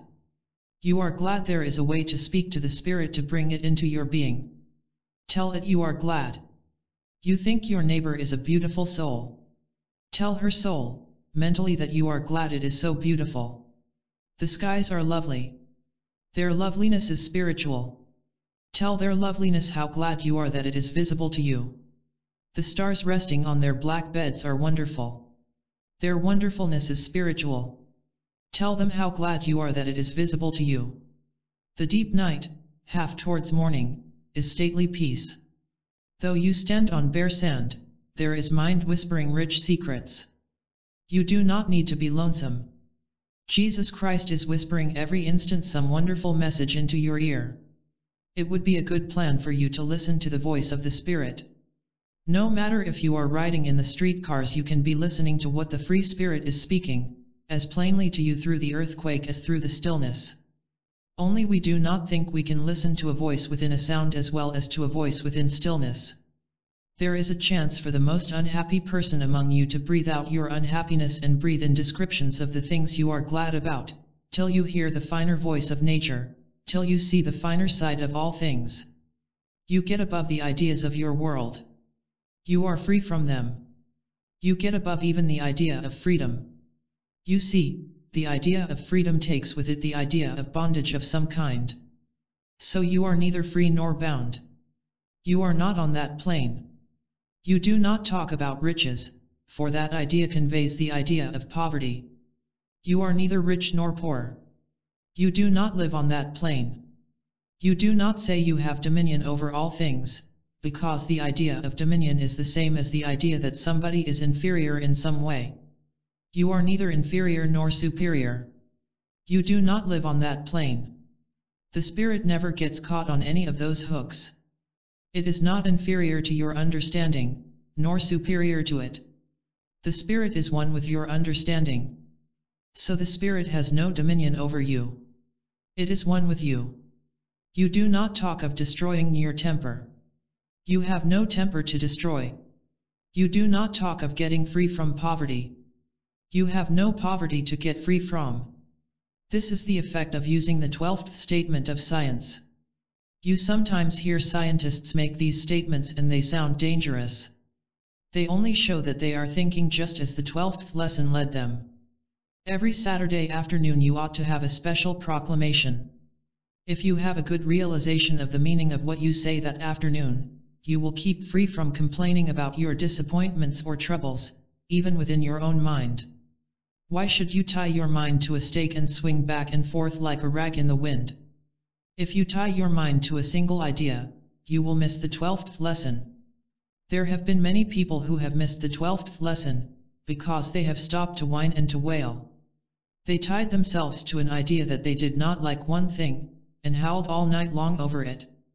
Of course, these cases came for a sixth treatment and said they were not cured. Of course the same old affair faced them again for the sixth time. You must not tie to an idea of anything being bad. If we speak of it, let us quickly give the twelfth lesson law to our mind. That is, we say nothing more about it. We think nothing more about it. We ignore it utterly and talk about something we like. We think about the true premise we have taken, whereby we propose to think that, if evil is not a reality, we do not mean to deal with it. Now, whatever proposition you have made up your mind to, can you not stick to it? Of all things, if it is true that there is a substance of delight called mind, within ourselves, and we can make whatever thought we please by thinking that way, we shall be very silly indeed if we do not choose a noble thought about ourselves, instead of an ignoble one. It is a noble thought to say, I am satisfied with the world in which I walk. All things please me. Near me is the presence of good and afar off is the good. You are all creations of the living God, perfect, harmonious, satisfying. You will find this is a good idea with which to work out your happiness. Having your mind filled with this idea, you cannot have another idea in it. This idea results in happiness. It is the one to take when you feel like comparing your lot in life with what you wanted it to be. It radiates your work with the green of the amethyst stone. It will gladden your home with the yellow sunshine of the topaz stone. It will make peace and harmony among your friends, like the sapphire blue of heaven. It will redden your business with the ruby wine of prosperity. It is what was so gloriously demonstrated by Peter and John. They sang with great songs of joy, when they might have wailed because they were in prison. If you will notice people, you will see that they can hardly be made to laugh and sing when they contrast their lot, as it seems, with what they wanted it to be. People say they would be satisfied if they had this, or that, or the other. No such thing. If they mourn now, they would find something to mourn about then. Happiness is something that must come from the mind within, being fed and renewed by the truth of life. Nothing but truth will satisfy the mind. Complaining kept the Israelites of old from large inheritance. They provoked the Lord with their complainings. The pleasant, happy mind is a health giver, without trying to be. It knows its value in the world. It does not heal without knowing what it is that heals. Jesus perceived when he was healing people who were behind him. It is intelligence. Nobody is so wise as that man or woman who has refused the temptation to complain, and has, in his mind, spoken the twelfth lesson of science. The meeting of melancholy with this statement is the best mixture for happiness that can be stirred up. If your case comes the sixth time, tell him that you rejoice that he is giving the free spirit unrestrained freedom through him. Knock at all twelve gates of his being through which he ought to be a shouting healthy life. Say to the case that claims to be cured the same treatment as to the case that seems to hang on, because you have felt hurt or grieved or have forgotten or neglected to give the right thoughts that would have made you an intelligent healer. This latter case should have the same treatment as the one that has been cured. It is the time for you to give thanks to God, and call out loudly to the true state of affairs to come into your sight. The cured case is easily told mentally that you rejoice in his health as God. The case that you are finding fault with and so keep on the sick list, does not seem so easy, but if you have made it hard you must soften it. I might truthfully say that the case which comes the sixth time for cure is the outshowing of your disposition. A good disposition through and through is a happy disposition, and a happy disposition will cure anything. A happy disposition, mixed with scientific words, makes a quick understanding of how to speak mentally to a sick or unhappy being, and bring him instantly out into the right state. A good disposition, mixed with these lessons of science, will make a perfect memory. A good disposition mixed with thoughts of the truths of life, put forth while you are alone each day, will make you very good and quick at speaking and writing the science.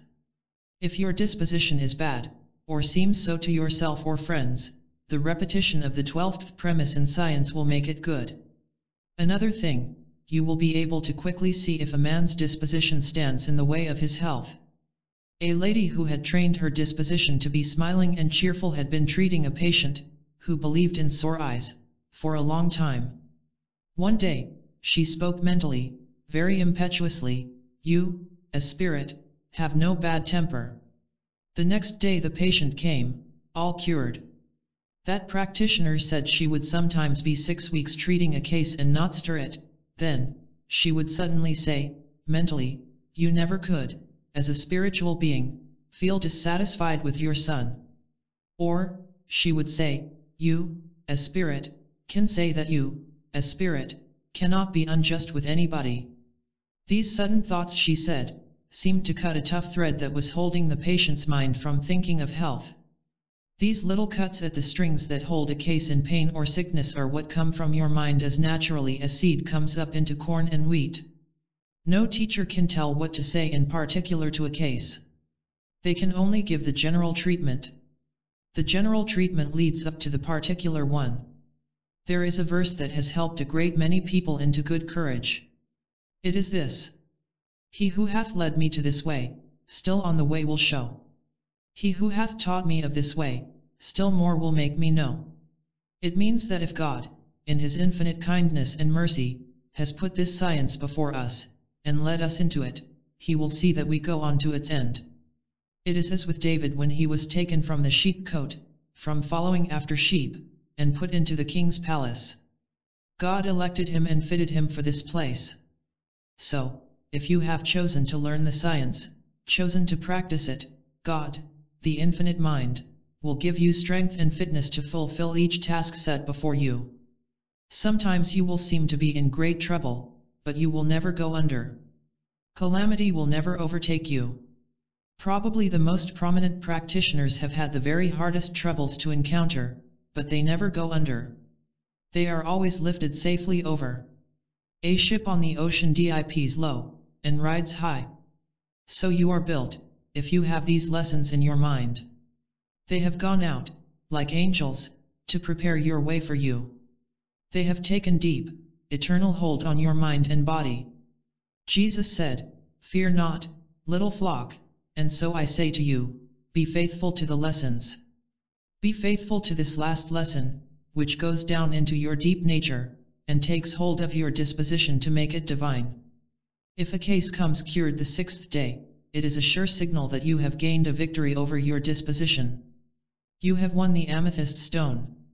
A very simple, trusting practitioner who had entirely given her life to the spiritual doctrine, had an amethyst given her.